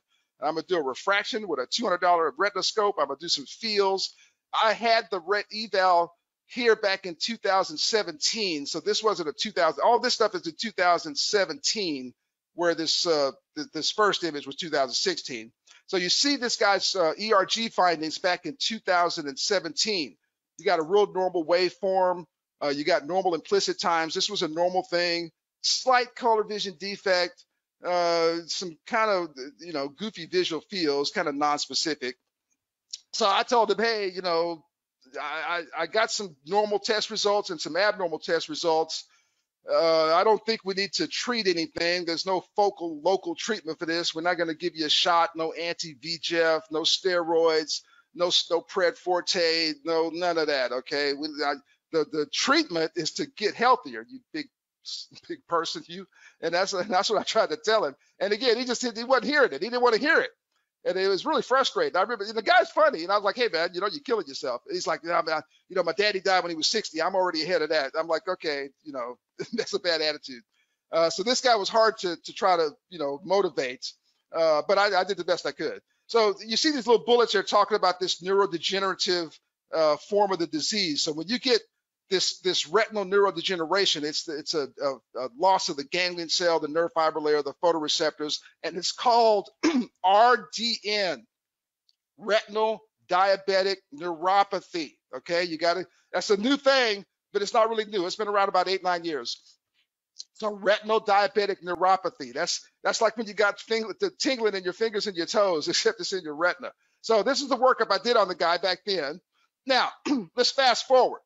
Okay, why are we talking about this guy? So here we are, same guy. This is last summer, so 2019. So you see, I took some nice pictures here. Uh, took these pictures with that uh, that uh, uh, Nexy robotic camera. You just hit a button and step away. It's Step away from the vehicle. It's pretty cool. So you see, you know, pretty decent images. You see no obvious retinopathy. There's certainly no no vasculopathy like microaneurysms, dot blot hemorrhages, uh, you know, there's no vascular beading. There's you don't see nothing. Uh, there's, there's no areas of obvious ischemia. Uh, you know, no areas of obvious edema. Uh, and and the guy had the same best corrected 2025 minus acuity in each eye on this visit in 2019 last year. So this is what he looked like. And, and if this guy was in your office, I would submit that every optometrist listening here tonight would fill out the little forms that they make us fill out, and you would check off the very top box where it says no apparent retinopathy. That's what you would check off. You would say, you know, this little yellow thing here, I wouldn't call that nothing. Uh, so I'd say no apparent retinopathy. All right, so I know that this guy has some problems because he can't see clear, and I've already done a workup on him. So I know what's wrong with him. And again, this is a demonstration kind of thing. So here is what retinal diabetic neuropathy looks like on an OCT scan of the macula. And so you see the retina is too thin. The, the, the, the mechanism is theorized that the, the retina is ischemic, so you got poor blood flow. Uh, as the old people say, you got post circulation. They got post circulation. So the, the, the, poor blood flow uh, just messes up the tissue, and the tissue starts to die. And as the tissue dies, it, it shrinks, it, it goes down. And so the retina is not as thick. And so what you see is retinal thinning, significant thinning of the nerve fiber layer. And on a Cirrus 400 OCT, it looks like this and it looks like this, okay? Now, on this particular day last summer, this was before I wrapped up this bad boy in bubble wrap and put it in the garage. I actually had both OCTs sitting in the same room side by side, and I acquired images on this patient on the same day side by side. That's why I kind of used this guy because I, I, you know, I, ordinarily I would use somebody I saw last week, but this guy where I happened to have the OCT scans from two different technologies on the same day, I thought that was pretty cool. So here's what it looks like on that that uh, Optovue AngioVue OCT. And so it's it, here the the thinning is represented by this dark purple. So these this this met is too thin. You see the shape is kind of okay. You've got some uh, vitreomacular adhesion right there. That's you know not clinically significant. So the foveal depression and everything is still there. You know both eyes. So on, the, on a first glance, it would look like it's okay. Well, that's that's okay. There's nothing wrong with that guy. But if you look at it real close, you can see like this hump is a little higher than that one. And, and same thing here. But the most important thing is just look at the numbers and the colors and, and the retina's too thin. So this is retinal diabetic neuropathy. The guy's retina is messed up because of his diabetes that he's had for 20 years that he won't take care of. Now, I've documented the retina's too thin. Since I, I went ahead and put this slide in here just for educational purposes, anybody that's getting ready to buy a new OCT, and I think you ought to buy OCT if you don't have one. If you got an old one, get a new one. Uh, this angiography is is the bomb. Okay, I mean it's like top of the line. You just you just can't imagine how how to how practicing optometry is different when you've got access to information like this at your fingertips when you try to figure out if somebody got something wrong with them. It's just it's just night and day. It, I just I can't really say it enough. Uh, so so here this is an OCT angiogram uh, of the guy. And, and, again, without giving angiography lessons, uh, the, the, the blood perfusion is low, the tissue is, is not well perfused. Uh, this guy has subclinical diabetic retinopathy in a vascular mode, in addition to his subclinical diabetic retinopathy in a neurodegenerative mode. He's got it both ways, even though he looks totally normal. So he, he looks fine. He looks fine. Okay you would check off no apparent retinopathy. But this guy's retina is real thin and he's losing his capillary network. Okay, lots of problems there. So he's got lots of structural damage. I wonder if he has any functional loss of vision associated with the structural damage that I just detected with my OCT scans. And on this particular patient, the answer is yes. and you see here, again, everything's in red. Uh, without an interpretation, you can see that it's not normal the, the, the amplitude is low, the waveforms are, are, are very shallow. And for this guy in particular, where I've got, we go back, go back to 2017, these test results are for this patient. So this is this patient's ERG scan in May of 2017. and here and just again, just look at the the height of the peaks, the shape of the waveform, the the number, the, the the implicit time, 32 milliseconds. I think that one's 33 milliseconds. And then you fast forward to a guy whose retina looks exactly the same with ophthalmoscopy, and who's telling you as soon as you ask him that he ain't even trying to stay healthy. He's almost trying to kill himself. He just don't care. And two years later, look how much worse his retinal function is based on this ERG testing. It's incredible. And it's not that the machine is variable. I've had this thing three years. I've done over a thousand of them. The machine is repeatable. You know, it, it's repeatable. Uh, I've done enough of them to say it's repeatable. Uh, you know, most of the time on most people. Uh, I don't think that I did a good one two years ago and then I did a bad one last summer. His stuff changed. So this ERG test picked up a decrease in visual function before the patient noticed it, before it manifested as decreased visual acuity. So this test in this patient is a more sensitive measure of visual function than visual acuity. I kept going like I always do. I did my color vision test and his color vision, and you see the little factoids there about people with diabetes and loss of color vision. Uh, it's really striking. Uh, it's almost a coronavirus kind of kind of coverage. Uh, if you have diabetes, uh, if you have it long enough, man, it starts to affect your color vision. You just got to have technology sensitive enough to pick it up. You can't be doing no color plates or pulling out some dots with a D15 test. I mean, that's not going to show nothing. You got to have some modern, sophisticated, computer assisted cone contrast color vision testing to see if your patient has a loss of color vision in the early stages. Again, if, if, if we're waiting on a D15 or some plates to see if the patient's color vision is normal, it's like wiggling fingers trying to do confrontation fields as opposed to a threshold visual field test. Okay, they're both tests, but you know they're not the same. So this particular patient has a slight decrease uh, in, in, color vision on the right eye. And interestingly, uh, if if uh, you go back, you know, just I, I, saw this when I was preparing it, I thought it was kind of interesting. When I go back to his first workup, and this is his color vision on that right eye back in 2017. Look how it's exactly the same. It almost looks exactly the same. So this test is repeatable, uh, and his color vision didn't work, get worse. His visual acuity didn't get worse. His retinal appearance did not get worse. His ERG test results got worse because he's getting worse. Uh, and that's simply the first test that indicates it. And I told the guy, I said, hey, man, you're getting worse. You know, you got to wake up and act right, or you're going to keep getting worse. And he says, I'll think about it. And I'm like, okay, I'll see you in six months. you know, you can't make people do stuff. So what I did, you know, I, I, here's my decision making. Uh, I talked to him about the whole shebang, diet, exercise, medicine. I do nutritional supplementation for people with diabetes. We use the diabetes vision support formula vitamins to try to uh, strengthen the integrity of the blood vessel walls. I showed him all these pictures. You know, I got the big flat screen on the wall. I'm popping all this stuff up. I did the best I could. Okay, best I could. And then I reported the services. Here's how I reported the services.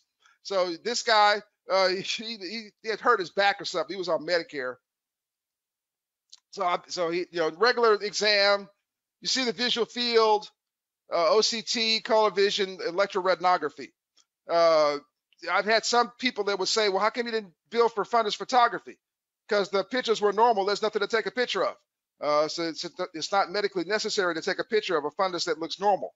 Uh, so in this particular patient, the OCT was much more diagnostic uh, you know, 100 times more information and was the appropriate test to report. Again, there was no way to, to ethically or, or legally report fundus photography.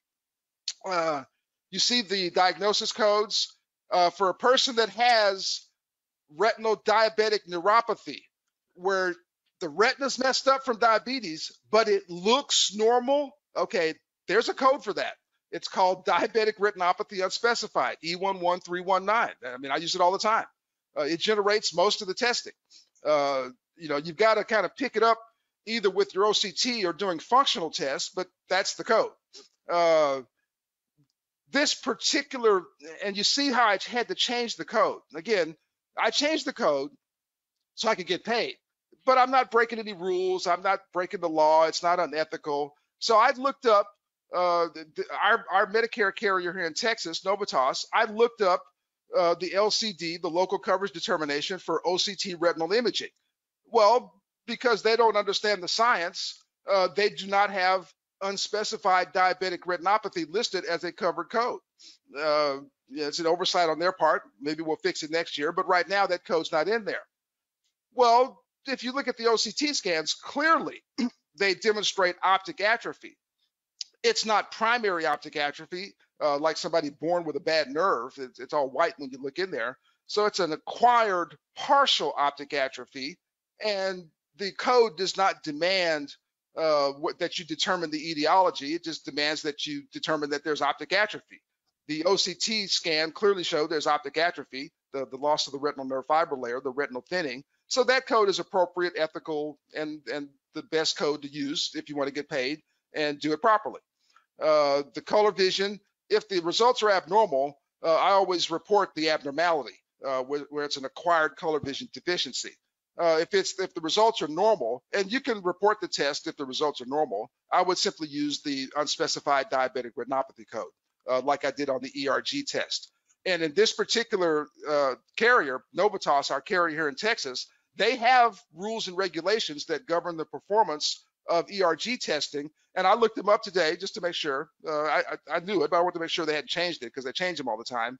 And as of today, the unspecified diabetic retinopathy is a covered diagnosis code that will generate an ERG uh, for our Medicare carrier here in Texas, and probably most people's Medicare carriers too. Uh, for the people that uh, have their insurance clerks file claims, uh, you would append these modifiers uh, to these procedures since this is the one that generates the most dollars. But Medicare will do that for you automatically. If you don't do it, you'll still get paid. Everything will be the same. So this is how you would report this service or file this claim. You see, again, it's you can do what you want. You can mix and match. You can go here. You can go there. Uh, you can do whatever you want. So let's keep going. We're almost done. So now, excuse me. I've been talking all day. So I put this slide up here. this is a I've never done this before.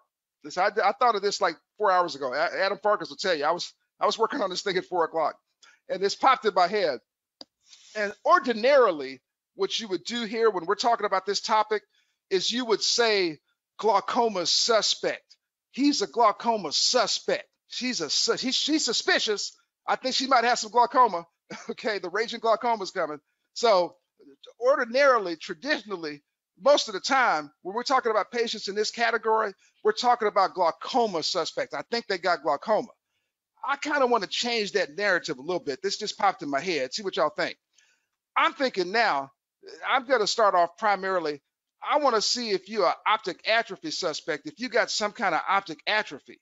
That's what I want to determine. I want to determine does my patient have optic atrophy? Now, what I know from optometry school is that there's four, five different kinds of optic atrophy. You know, you got primary optic atrophy, consecutive optic atrophy, toxic optic atrophy. Uh, you got optic atrophy from, from myopic degeneration. And of course, uh, you got optic atrophy from compressive lesions, pituitary tumors, uh, you know, the neoplasm kind of optic atrophy. And last but not least, you got glaucomatous optic atrophy. So what I want to do is figure out does my patient have optic atrophy? Yes or no? And if they got some optic atrophy, what kind is it? Is it the glaucomatous kind or is it another kind? And I'm gonna run a bunch of tests to figure that out. So, you know, think about it. You know, we we we've run all these glaucoma lectures where they teach us don't fixate on the pressure. Don't worry about the pressure. Glaucoma is a disease of the optic nerve. It is a neuropathy. Glaucomatous optic neuropathy is the term if you look at the definition, got nothing to do with intraocular pressure. A skilled, modern, trained optometrist is supposed to be able to pick up an ophthalmoscope, look in the person's eye, examine the optic nerve head, and make some basic assessment. Does this person have optic atrophy? Yes or no? That's what we're supposed to be able to do.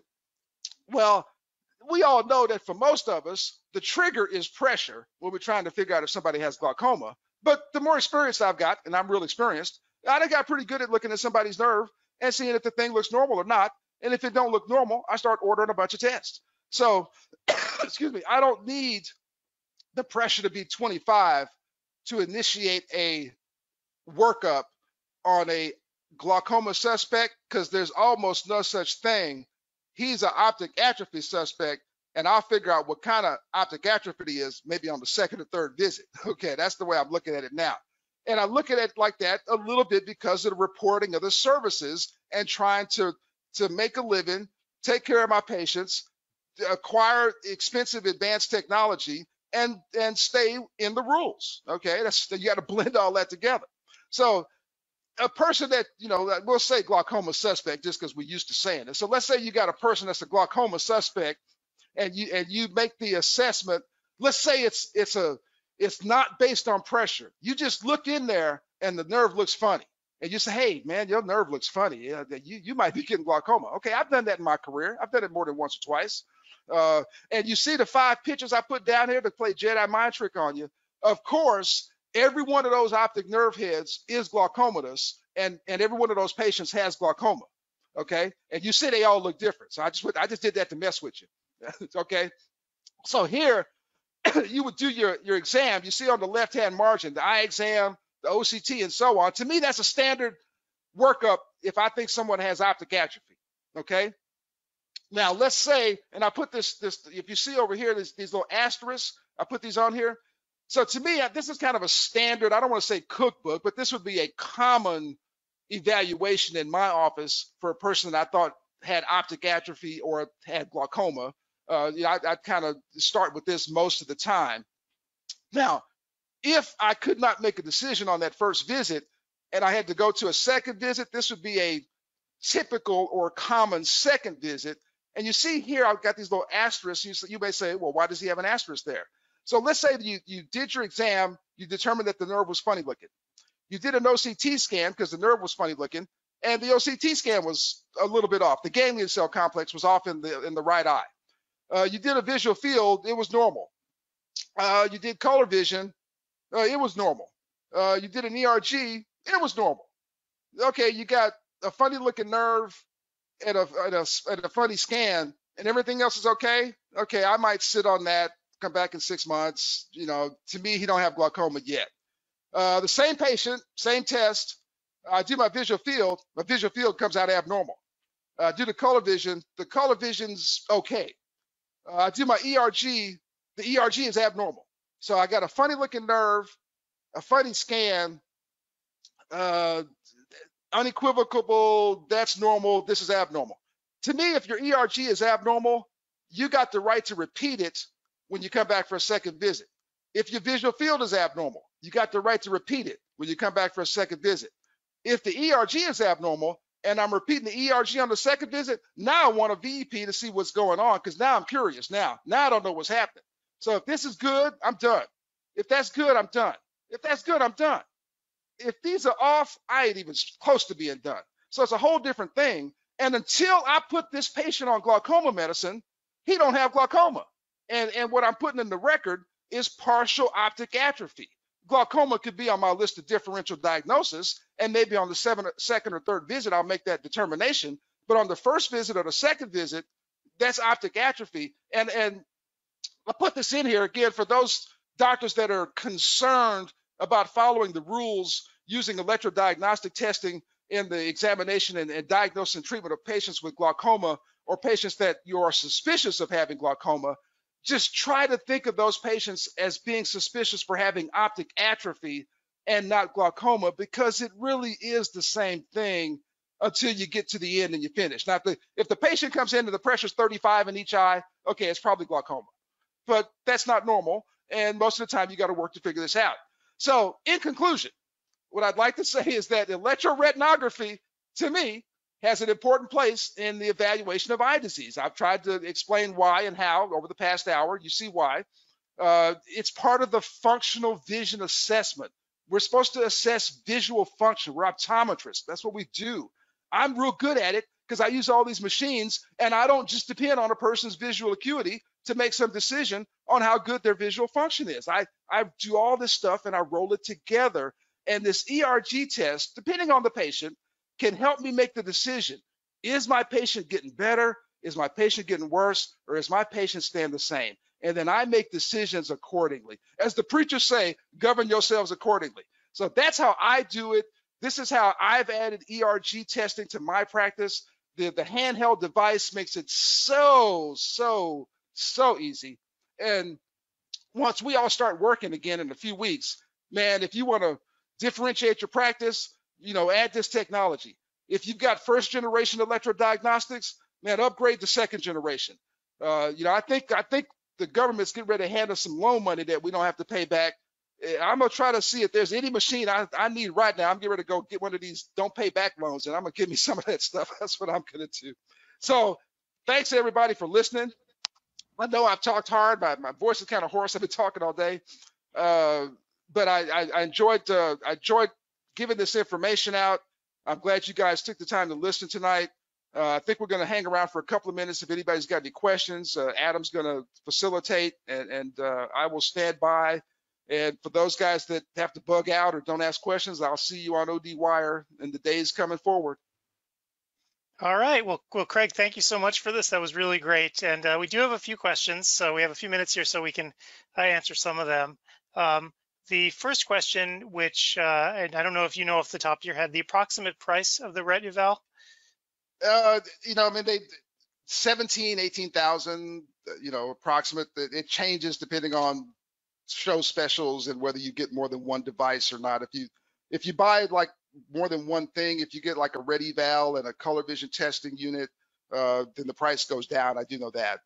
Uh, but you know, I'd start with around 17, 16, 17, 18,000, something like that. I don't care about the price. All I care about the return on investment.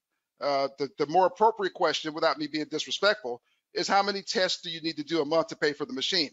Uh, if you know, to me, if you do one or two patients a week, you're paying for the machine. Uh, you know, in, in, in a return on investment mode, I simply ask doctors, how many digital field tests did you do last year? Uh, you know, a busy doctor may say I did 200. Uh, well, if you evaluated a patient's visual function 200 times with a threshold visual field, how many times could you evaluate the, the patient's visual function with an ERG? 200, 190, 180, 150? You know, those numbers are going to be similar if you understand how to do this stuff and how to, to get the maximum value out of your technology. So you wouldn't have a practice where you would do 200 visual field tests and 38 ERGs. If you did 200 visual field tests, you do 175 ERGs. Right. At the reimbursement rate that I just posted up on those slides, guys can put the pencil to it and see if that's a positive return on investment from a price point of view. So don't look at the dollars of acquisition, you know, like the, the, the dollar to buy the thing, unless you're just going to buy it and write a check or put it on a credit card. I always look at stuff. The way I get my machines, and I got a bunch of them. Okay, I don't buy them, I lease them, and I just look at the payment, man. If, if the payment's 400 a month, you know, can I get 400 a month on this technology? Yes or no? Well, you know, for me, usually the answer is yes, because again, especially with this one, because the reimbursement's so high.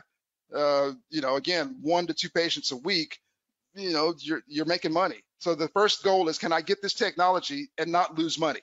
If the answer is yes, I think you should get the technology. So that's, uh, that's a long answer on the price, but that's how I look at it. Right, and the, the uh, you were actually pretty close to the price. Seventeen two fifty is uh, the, the, official answer that I'm getting right now uh, for the price of the device. Okay. And uh, question here, billing and coding question. I know you love these. Um, so, is the ER is the ERG or VEP exclusionary? Is it exclusionary on the same day as an OCT or or, or dilated fundus exam, et cetera? Is it is it exclusionary? That's an excellent question, and the answer is no. Uh, there's no bundles, uh, no exclusions. You can do a, an ERG at the VP on the same day, and that's why I commented on that because on occasion it's not common, but you know maybe one out of 15 ERGs, I'll do an ERG and a VP right back to back where I don't even unhook the patient. We just you know go right to it because uh, I want the information. Uh, right. So so you certainly can report them both on the same day, and there's no exclusions at all. Right interesting question. I don't know if this has happened to you or not. Question is, have you ever misdiagnosing glaucoma without using uh, the ERG? Say that again. Have you ever missed a glaucoma before and then you use the ERG and you're like, oh, okay, this is what's going on? Um, I don't know. It's a, I, I, I'd have to ponder that. I don't think so. Uh, usually me missing glaucoma is just missing it right at the beginning where I didn't recognize the, the appearance of the nerve head. And I've actually posted a case on that on ODwire where I, I admitted my culpability. Uh, so it's usually not not running enough tests. It's usually just being not being perceptive enough in the beginning to order the test. Once once I start ordering tests, I usually go A to Z. That that's why I want to, I want people to see that. If you got four machines sitting down the hall, don't run two tests. Run four tests because you never know what the results are going to be, and you blend them all together. If I had five machines, I'd run five tests. Okay, if I'm trying to figure it out. Now, once I know what's happening, I might not do that. So, you know, a guy that's under active management, I've seen him for seven, eight, ten years. Okay, I might not run five tests on him every time he comes in because I already know what's happening. Uh, but in the beginning, or if the guy looks like he's changing, okay, I'm not going to do two things. I'm going to do four or five things. Right. Uh, question here again, another billing and coding, pretty popular topic tonight. Um, so uh, how do insurers cover um, this device. Uh, this person was commenting that he's heard that Medicare makes it a hassle. so what's No. the current status on reimbursement? Well, that that, the that's a good question, and the the the, the optometrist there, unfortunately, is is kind of drinking the the Kool Aid, where what happens, unfortunately, in our profession is things, rumors, things take on a life of their own. Somebody will go to some seminar, somebody will say something, somebody's on stage, some expert, something, and and they'll say something, and it might be right, it might be wrong, it might, but it'll get twisted or or distorted by the time it gets back home, and once it passes down four or five people and gets to the billing clerk or the optometrist that didn't go to the meeting, uh, you know, it's almost like, hey man, don't do that, or your hand's gonna fall off. You know, you don't even think of doing that, you're going to jail. And, we get we get to fixating on what we can't do and what you're not supposed to do in the negative, and it's it's just not like that. Now, I did make the reference, and again, the the the, the question is Medicare makes it a hassle. Okay, now two or three years ago, uh, Medicare tried to stop paying claims for a minute because they were discriminating against optometrists, saying that we didn't have credentials to to order and interpret the test. Well, we fixed that pretty fast, and that and that was just nonsense coming from a bunch of medical doctors, and they just they took the bait and did it. so some optometrists had to go through that uh, about two or three years ago, but that had nothing to do with the technology. That was just ophthalmologists hating on optometrists. That's all that was. Uh, so so you can't count that.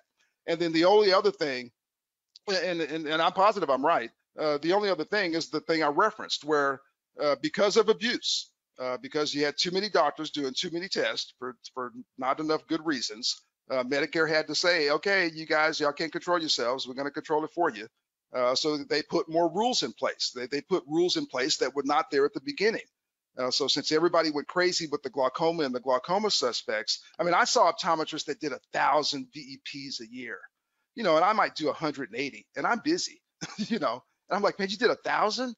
Oh yeah, yeah, we do them all the time. I'm like, no, you can't do them all the time. You know, it's nonsense. So that, so Medicare came in and they- said, okay, we're going, to we're going to put, we're to slow this down. And so two or three or four of the carriers, uh, they all copied each other's language and they said, okay, we don't want you to use this technology to diagnose and treat glaucoma. Okay, they said it plain as day. All right, those are the rules. Uh, so you can't use it to diagnose and treat glaucoma a- and they took all the glaucoma codes out of the covered diagnosis list.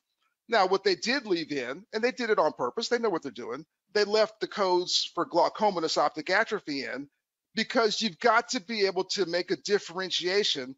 Is my patient's retina and or optic nerve messed up from glaucoma or is it messed up from something else? You know, you got to have the right to do that. And so they're, they're giving you the right to do that where they still got the glaucomatous optic atrophy codes and those partial optic atrophy codes. Because again, we're looking for optic atrophy. We're not really looking for glaucoma. You see why it's important to have that distinction? You see now? That's what I'm talking about. That's exactly what I'm talking about. So in the beginning, all you're trying to figure out, does the person have optic atrophy? And is it messing up their vision? That's second or third. And, and then, excuse me. So in that beginning, that first visit, you know, when you do your OCT, you know, unless the pressure is outrageous, you know, and again, if the pressure is outrageous, then you got to go with that. But that's not the, the case most of the time. You know, it's not outrageous. You know, to me, 22 and, and 24 is not outrageous. That could be normal. So in the beginning, all you know is that the person has an abnormal OCT scan. Okay, that, that's all you know. So it's optic atrophy. You don't know if it's from glaucoma, and you don't know if a pressure of 24 is producing glaucoma. You don't know none of that on the first visit. All you know is that the person's got a messed up nerve fiber layer or optic nerve or something that the OCT scan is showing. So when you do your electrodiagnostic testing, your ERG and or your VEP, the service that the, the, the code that generates that test, that generates the medical necessity, is not any kind of glaucoma code, the H40 code, or any kind of glaucoma suspect code, which is also an H40 code. It's an optic nerve code. That's what the technology's for. Does the person have a defect from the optic nerve or the retina? And you use these two tests to try to figure it out. Okay, that's that's the deal. And, that, and now once you figure it out, one, so, so let's say you go two or three visits, and then you make the decision. Hey, this guy's got glaucoma. You know, when I saw him the first day, the pressure was 20. I saw him the second day, the pressure was 19. I saw him the third day, the pressure was 27. Okay, he's got glaucoma. Okay. So once you make the decision that the guy's glaucoma that has glaucoma, then you know most of the time I'm not really using the test to to manage the glaucoma. Uh, I will as we go forward. Let's say the guy can't do a visual field or his other, or like the one I showed where where the color vision won't help me at all. Okay, well then you know I got the right to use other tests. Uh, and I still got the right to see if the if the guy's changing from glaucoma or something else. So then I use that glaucomatous optic atrophy code uh, to generate the test, you know, as I'm into the the active management down the road.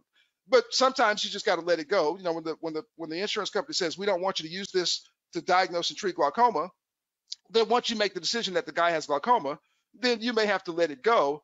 But you know, without sounding mercenary, uh, you know, I may have done two ERGs and a VEP to get to that point uh, to where I've generated three, four hundred dollars worth of, of electrodiagnostic fees uh, to help make my decision. Okay, I'm good. Uh, you know, I got a bunch of patients. They'll come back. You know, I'll see them all in a couple of months, and, and I'll take that four hundred dollars and go on to the next patient. And I don't worry about it. And I don't worry about I'm not going to make four hundred dollars next year. I don't worry about it. Uh, you know, I'll have some new technology, or I'll just go to the next patient, or the guy Right. get dries or something. I don't worry about it. Okay. Right. And, and so just to be clear then, do do you, you don't do ERG on all glaucoma suspects that come into your chair? No, no. If you can make a decision without it, then you can make a decision without it. Uh, I mean, again, it's it's you know, I'd say the numbers 70% of my visual fields. So if I do 100 visual fields, I'll do 70 ERGs. So sometimes I can make the decision without the information. Okay. Right. You know, I, st- I still go by the step by step. I'll start with a visual field because that's standard of care. And, you know, and if I, let's say that the you know if I did a visual field and, and one eye's got this humongous superior arcuate scotoma and the other eye does not, okay, I may be done. Okay, I, I may do two tests and call it a day. Okay, this guy's got moderate glaucoma, right eye. Get on these drops. I'll see you in three weeks. You know, you know, and I'm, I'm I'm done. You know, so it's not. So there's no there's no everything on everybody. Everybody's different, but I will say that last year between me and my two associates, we did over 500 ERG tests in this practice. So it's a test that we do often. Right. So uh, interesting uh, question here again, more billing and coding. Um, observation is that you know your patterns of billing and coding might be different from other people's, making you an outlier. Have you found that you've been audited uh, based on this? Yes. And how did that go? I'm still here. uh, I am absolutely an outlier. Uh, me and many other uh, optometrists, uh, uh, we seem to know each other and run together because we all go through the same stuff. Uh, I've lost count of the letters I've received from Blue Cross threatening me with removal from the panel because of the way I practice. And usually I just have to talk to someone that's reasonable and just tell them, hey, you know, we do more than sell glasses and contacts here. People with eye disease actually walk through the doors, and this is what we do. And once they hear it properly, it's usually it's it has been enough, and they'd say, okay, fine. Uh, but it's happened four or five times. They're the worst. Blue Cross is the worst. Right. It's it's happened with Aetna. Uh, it's happened. Blue Cross is the worst with that stuff. Right. So, um, you know, so other interesting questions here. You mentioned you sometimes do ERG and VEP back to back. Don't you need to use two different hookup points between the two, one on the back of the head? Not with this device. See? Ah, ah, no, no, back to back, boom, boom. okay, I said it. I said it on purpose. You don't have to hook them up again. Okay, just just one one right after the other.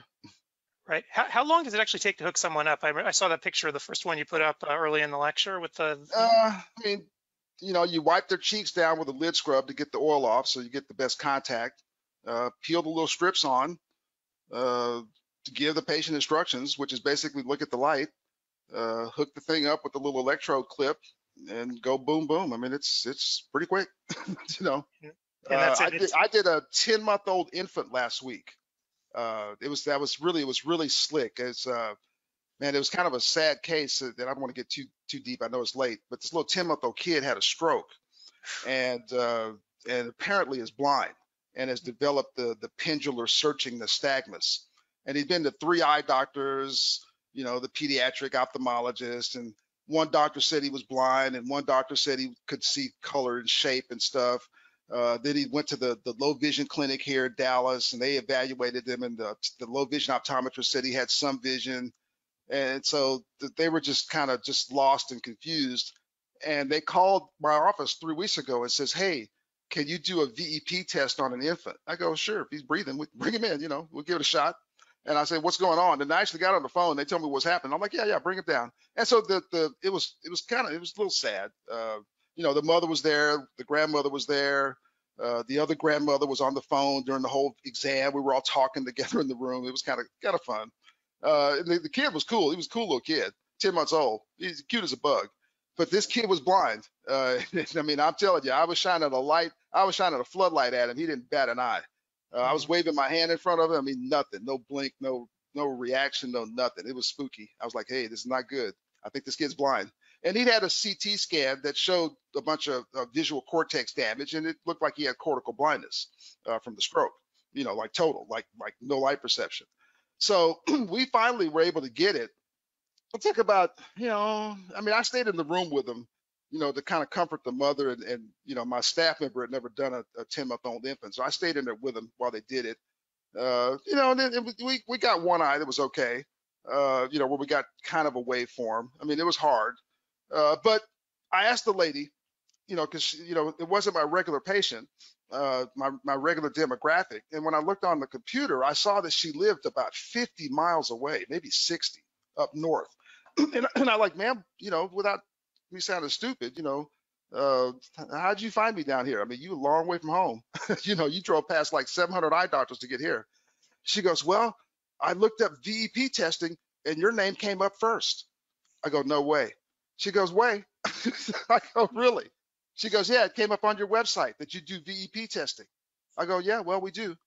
She says, well, you were the only one that came up on the search, so I decided it was worth driving down here, so here we are. I go, okay. And this kid had two vitreous hemorrhages from the stroke. And so I did an exam, B scans on both eyes, and a VEP on this 10 month old baby. And, you know, I'm not trying to talk about the money, but that was a good visit. You know, that was a good visit, you know, especially nowadays. You know, how did I, how did I open this lecture? Uh, you know, we got to get ready to start working again.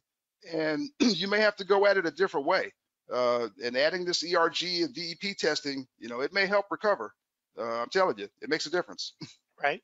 Right. So we're almost out of time, but I have a, a tidbit here, and I, I, don't think I mentioned it before. So Konan is, uh, you mentioned those uh, low interest, no interest loans that the government might be giving out, but in lieu of that, um, uh, Konan actually says that they have a special right now, financing equipment with no payments and no interest for six months wow. Uh, when you're ready to consider purchasing equipment again. So again, just just sort of keep that back in your mind. I think uh, you know companies like Konan are, are trying to help get everyone back on track again and that's unprecedented to me. Uh, six months without spending any money. Because it's going to take us a month, maybe six weeks, I think, to ramp back up. You know, there's hopefully there's guys listening, ladies listening, where they're not under the, you know, shelter in place or cease and desist and all that kind of stuff. You know, there's parts of the country that are still kind of sort of okay. And you know, and if, if you're in that part of the country, I mean, just you know, move forward. Uh, right. For those of us that are kind of stuck for a minute, we're just going to be stuck for a minute.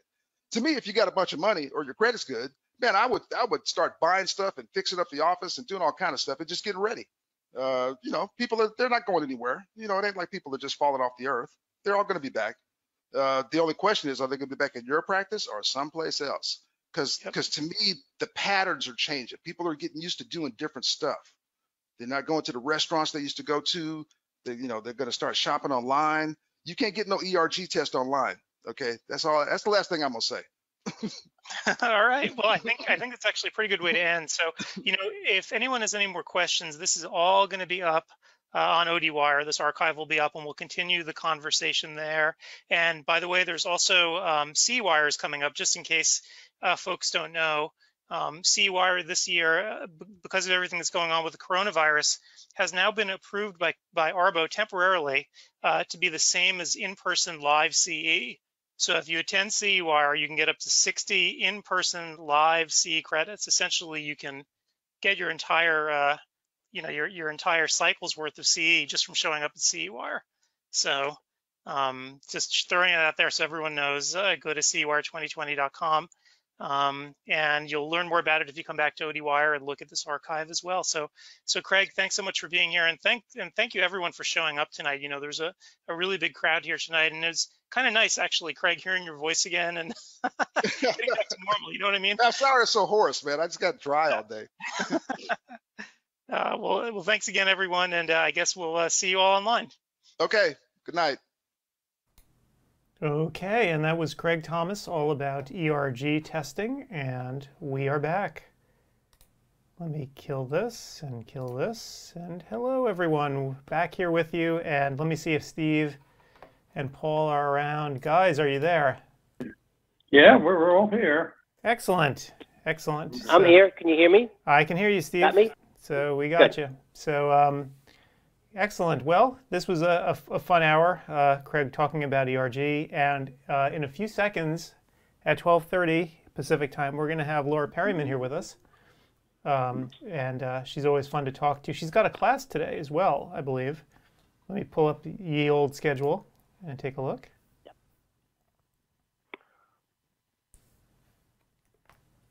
It's always the easiest thing to do. There we go. So four o'clock Eastern, uh, one o'clock Pacific, and it's all going to be about the the Dow to healthy, beautiful eyes, exploring the dermatologic, aesthetic, and ophthalmologic aspects of ocular surface disease. Wow.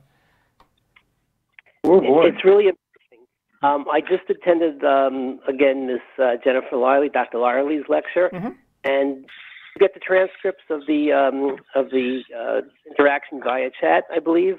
Yep. It's it was by far pages and pages and pages, and obviously mostly females. A million questions about it, and this kind of segues into what uh, Laura's going to be speaking about. So it's a really interesting, untapped subject in optometry and really ophthalmology also. So uh, uh, go to it, Laura. Cool. Yeah. So hopefully she'll uh, have some good stuff to talk to us about today. So while we're waiting, though, just to catch everyone up to speed. So uh, as a reminder, we're going to be back doing this all over again, right? This is the show that never ends, as they say. Um, so for those who missed the announcement, um, we can put it on up here. So you know, CEwire is going to be back again live in August, October, November, and December. So if you missed any of these talks up until now, they will be back again. Uh, the greatest part is our speakers have agreed to come back and do this. There are a few I'm still waiting to hear from, but, but most of them have agreed to do this again. Um, and that's really gratifying. Uh, we tried to schedule those dates that so they wouldn't uh, conflict with uh, any others, except I know that November 14th and 15th is the Academy, Academy of Ophthalmology, uh, presumptively going to be in Las Vegas. I'm not sure if that's going to happen or not. If I had to guess, I would say no. The easiest one was April and perhaps May. April because everybody was locked at home, but as the country opens up, they're uh, disseminating all over if they're or they're practicing at this point. So Right. uh, now it's a little bit more challenging. Perhaps in uh, October, November, December, it'll get cold enough, the virus will come back, and they'll be locked down again, and then they'll be begging to come back. Yep. Yeah. Well, we'll we'll, we'll see. I mean, uh, what's what's been interesting is is how big the conference has been. Even though we've repeated it now a number of times, we're still getting a lot of people coming and watching the live talks. Um, you know, we've had how many do you think were here today? Maybe a thousand total throughout the day. Uh, yeah, monitoring it. Right now, there's 697 in the rooms, but people come and go. The um, West Coast is just coming coming on board probably. So total probably a thousand today, a thousand yesterday. Some of them, of course, being the same person. But, it's just amazing because you have to realize that we've given this conference uh, three of the times, February, uh, April, and May. So people just want to get more credits and they want to listen to the content. Yep. Like I, like I mentioned before, I've had several people who have enough credits and they're just coming back to listen to the same lectures again just because they wanted to ask the, uh, the speaker some information that they couldn't ask the first time because they didn't know the subject matter. So pretty cool. Right. Yeah, it actually it is kind of an interesting thing now, right? Because if you have seen the lectures before and you're coming back, this is your chance to like corner an expert, right? You've had time to think about it now over the past several months, uh, and now you know where, where you can actually pin down an expert on the topic just by coming back to the lecture and starting to chat with them. So I never really thought about it that way. But they'll have them so many times that uh, by December they might be charging them rent. sure. Uh, That's a good thing. Well, And so while we're, we're, we're waiting for Laura, I'd like to also um, you know, thank uh, all of the companies that have helped us, you know, put this thing together and keep it running. This has not been an inexpensive endeavor to run. Um, you know, usually we, we do this for, you know, uh, the live stuff we do once and then we duck out and just put it on demand for however long, a few months. But this has really become a marathon. Um, I thought for sure by now I would be on break and not doing anything for the summer, and that just hasn't been the case at all. uh, but thank you to the sponsors because without them we probably couldn't keep keep the lights on and keep everything going. Um, certainly, even planning a conference like this takes a, uh, you know it takes a lot. I mean, not just in terms of time, but also in you know nailing down all the speakers and getting the tech set up and everything else, and then you know doing the marketing. Fortunately for us, one of the reasons we can keep things so cheap is because our marketing expenses are relatively low um, since we market just by word of mouth mostly. Yep.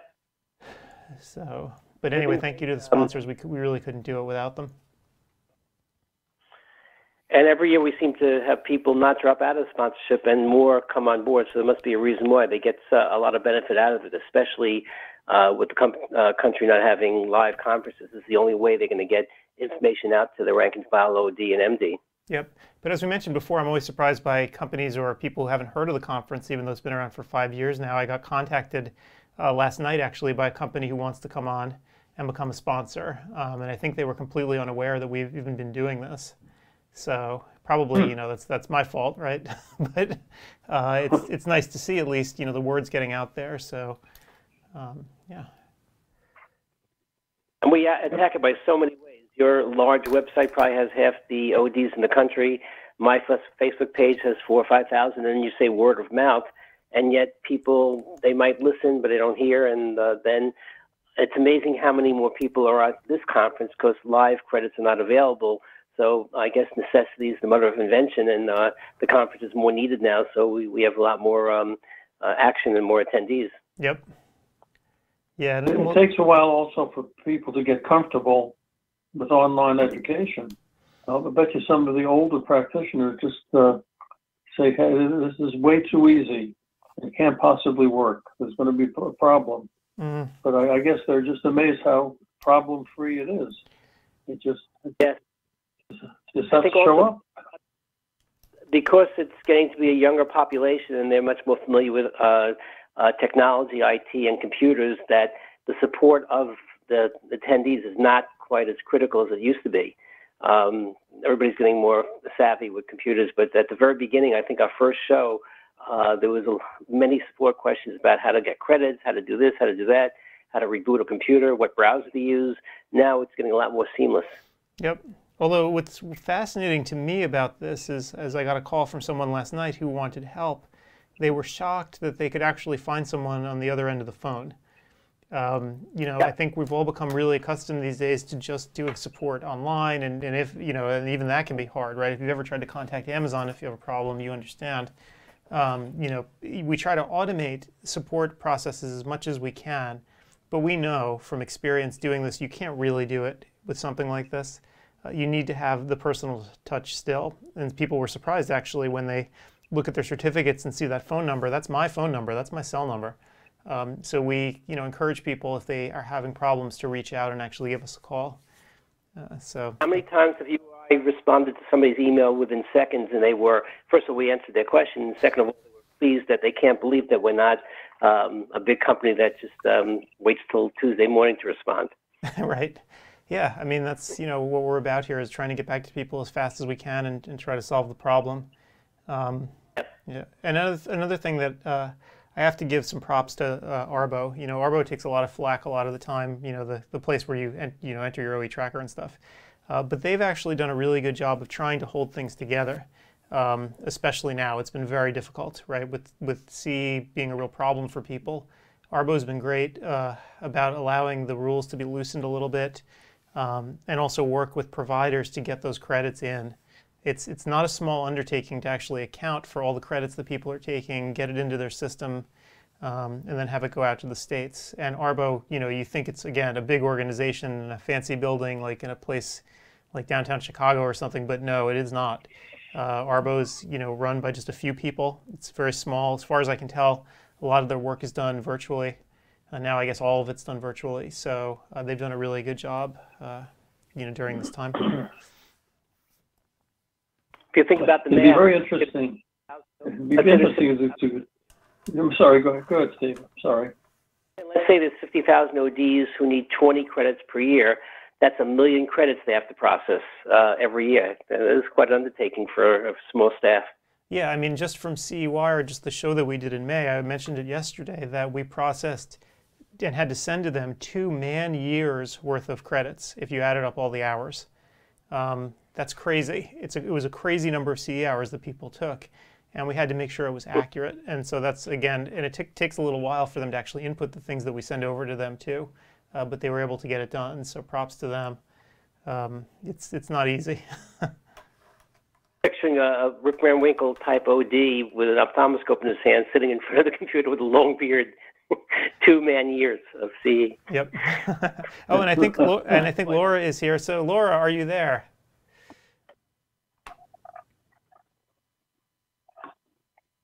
Let's see, Laura, are you muted? Dr. Periman, is your phone muted? let's see. She says she's here, but I can't hear her. So let's. Uh... Oh, I see. So she's. There we go. Oh, there we go. There we go. There's your mic. Woohoo! Hi guys, how's it going? Oh, You doing? it goes. Good. I was listening to your wonderful conversation about virtual CE and that incredible opportunity and need, and how you guys have, um, you know, kudos, hats off to you for really put, you know, putting these programs together that make it accessible and help us meet those requirements in a really fun way that's actually saves everybody money and time. So I, I really, really appreciate um, your virtual platform. And, and I got to say, I think you guys were the leaders in this. Like, how long have we been doing this now? Four years, five years? Five years, yeah. Yeah. Um, and it, it's been so fun every single year. And I learned so much in the process. And I'm so happy to be here again. Um, and I want to be a very guest so I get invited back because I love your platform. Well, we we always love your lectures because you know you're hilarious. Your title, like, um, so I put up I put up on the screen right now so everyone can see the different classes that are going on today. And if you look at your title, right, they're always eye catching. You always come up with something different and fun every year. And I have no idea how you do that because that would just drive me crazy trying to, to come up with stuff like that. I I have a, a creative muse that has her own timeline, and she usually drops it on me in the middle of a, a run around the hill. Um, it's like boom, there it is. Oh, that's awesome! I'm gonna run with that. nice. So meanwhile, we haven't spoken. We haven't spoken to you since the world fell apart. I think is that right? It's been I fear that is true. yeah. So how have you been doing? What have you been doing? What have I been doing? Well, um, I've been learning a lot and working a lot, Mhm. and I took it as an opportunity to finally create my ideal clinic. So I'm three weeks into my brand new independent practice, and it's so much fun. Hmm. I've been uh, studying up on the dangers of beauty ingredients and beauty practices and dry eye, and I've learned even more since I put this lecture together for you guys back in the fall. I delivered a version of this lecture at Royal Hawaiian Eye. Hundreds of ophthalmologists there invited lecture to speak about this. Um, so I gave a version of this talk there in January, and then all travel stopped, like at the end of February. Right. No more meetings. Um, so it's uh, I've learned a lot since then. There's like incredible, incredible content. This is a really rich area that's um, forgive the pun, I'm just scratching the surface. I love a good pun. Such a dork. in airports uh, for a long time. You're at so many conferences, giving so many lectures. Uh, it's been tough, probably, for you uh, staying home and not doing uh, what you normally do. Well, it's the great pause has given me the time, bandwidth, and energy to go ahead and create my independent practice. So that's been awesome. Um, and it's a lot of work and a lot of lots involved in setting up a practice, as I'm sure you know. But it's been so rewarding, and I'm so happy. Um, and it just it's created this whole other space where I can continue this cosmetics work and my clinical research and the way I read and assimilate the new publications and help deliver it in teachable formats. So it's it's been it's been I've made some lemonade here, dudes. I mean, you get handed some COVID lemons, and what are you gonna do? You're gonna put on a mask, cut, squeeze, add water, sugar, and stir. there you go. And so what, go. so as you've been, you know, formulating all this stuff and putting it all together, how like mechanistically have you been working on stuff? You know, I know uh, we're down here in Portland. You're real close to us up in Seattle. What's it been like? Have you been able to like venture out at all, or or not? Ooh, not much. Yeah. Um, yeah, not much. And I'm, you know, part of that is out of desire to protect my patients, right? So I limit my instant incidental exposures as much as possible um, so that I don't inadvertently become a carrier and expose my patients. So yeah, I'm kind of homebound, and as an extrovert, that's a little challenging. The rest of my family's a bit introverted, and they're doing just fine with all of this. but me as the extrovert, I, I, miss my friends. I miss seeing wonderful, lovely people like you. Um, and yeah, so we're just adapting, right? That's all you can do. I will say, I'm so impressed with our young people. The, the graduates in the year 2020, they got a little ripped off, right? Like all those rites of passage with prom and graduation, um, you know, college graduation, med school students, you know, optometry school students, they got a little ripped off with the pomp mm-hmm. and circumstance of graduating. But what I'm observing is a, a, a, a resilience and a creative mindset that I don't think we've seen in several generations. Um, so I'm, I'm really, really excited for the next generation because of their ability to work around roadblocks um, in a way that's positive and creative. My daughter, for for example, for one, totally on her own, 100% independently, create saw the need for the vacuum that was created with no school, and she's like, "Well, how are these people going to continue to learn?" And so what she did is she created this is completely on her own. Uh, a website called Seattle Students Helping Students, and it's a volunteer match program with um, upper high school students and any student in the Seattle area that needs tutoring.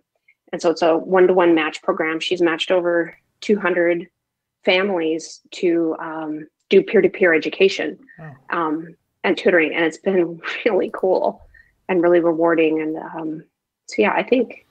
I think the young ones are very interested in their own education, and there's people rising up to meet the needs left and right. And I'm I'm optimistic for our future. I really am. Yeah, you know, it's, it's interesting. Uh, they always say that constraints are what uh, creates great artwork, right? It's if you if you're given if you're given free reign to do whatever you want, that typically isn't as good as being constrained in some way. So I agree with you. The students today really are facing unbelievable challenges, and I don't know how they're they're dealing with it. Actually, I mean, I have an 11 year old here, and sometimes I wonder. I look at him and I'm like, wow, do you realize like what you're going through is so bizarre?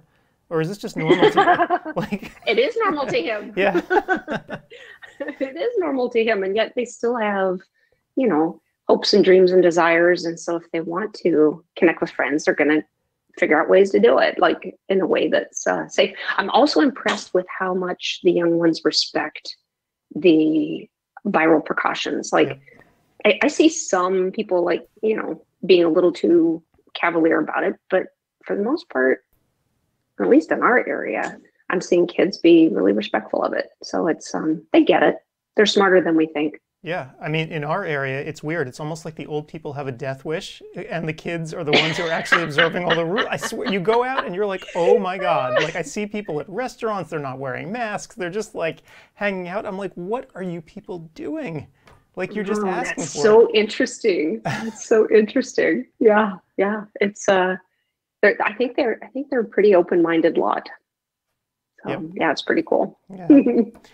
uh, well, so so anyway, with your talk, I guess your talk is coming up, right? And you've you've done it now 15 million times. So for you, this is going to be like clockwork. But um, with what Steve Steve mentioned something really interesting a few minutes ago. Uh, it's that people have now taken the same talk several times. They they come back to talk to the experts, right? So you uh-huh. have people at your lecture now who've seen you do this before but might have saved up questions and thought about stuff over the past several months Ooh. that might want to come back and just start chatting oh. in the oh. chat box, which I thought was really interesting. Oh, that's so cool. Thanks for letting me know that. And I, I, I was kind of hoping that would happen, and I can't wait to to think higher about it because I mean I think that's the whole nature of scientific inquiry, right? You have a question, you go out and you look for it, you study it, and then you think you understand it, but then you end up generating a whole bunch more questions. And so that's perfect. That's the growth mindset that I'm looking for, that I try to foster and create with my lectures, the way I teach. Um, so that makes me extremely happy to hear that. Excellent. Yeah. So hopefully, have- hopefully we'll have some good interaction. I mean, Steve, you've been seeing a ton of it today, like even with Jen Lyerly's lecture, right? That just happened. You know, people have just been going back and forth. Tell you, Laura, um, I've got uh, Jen Lyerly's lecture, and um, there's pages and pages of chat. Um, most emails, I have to say, but some mails chiming in. It was the most, um, let's say, queried uh, lecture by far.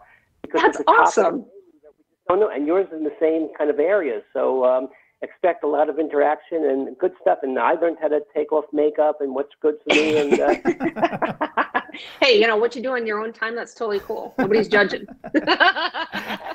Exactly, but um, it's funny. It's an area of ophthalmology and optometry that we don't really think about, but yet it's a day-to-day thing that people are concerned about. It's very, very important, uh, especially in this day and age. When I was telling Adam, I'm seeing all these people on TV now doing their own makeup from their Zoom uh, meeting, and, and not doing a very good job of of all the things, whatever it might be, eye care or uh, general makeup. That's right. help us. And if, by the way, if anybody hasn't heard Dr. Periman lecture, it's not like listening to a regular lecture. Expect a lot of music, a lot of uh, animation. It, in this area, in our conferences, also always. So uh, uh, Dr. Periman is a little bit uh, interesting and exciting.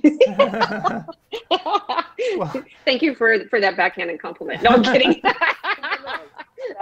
no, it's super funny. Pre-production takes a lot longer. and and to be fair, this year my music cues weren't as tight as they've been in the past. But if that seems to be a popular request, I will make sure to dovetail it in for next year. That's hilarious. You Whatever know, you I, want. I was I was going to I've already been thinking about what I want to talk about next year. Well, you know, I was going to even ask you for this one. You know, a lot of people have seen it, but I was wondering, would you care if we looped your video in during the live stream? Uh, for people who haven't registered for CEwire yet, so the live stream, you know, this shtick that we're doing right now, right? This will actually go out into ODwire, uh, where people who haven't taken the conference, you know, what I've been doing today is playing previews, showing people some of the lectures from CEwire to try to get them inspired to come in and join. Would you care if we put your lecture out there so people could see it? I would be delighted. Great. Yeah, because yours is one of the most fun ones. So I think like, okay, why don't we, you know, we'll lead with what's really good. We'll put out the really great ones and lure them in, and then they can watch all the crap, right? Um, Yes, dry eye is anything but dry. yeah. Let's make it fun. Yeah. We can't take ourselves too seriously, No, especially now. I, th- I think it's a terrible idea. especially now. That's right. And and you know, frankly, we can't pull it off anymore anywhere anyway with all this COVID hair and like you know. Oh my God. So you know, I the thought. self maintenance stuff uh, suffered a little. I mean, I thought about that today when we were coming on. I'm like, should I actually like make myself look decent, or should I just like put on my fleece like I usually wear here, and like my hair is like, I mean, look at it. I, I have you know COVID hair. It's like I. Who cares? I right? love I love your Pacific Northwest style. I mean, do you, man? It- Yeah, like- I mean, this Be is proud me, of right? it. So, so yeah, I'm, I'm, I'm being, I'm, I'm letting, letting it fly right here today. But you know, I, I figured, what the heck? I mean, why not? This is the time, right? I mean, I have instead of Paul next to me, I have a Totoro sitting here because that's all I could find, because I'm not allowed to be around human beings anymore. So, um, yeah, Oh, that's awesome. Yeah, I think I think we should just uh, own it. Like, um, yeah, it's interesting. My makeup habits have changed quite a bit in COVID. You know, first of all, because you know I'm not seeing anybody outside the household, but second of all, um, just uh, you know, things are a little simpler, right? It's uh, as you get older, there's more maintenance involved, but I'm okay with letting some of it go. Although, full disclosure, I did inject my own Botox. really. It turned out really good. Yeah, yeah. I've sewn my own fingertip back on before, just like the tip. So yeah, I'm like, I'm not afraid of needles. Yeah, so Botox is, is, is nothing. That's yeah. Oh, it's nothing. Hold still. Oh, you know, I did have a question for you. Oh so you're you're a big proponent of IPL, right? yes. So, so talk to us about that for a second. If we can just talk about, because Oh, we have to put this into a clip show, right? So I got to ask you one clinical question. So uh, I know that on OD. I know on ODwire people have been going back and forth about IPL. You have people who are like, I don't want to invest in this; it's too expensive, and I don't know if my patients are going to do it, and and will it make a difference? And then you get another crowd. They're like, yeah, you know, it's great for for ocular issues, but you know what? People like the cosmetic stuff even more. so Um, it's true. It's the only thing in your dry toolkit that makes you look better as well. So bonus gift Yep. with purchase, as they say.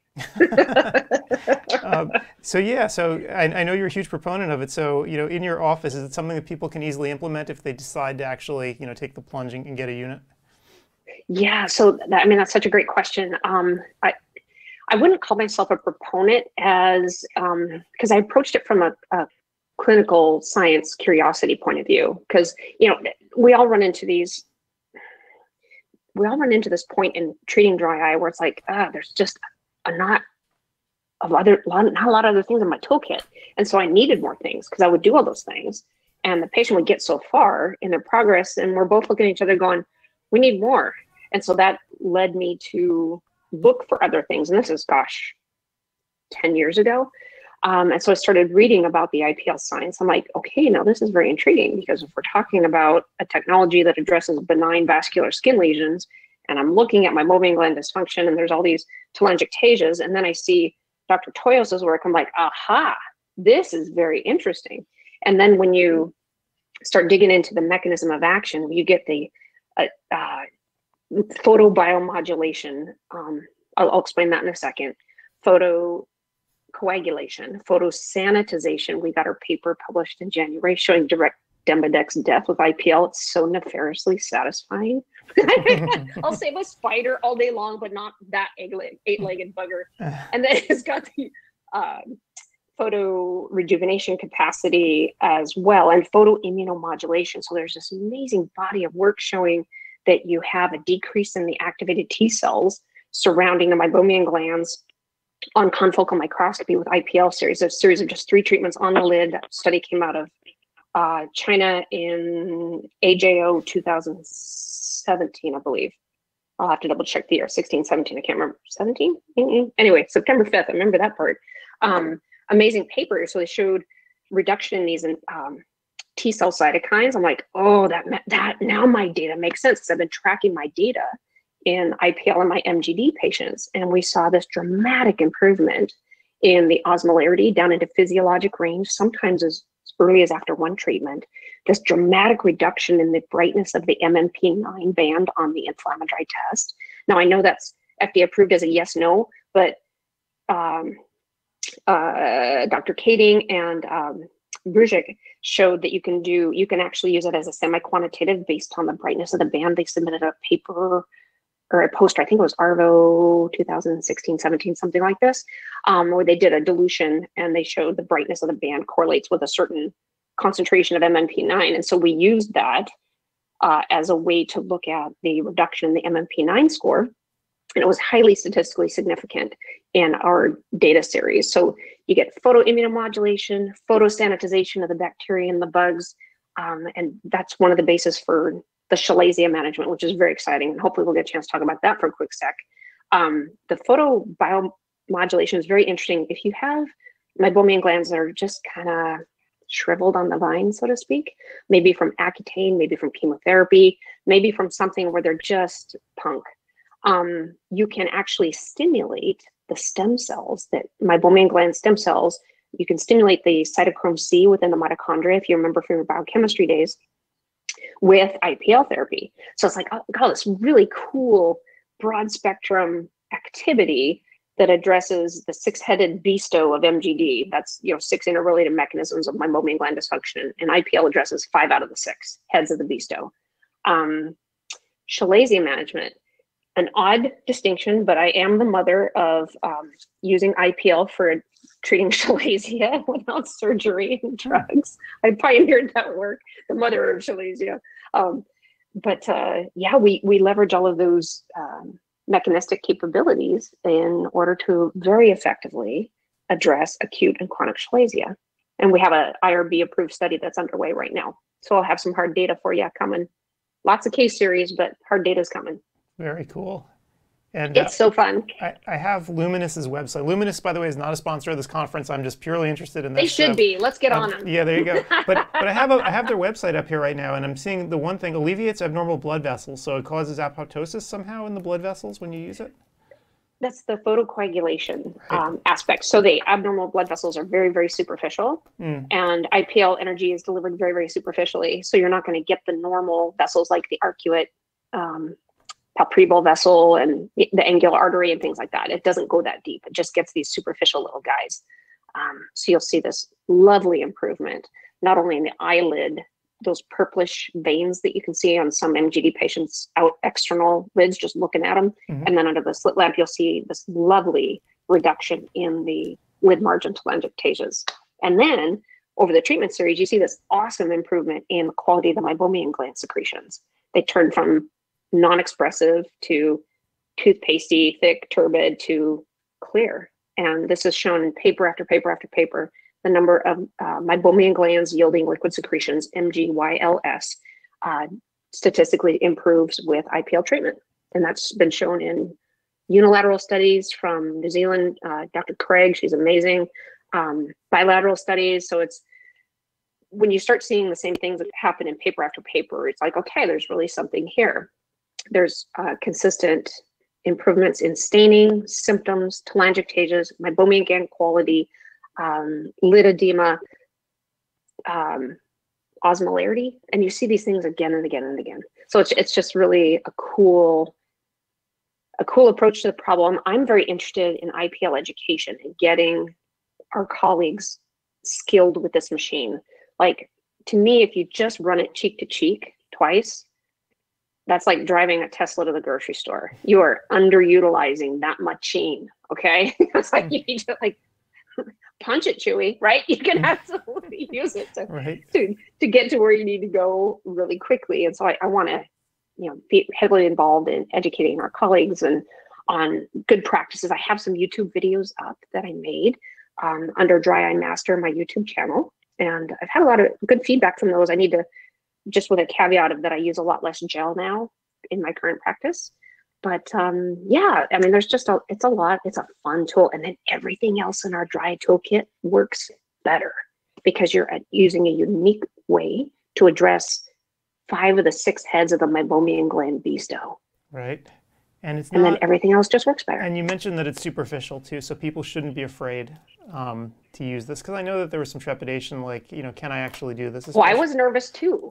I'm like, I, I don't know about this. Like I had it done myself. I'm like, geez, that's great. Yeah. Is my eye really protected? Um, and yes, the, the answer is yes. Um, but with a caveat, really important caveat, pause. This is a really important caveat. you have to have laser grade corneal shields Right. if you're going to treat on the eyelids. Full stop. Absolutely critical. There are case reports of IPL energy creating iritis and pigment loss of the uh, posterior iris because of IPL energy inadvertently entering the eye. Wow. You have to protect the cornea and the iris. Now you'll still see light coming under the door as a patient when you have those shields in place, but the light is not going in where it's going to be absorbed by those critical structures. Right. Dr. Periman, how much of the face do you have to do to kind of make it so that the it's not so obvious that you've done the eye, so they get the cosmetic effect as an adjunct? Oh my gosh, that's an amazing question. So here, so the Periman protocol that I came up with, it's a four-step protocol, and I'm happy to share it with anybody who's interested. Um, the reason why I started doing the full face is because we know that rosacea is a local regional problem. It's not just the eyelids. Like you can start off as ocular rosacea, but you're going to eventually become facial rosacea, right?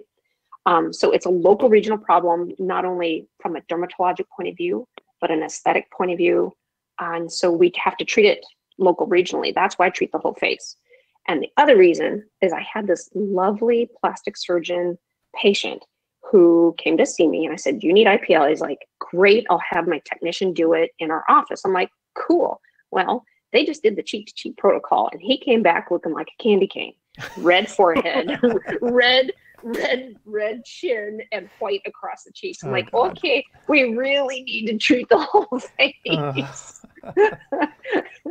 so, and that's one of the aesthetic benefits of it. And you, you get this amazing uh, photo rejuvenation property as well. Women can wear less makeup because their complexion is so clear and, and uniform. You get rid of the the solar reds and browns, so you get this more uniform palette. You can wear less makeup, which is less irritating to your ocular surface. So the layers of good in treating the whole face are significant. And there's finally some data coming out showing that if you take the time to treat on the eyelids with laser grade shields over the cornea, did I say that again? Laser grade shields over the cornea, super important. then you get a a uh, a better effect on the meibomian glands. So just the cheek to cheek protocol is just step two of our protocol. Um, and I think, you know, Dr. Toyos really is the father of IPL um, for ocular rosacea. It's very effective, um, but there, there's there's more we can do with it, and so we should. I just want to help everybody get off to good habits and good start. Right. And from a, a, marketing perspective, then, if they follow your protocol, this seems like it would almost sell itself, right? Because you're not just treating the dry eye. It's like, and oh, by the way, you know, here's what we can do for your whole face. right. So I never lead with that. Right. Like, yeah. It's so that usually comes in when I talk about the risk benefit of the procedure. It's like, you know, I can overtreat, undertreat. You need multiple treatments. Right. Super rare to get any kind of corneal abrasion, um, blistering. This is a sixth generation platform, very safe. It said the main side effect is um, that you'll look look better. Right. And they're like, oh, so yeah. As far as I, I always cringe just a little at the word sell in eye care because like I'm not as I'm not I, I am there to guide that right. patient and selecting the best thing. Like sales is the last thing on my mind. I'm just well, there to facilitate and guide. I would imagine when people finally get to you, right, their dry eye is severe enough that they're pretty pretty willing to undergo these kinds of procedures anyway, right? Yes, and you'd be surprised at the um, at the uh, fund of knowledge that the general public has around IPL for dry eye and MGD. Hmm. Oh, and quick thing, just to stay on label in the United States, you're targeting the abnormal vessels. We do not have phase four FDA approval yet for IPL for dry eye and MGD. We do have FDA approval using IPL for dry eye and MGD in China, Australia, and the EU. Hmm. Those phase four label expansion studies have been completed in the US and they're currently in FDA review. So when you offer it, stay on label by talking about the rosacea until we have phase four label expansion for dry eye and MGD. Make sense? Makes sense. Mm-hmm. And yeah. do, do, you have yep, any yep. do you have any sense of how long that's going to be, or is it just you know a morass where you have uh, no idea? who knows? Hopefully soon. Yeah. Um, I don't think it's going to change the non-covered nature of the service. Um, you, you, can get uh, rosacea paid for by insurance, quote unquote, with a laser. So that CPT code is for laser. There's something called a V beam, which dermatologists have. It is a single wavelength laser for addressing rosacea. No data on using it on the lids, and um, that one can get covered by insurance. But this is a broad beam light, and so it does not meet the CPT codes. So this is non-covered by insurance. Right. Yeah. Again, I, I, would imagine though, you, you know, the, the patient population that you have, they're selecting themselves where that will probably matter a little bit less because, you know, if your dry eye is so bad that they're seeking you out, um, you know, they're probably willing to go for it. Right. Because, you know, Seattle's a terrible place to visit. And no. well, you know, it's it's interesting. You, you think Only about in that. January. You, you think Is about that. Still You're January like, in Portland. right. You think like dry eye in Seattle. Like, does this even make sense to have a clinic? But no, you know, dry eye is everywhere, I guess, right? it is indeed, and that, that speaks to the multifactorial nature of it. Now, with that said, my eyes feel amazing when I'm scuba diving. now Right. that's a moisture chamber, right? eyes feel amazing when I'm scuba diving. But yeah, we we all struggle. We have a lot of allergens here. There's the you know the age thing, the hormone thing, the computer use. Oh my goodness, the computer use. Um, yeah, environmental issues, exposures, our skincare, the way we wash our face, all of those things come into play. Yep. All right. Well, it's one o'clock here in the Pacific time, and we can use that Pacific time because we're both here in Pacific time. We don't have to be slaves to the East anymore. So it's one one o'clock. You, you know what I'm talking about? How you know we have to express ourselves like it's so annoying. But no, it's one o'clock. So there you go. Um, but it's Awesome. it's been great speaking with you. Get to your room, Laura. Okay, I'll see you there. Looking forward to it. all right. Well, thanks so much, Laura. And uh, Thanks so much, guys. all right, we'll catch you later. Take care. Bye. Bye. All right. She's great. Always great. Yep. All righty. So yeah. So IPL. I, I didn't. I, Yep. I didn't ask her about uh, how the dermatologists feel about this. Yeah. You know, they're, they're stepping in, into a, another turf, a very profit profitable turf. Well, if you look at the at the page for the IPL company, so Lumenis is the name of the the IPL company. They are not a sponsor of CEwire, so we, we get nothing for this, but you can you can look here. Um, they sell to dermatology, right? Aesthetics are like you know front and center is one of the big things that they talk about. So, yeah, I, I agree with you. Right, so.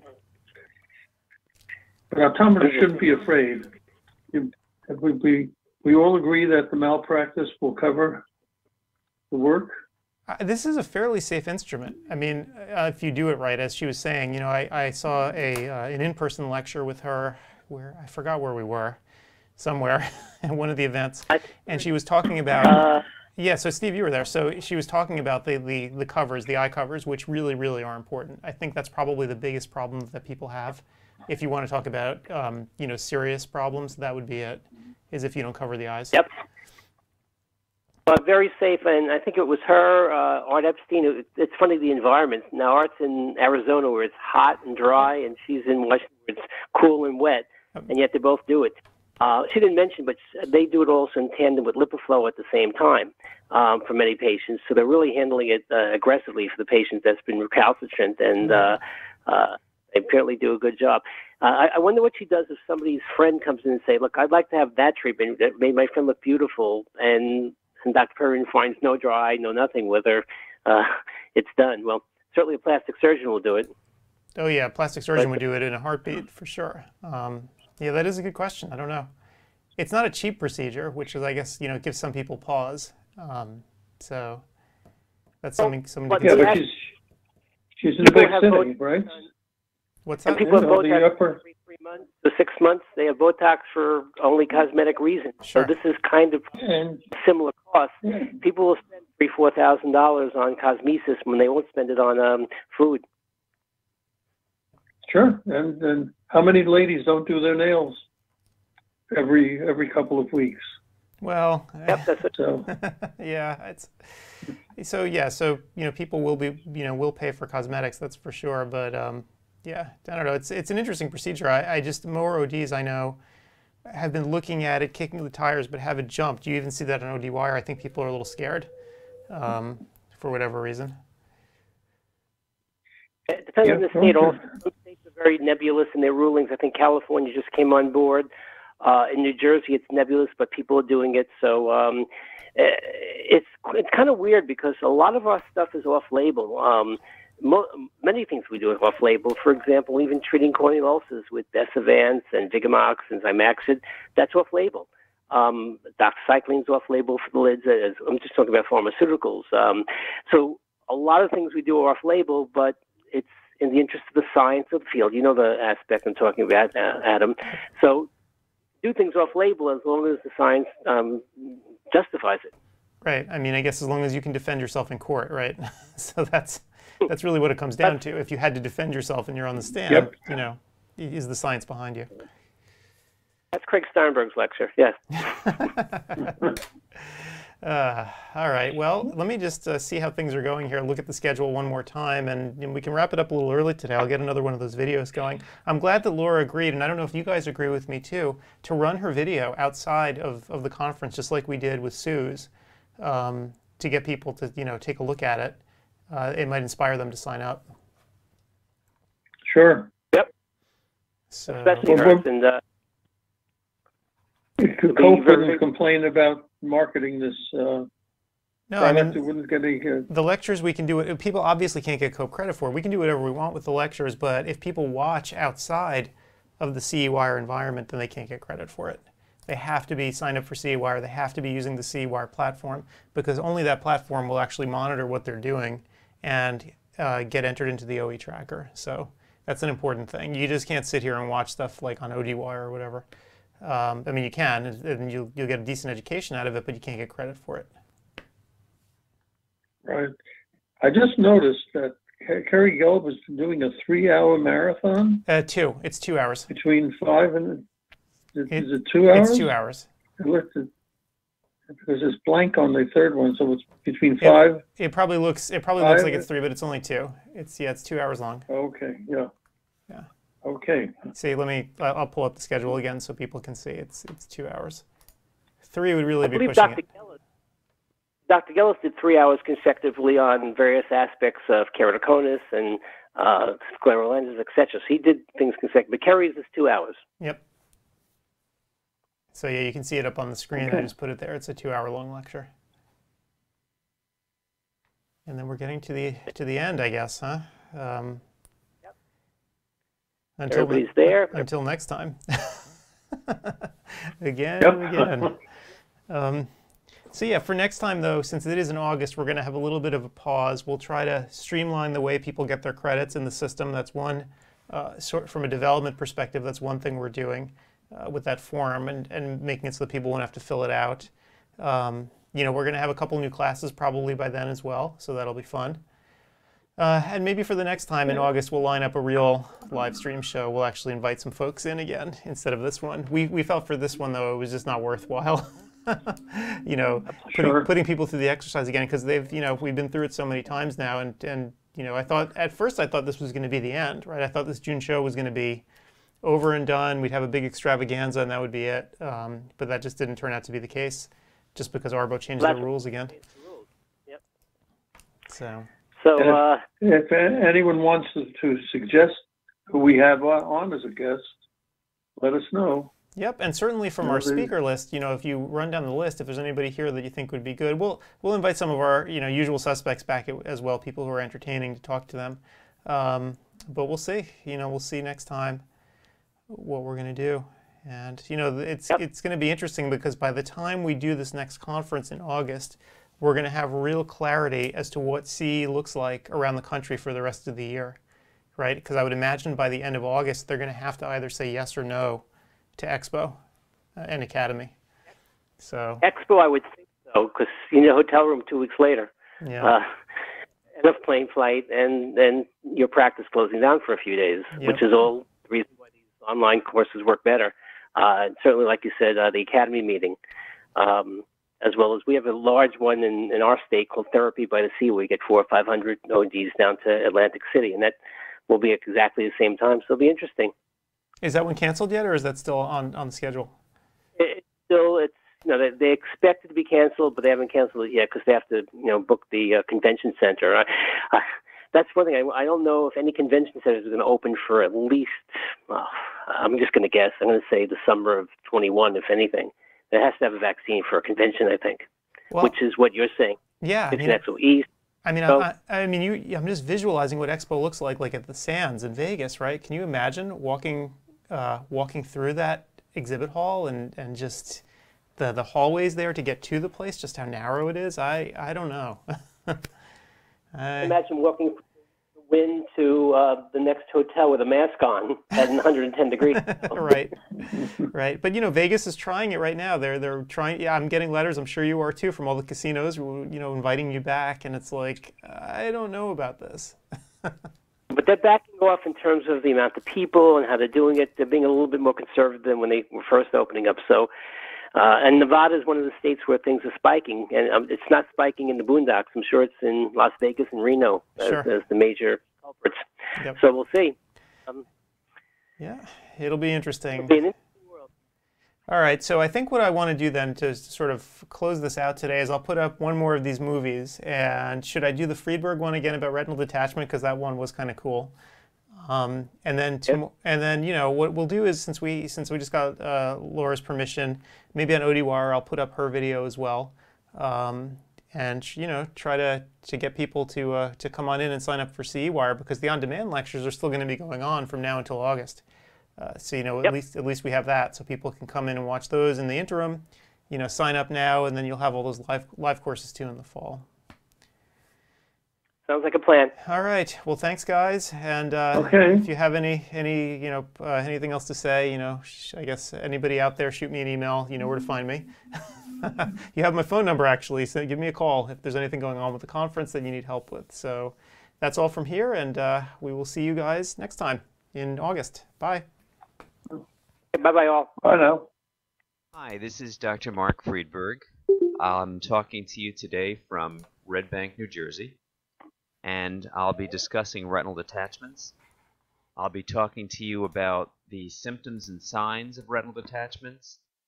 I'll be discussing the different types of retinal detachments, and I'll be discussing the features that distinguish retinal detachments from some of the conditions that look similar to retinal detachments. Um, I'll be talking about risk factors for detachments and basically how to manage everything related to retinal detachment. So, for our first slide, um, I'd like to just state that there are basically three different types of retinal detachment. The first type is a rhegmatogenous retinal detachment. Um, these are the ones we're all familiar with.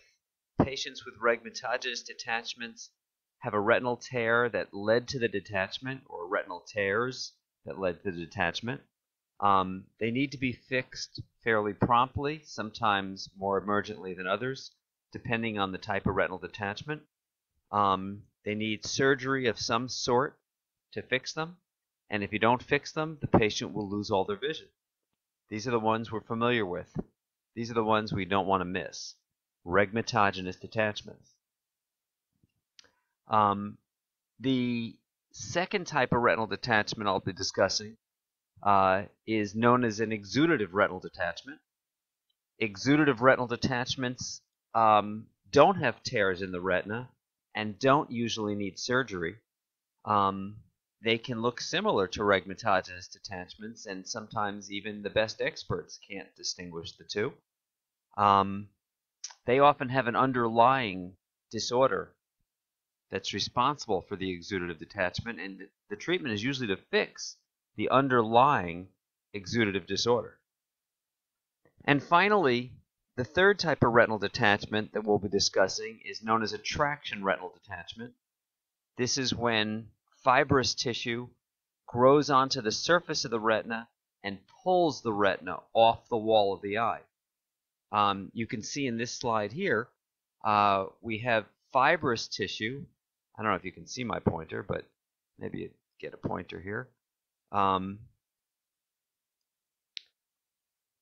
there's fibrous tissue here. I'm putting little dots on it. Uh, and this tissue uh, is very thick and stronger than the retina. And basically, it's pulling the retina off of the wall of the eye. Um, the causes for this we'll get into a little bit later. So we'll start out, and, and by the way, you can have more than one type of retinal detachment at a time. You could have a combined uh, rhegmatogenous traction detachment, for example, where there's scar tissue, but the scar tissue pulled so hard it tore a hole in the retina or, or called a tear in the retina. And so you have a combination of rhegmatogenous and traction. And those are obviously more difficult to diagnose and deal with. So we're starting out with rhegmatogenous detachments. So first of all, what are the symptoms? And these again, these are the rhegmatogenous are the ones we all when we say retinal detachment, that's what we usually mean. If we just use the word retinal detachment, we're usually implying that it's a rhegmatogenous detachment. Um, and rhegmatogenous detachments often have symptoms. Usually patients will experience flashes of light. And, you know, a lot of patients are sent to me when they have flashes of light to examine their retina to make sure there's no tear. Um, the flashes of light associated with retinal tears and retinal detachments are generally quick zips of light. Um, they may be recurrent. So a patient will often say they que- they see a quick quick zip of light off to the side of their vision, usually in their peripheral vision. It lasts a second or two, and then they get another one, and they may get you know multiple, one after another. It may not even stop, but there's a small interruption between each one. Now let's contrast that with another cause of a flashing light, um, migraine migraines can cause flashes of light, but they're totally different. Migraines cause a jagged, um, C-shaped arc of light that goes nonstop for about 20 minutes and often interferes with the vision. So a, mig- a flash of light is usually a, a 5 to 60 minute episode. It's often described as a jagged, nonstop flickering light. Now, patients don't always notice it the entire time it's taking place. So sometimes they only catch the last few minutes.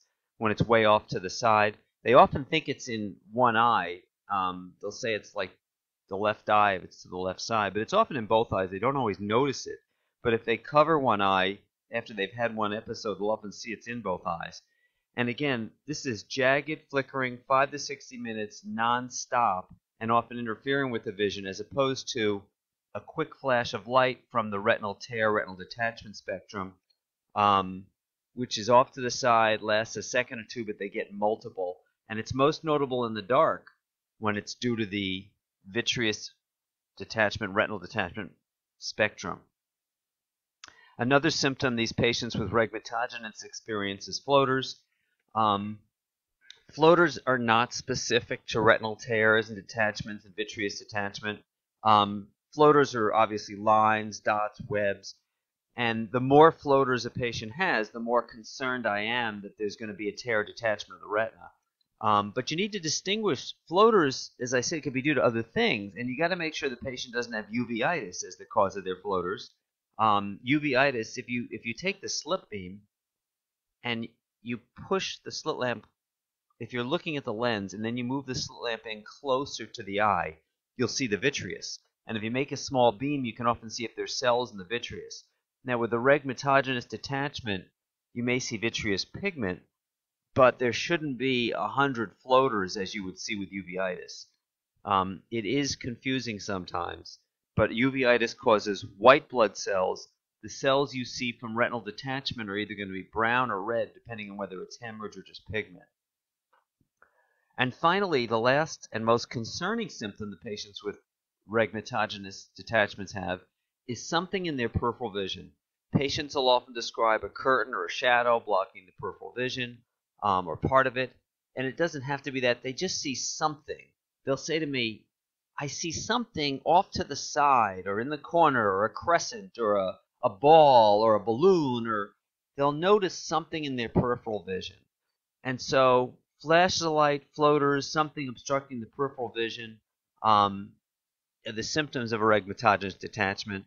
Um, as far as the signs, or in other words, the things that we'll see when someone has it, um, you might see pigment in the vitreous. As I said, you have to push the slit lamp close to the, look at the lens, and then push it closer to the eye, the slit lamp. So your beam is now focused in the vitreous. And if you see brown pigmented cells, that could be a sign of retinal detachment. Um, more the other signs that you'll see, you should see a retinal tear if it's a rhegmatogenous detachment, but tears are sometimes hard to find. Um, they're best seen by scleral depression. Um, I find that all the other techniques, if you just look with the indirect ophthalmoscope, number one, you're not going to see 360 degrees of retina. Number two, the flap, the retinal tear, is sometimes the, the flap of the tear may settle back down to where it was, so you won't see the opening in the retina. But if you take a scleral depressor and push around the eyeball, the flap will pop up at you so you see the opening in the retina. So scleral depression is really the best way to see a retinal tear. Um, and um, often you'll see a, a, a, reddish color at the base of a retinal flap um, consistent with the tear. The other indications, now obviously you can see tears and pigment when you don't have a retinal detachment. Um, the key to the retinal detachment is seeing that corrugated, and if you look at this slide in the top right hand corner, it has that corrugated, those white lines are corrugations in the retina, and that's a very classic sign. When you see that, you've got to be worried about retinal detachment. The other thing about retinal detachment is you cannot see the retina ordinarily. So if we look to the left-hand side of this slide, let's say from the fovea left or from the fovea inferiorly, you don't see the retina. What you're looking at is you're seeing the background fundus behind the retina. You're seeing the pigment epithelium, you're seeing the choroid, um, but you don't see the retina because the retina is transparent. It's clear. You can see the blood vessels in the retina, but you don't see the retina itself. But when you look to the upper right-hand corner of this slide, you can't see the fundus background. And the reason you can't see the fundus background is the retina becomes opaque when it's detached. So it's hard to see through it. So two of the classic signs of retinal detachment are number one, these corrugations, and number two, the opaqueness. You can't see through it. Now, obviously, there's going to be elevation of the blood vessels as well. Um, and, you know, sometimes it's hard to appreciate that unless you're looking with 3D. Um, but that's one of the other things that you, you want to see with retinal detachment. Now, there are other signs that you can get. Uh, you can get an afferent pupillary defect, particularly if the entire retina is detached. You'll often get an afferent pupillary defect. And that's not a great prognostic sign. Um, and also, the intraocular pressure can be affected. Usually, the pressure will be lower in a retinal detachment, um, but in rare cases, the pressure can be elevated. So, you know, obviously, these are non-specific signs. Um, now, when someone has a chronic rhegmatogenous detachment, um, the retina can appear a little more, can appear a little differently. You'll sometimes get a demarcation line, and that would often be a pigmented line um, that separates the detached from the attached retina. And I'll show you one later on. Um, but the demarcation line is an indication that this retinal detachment has been present for months, if not longer. Um, and when it's a chronic retinal detachment, you'll often see white dots beneath the retina. Uh, you'll see large cysts within the retina. They're called macrocysts. So these are other findings that you can get. Um, but obviously, those are just with, you know, chronic retinal detachments. Now, what causes a vitreous? what causes a retinal detachment? Well, the first, the, most retinal detachments occur spontaneously, um, and they usually develop after vitreous detachment. Most of them, and this is a sign of vitreous detachment. You can see this Weiss's ring um, over the optic disc. This white oval connection. This is a complete Weiss's ring. It's not always so easy to see. I find it's easiest to see with a 90 diopter lens. Sometimes you can see it with the indirect. Um, the Weiss's ring is an indication that the vitreous jelly has pulled away from the disc, and usually the posterior retina. And sometimes when the vitreous pulls away from the retina, the vitreous tears the retina. And if you get a tear of the retina and you don't fix it, you get a retinal detachment. And here's another example of a Weiss's ring um, indicative of vitreous detachment. And when someone has the symptoms of a vitreous detachment, also new floaters and flashing lights, um, they'll often see a cobweb when they see the when they have a full Weiss's ring. Um, you need to carefully look at the retina, and I, I usually advocate scleral depression again, so you could get a full look at the retina um, to see if there's a tear, because if left untreated, that can lead to retinal detachment. Another way that you can see a vitreous detachment is with an OCT. This is an OCT scan that shows um, vitreous detachment. Um, for those of you who watched my OCT lecture, and by the way, I think I'm going to do OCT 2 next year if anybody liked the first one. Try to make it better. Um, but in any case, uh, here's your retina. Um, from here to here. And uh, above in the black hollow vitreous cavity, you have this line, and that's the posterior hyaloid face. Otherwise, it's in other words, it's the part of the vitreous that's normally attached to the retina. Um, so this posterior hyaloid face, the fact that you can see it above the retina means the vitreous is detached.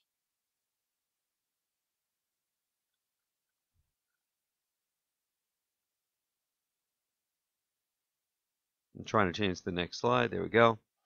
Um, here's another example um, of the vitreous detachment being shown on OCT scan. Um, there's the posterior hyaloid face being pointed to by arrows. You can actually see the vitreous above the posterior hyaloid face in this situation. There's a lacunae, um, like a space of fluid and more solid vitreous above that has a granular appearance. There's still a little vitreous attachment to the optic disc, as you can see um, by the large arrow. Um, so you don't always get a complete vitreous detachment. Sometimes part of it detaches and not others. And that's why when somebody comes in with vitreous detachment, if I examine them um, and I don't find a retinal tear, uh, if they've only had the detachment for days or a few weeks, I'll ask them to come back again in a few weeks because part of the vitreous may not have separated from the retina, and you want to make sure you get another look at the retina in case further vitreous detachment ensues after your exam. You hate to send somebody out and tell them everything's okay, and then more vitreous pulls away from the retina days later and they develop a tear. So it's a wise idea to examine the patient a second time. Now, some people examine the patient like six weeks after they had their initial symptoms. I'll usually do it two to three weeks after my initial exam. Um, I'll look at them again to make sure there's no retinal tear. So we're talking about retinal tears now. By definition, if you have a rhegmatogenous retinal detachment, you need to have a retinal tear. That's the only way you get a rhegmatogenous detachment. And as I said, most retinal tears occur because of vitreous detachment. And here's a typical retinal tear. You have the flap, um, which is right here. Um, and then you have the base of the tear, where it's a little more reddish in color underneath that. And so, just to orient you, to the right of your screen would be the optic nerve. This, I, I don't know for sure, but I'm going to guess. Yeah, this must be this must be a left eye, and we're looking at nine o'clock in the nasal periphery. Um, and so that the disc is to the right of your screen, and the ora serrata, the ciliary body, the anterior retina is to the left. So as you head left, you go more peripheral. And the, the flap of the tear is always on the more peripheral anterior side. The base of the tear is always on the more posterior side towards the disc. Um, and you have this, when you have a tear in the retina, you have an opening in the retina and fluid from within the vitreous cavity can now go through that opening in the retina, and the fluid can now dissect under the retina. And what you're looking at here is actually not just a tear. This is actually a, a, a small, what I would call a subclinical retinal detachment. Um, it's very small. It's basically fluid has already gone through this tear, just a small amount, because you can see if you look just above the tear and maybe a little on its bottom edge, it's kind of a gray, opaque appearance. I can just tell you by looking at that, you can't see the fundus background. So there's fluid under the retina there. This patient has a retinal detachment, and I'm hoping you can see my marker as I bring it around here. Um, I'll put dots at the edge, but there's basically a retinal detachment that extends all the way around here. And within these red dots I just made. Um, and then in more inferior, you can see, even though it has a grayish appearance, you can see through it here. Um, and there's probably not, I mean, I think this is just the vitreous base you're looking at, so it has this gray-white appearance. But you can tell the difference between what I encircled, where the fluid is definitely located, and this other location where it's just the vitreous is attached here uh, at what I would think might be the vitreous base. Then to the right is there's no vitreous attachment, there's no fluid. So there's retinal detachment here, subclinical retinal detachment. This fluid is going through this tear. Now, if you see a tear in the retina, you need to treat it. So how do we treat these things? Well, you if you have fluid, you have to treat around the fluid. Um, if there's no fluid, I forget to get to close that. Um, so here's a patient. This is that same patient. I guess I was wrong. It wasn't nasal. Um, I believe this is the same patient. We placed laser around that cuff of fluid. Um, and so this is laser treatment. You need to surround the tear for 360 degrees so the fluid cannot dissect anywhere beyond the laser. The laser is forming a barricade so fluid cannot go beyond it. You want to place the laser as close to the tear as possible. If there's fluid there, you can't put laser in that location where the fluid is. The, the, the retina won't uptake it. So you have to put laser on attached retina, not detached retina. So if there's some fluid around the tear, you got to put it around the fluid. If there's no fluid, you put it directly around the tear. And the laser um, will form a barricade that seals up nice and quickly and, and prevents the retina from detaching. Another way you can treat it is with cryotherapy. With cryotherapy, you likewise surround the retina with the freeze. So both are equally good. Um, cryotherapy, retinal laser, um, they're both good ways to treat the tears. Uh, to try to prevent retinal detachment, you're basically tacking the retina down with glue around the tear so fluid can't get under the tear and can't dissect under the retina. That's the purpose. It's to prevent retinal detachment. Okay, now, when a patient has a retinal detachment, and, and again, this, this happens because someone had a tear and we didn't seal it up. Either we didn't detect it, uh, they didn't come in in time, the treatment didn't work, whatever it is, fluid then gets under the retina and it keeps going and the retina comes off the wall. Um, and when the retina detaches, the patient will notice this curtain or shadow in their peripheral vision. If the retinal detachment proceeds and gets into the macula, the patient will lose their central vision. And once they lose their center vision, they may never regain it. So, in terms of urgency with retinal detachments, it's more urgent when the macula has not detached. So, a lot of people get confused with this. But when somebody has good vision, let's say this patient here, their retinal detachment is limited to the superior retina. It has not involved the macula yet. Now, you know, you really can't tell for sure because sometimes it's involved the macula. It, it, looks like this, but you don't realize that some shallow fluid has actually gotten down there. Um, and one of the ways you can tell is with an OCT scan. You could look at the macula and see if it's detached. Um, but or you can sometimes tell clinically. But you can often tell by the vision. I mean, if this patient saw 2200 or worse, then you know their macula is detached. You don't need any more information. If this patient sees 2020 uh, or 2030 and it looks like this, your macula is attached. And when the macula is attached, it's more of an urgent problem, particularly when the retinal detachment is located superiorly, because the patient has the potential to see very well in this circumstance. And so if we can fix them before the macula detaches or shortly after it just detaches, we can usually regain for them or preserve for them good vision for most of their life. To the contrary, um, when the macula has already detached, and when I say the macula, I'm talking about the fovea, the dead center of the retina, um, the dead center of the macula. When the fovea has detached, the patient's vision is going to be 2200 or worse.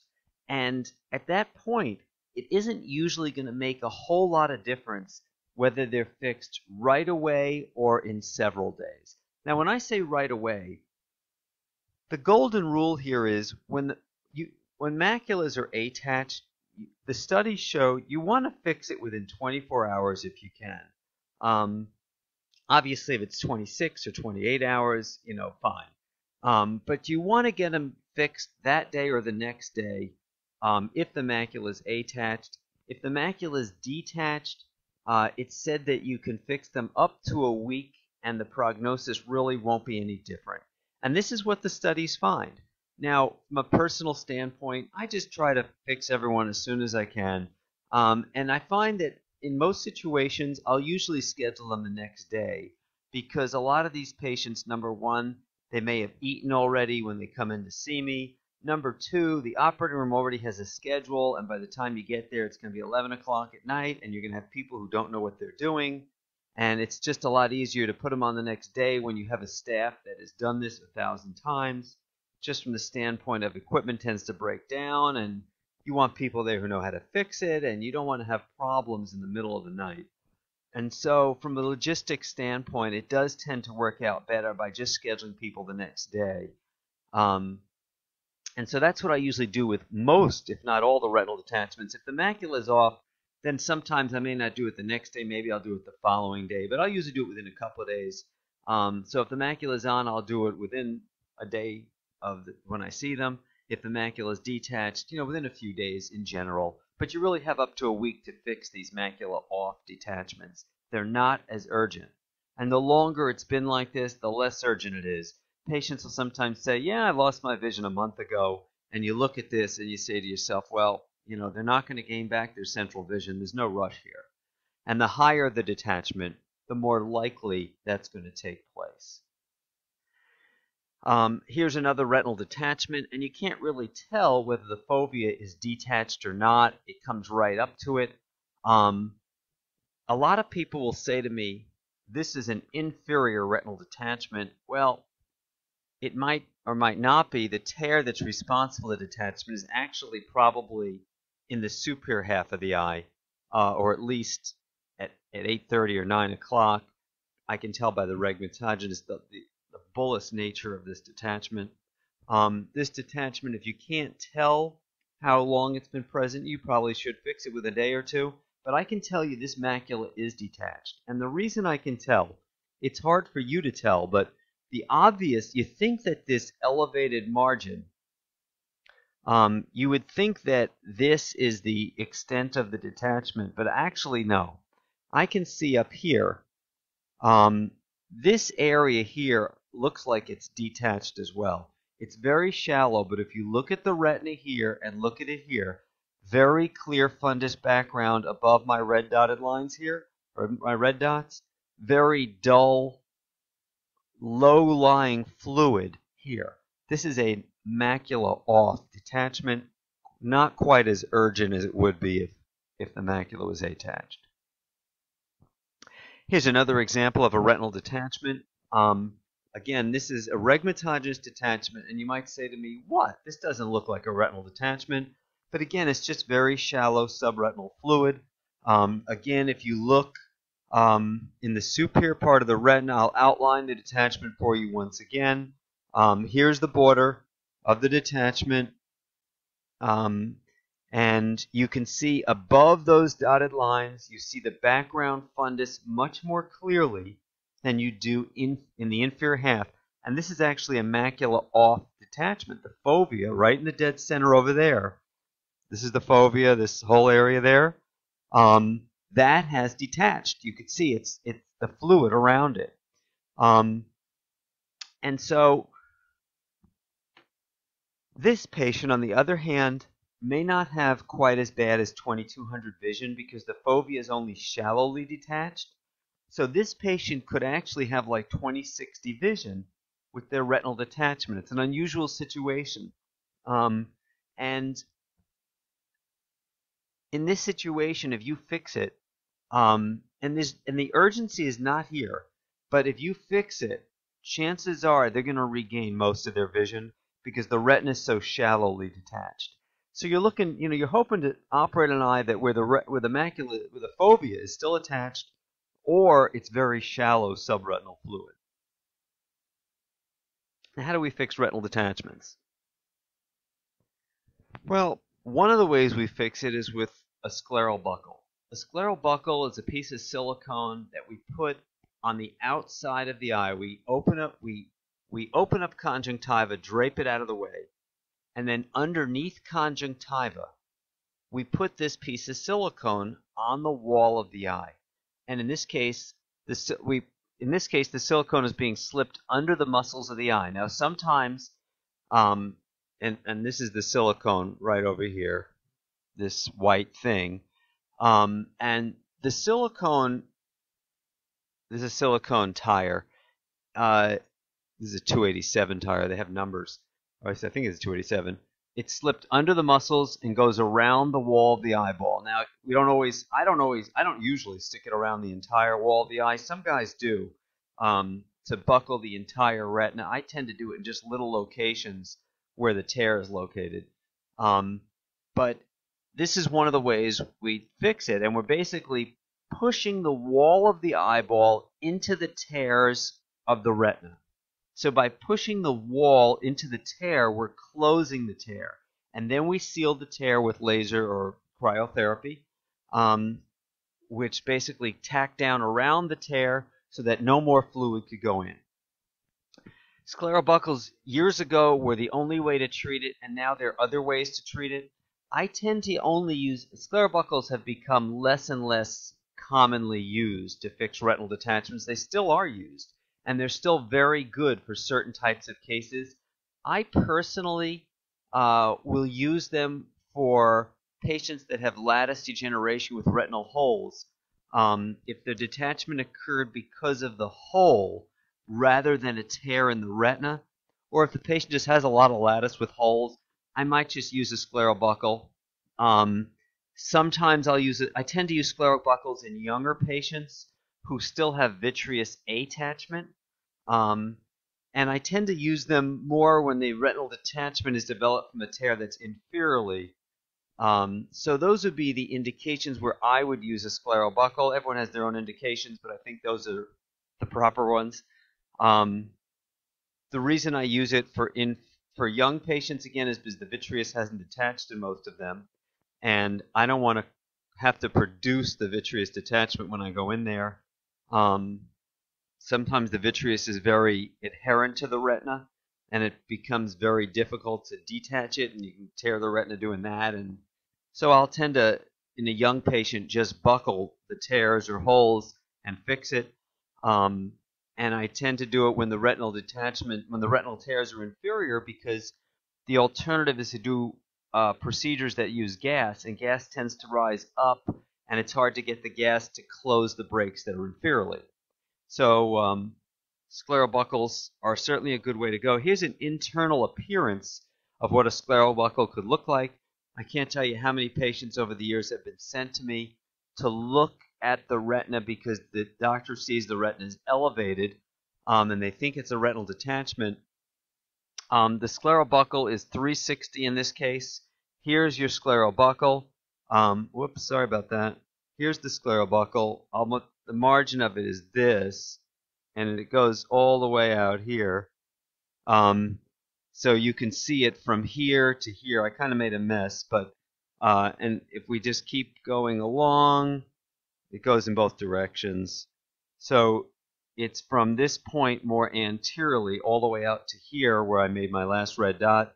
That's the scleral buckle. That's where it's elevated. Um, and you can see that it goes 360 around the eye. Um, so we're pushing the retina, we're pushing the wall into the retina so that we close the retinal break and then we put freeze or laser around the tear in the retina to keep it closed. Now, another way that we can fix retinal detachments is with gas. And there are two ways that we use gas. One of them is called pneumatic retinopexy. That's an office procedure where we inject a gas bubble into the eye. Um, because we're if we're doing a pneumatic retinopexy, we're limited in the size of the gas bubble that we put in the eye. We're just you know, you can't inject too much gas, you'll raise the intraocular pressure too much. So here's a patient who had a retinal detachment that was located supratemporally. We injected a gas bubble in there, and the bubble um, is pushing the retina back. Actually, you know what? Yeah. Um, and I might be getting a little confused. In any case, the, we, we're limited to the size of the gas bubble. So when you have a retinal detachment, that retinal detachments that will respond to pneumatic retinopexy tend to be ones where the tear is located, let's say between 11 and 1, or in the superior half of the retina for sure. And there's usually only one tear. If there are more than one tear, then you want all the tears to be very close together because you have a small bubble and it can only push in one spot. Now, the way pneumatic retinopexy works is you first surround the retinal tear with cryotherapy and then inject a gas bubble that pushes the hole. The, the, bubble closes the tear. you have to have the bubble push against the tear so that no more fluid can go in the tear. And then the retina will will the, the subretinal fluid, the fluid that's beneath the retina, will get absorbed by the retinal pigment epithelium. So the pigment epithelium is constantly pumping out fluid that's under the retina, but if fluid keeps coming into that space, the retina will stay detached. If you can prevent fluid from going back into the subretinal space, in other words, if you can block the tear with a gas bubble, no more fluid will go in there, and the eye will pump out the fluid that's under the retina. Now, you've got to also seal the tear so that when the bubble goes away, it stays sealed and no more fluid could go in there. So that's where the role of cryotherapy or laser come in. Uh, laser can't be applied to detached retina, so with a laser, the procedure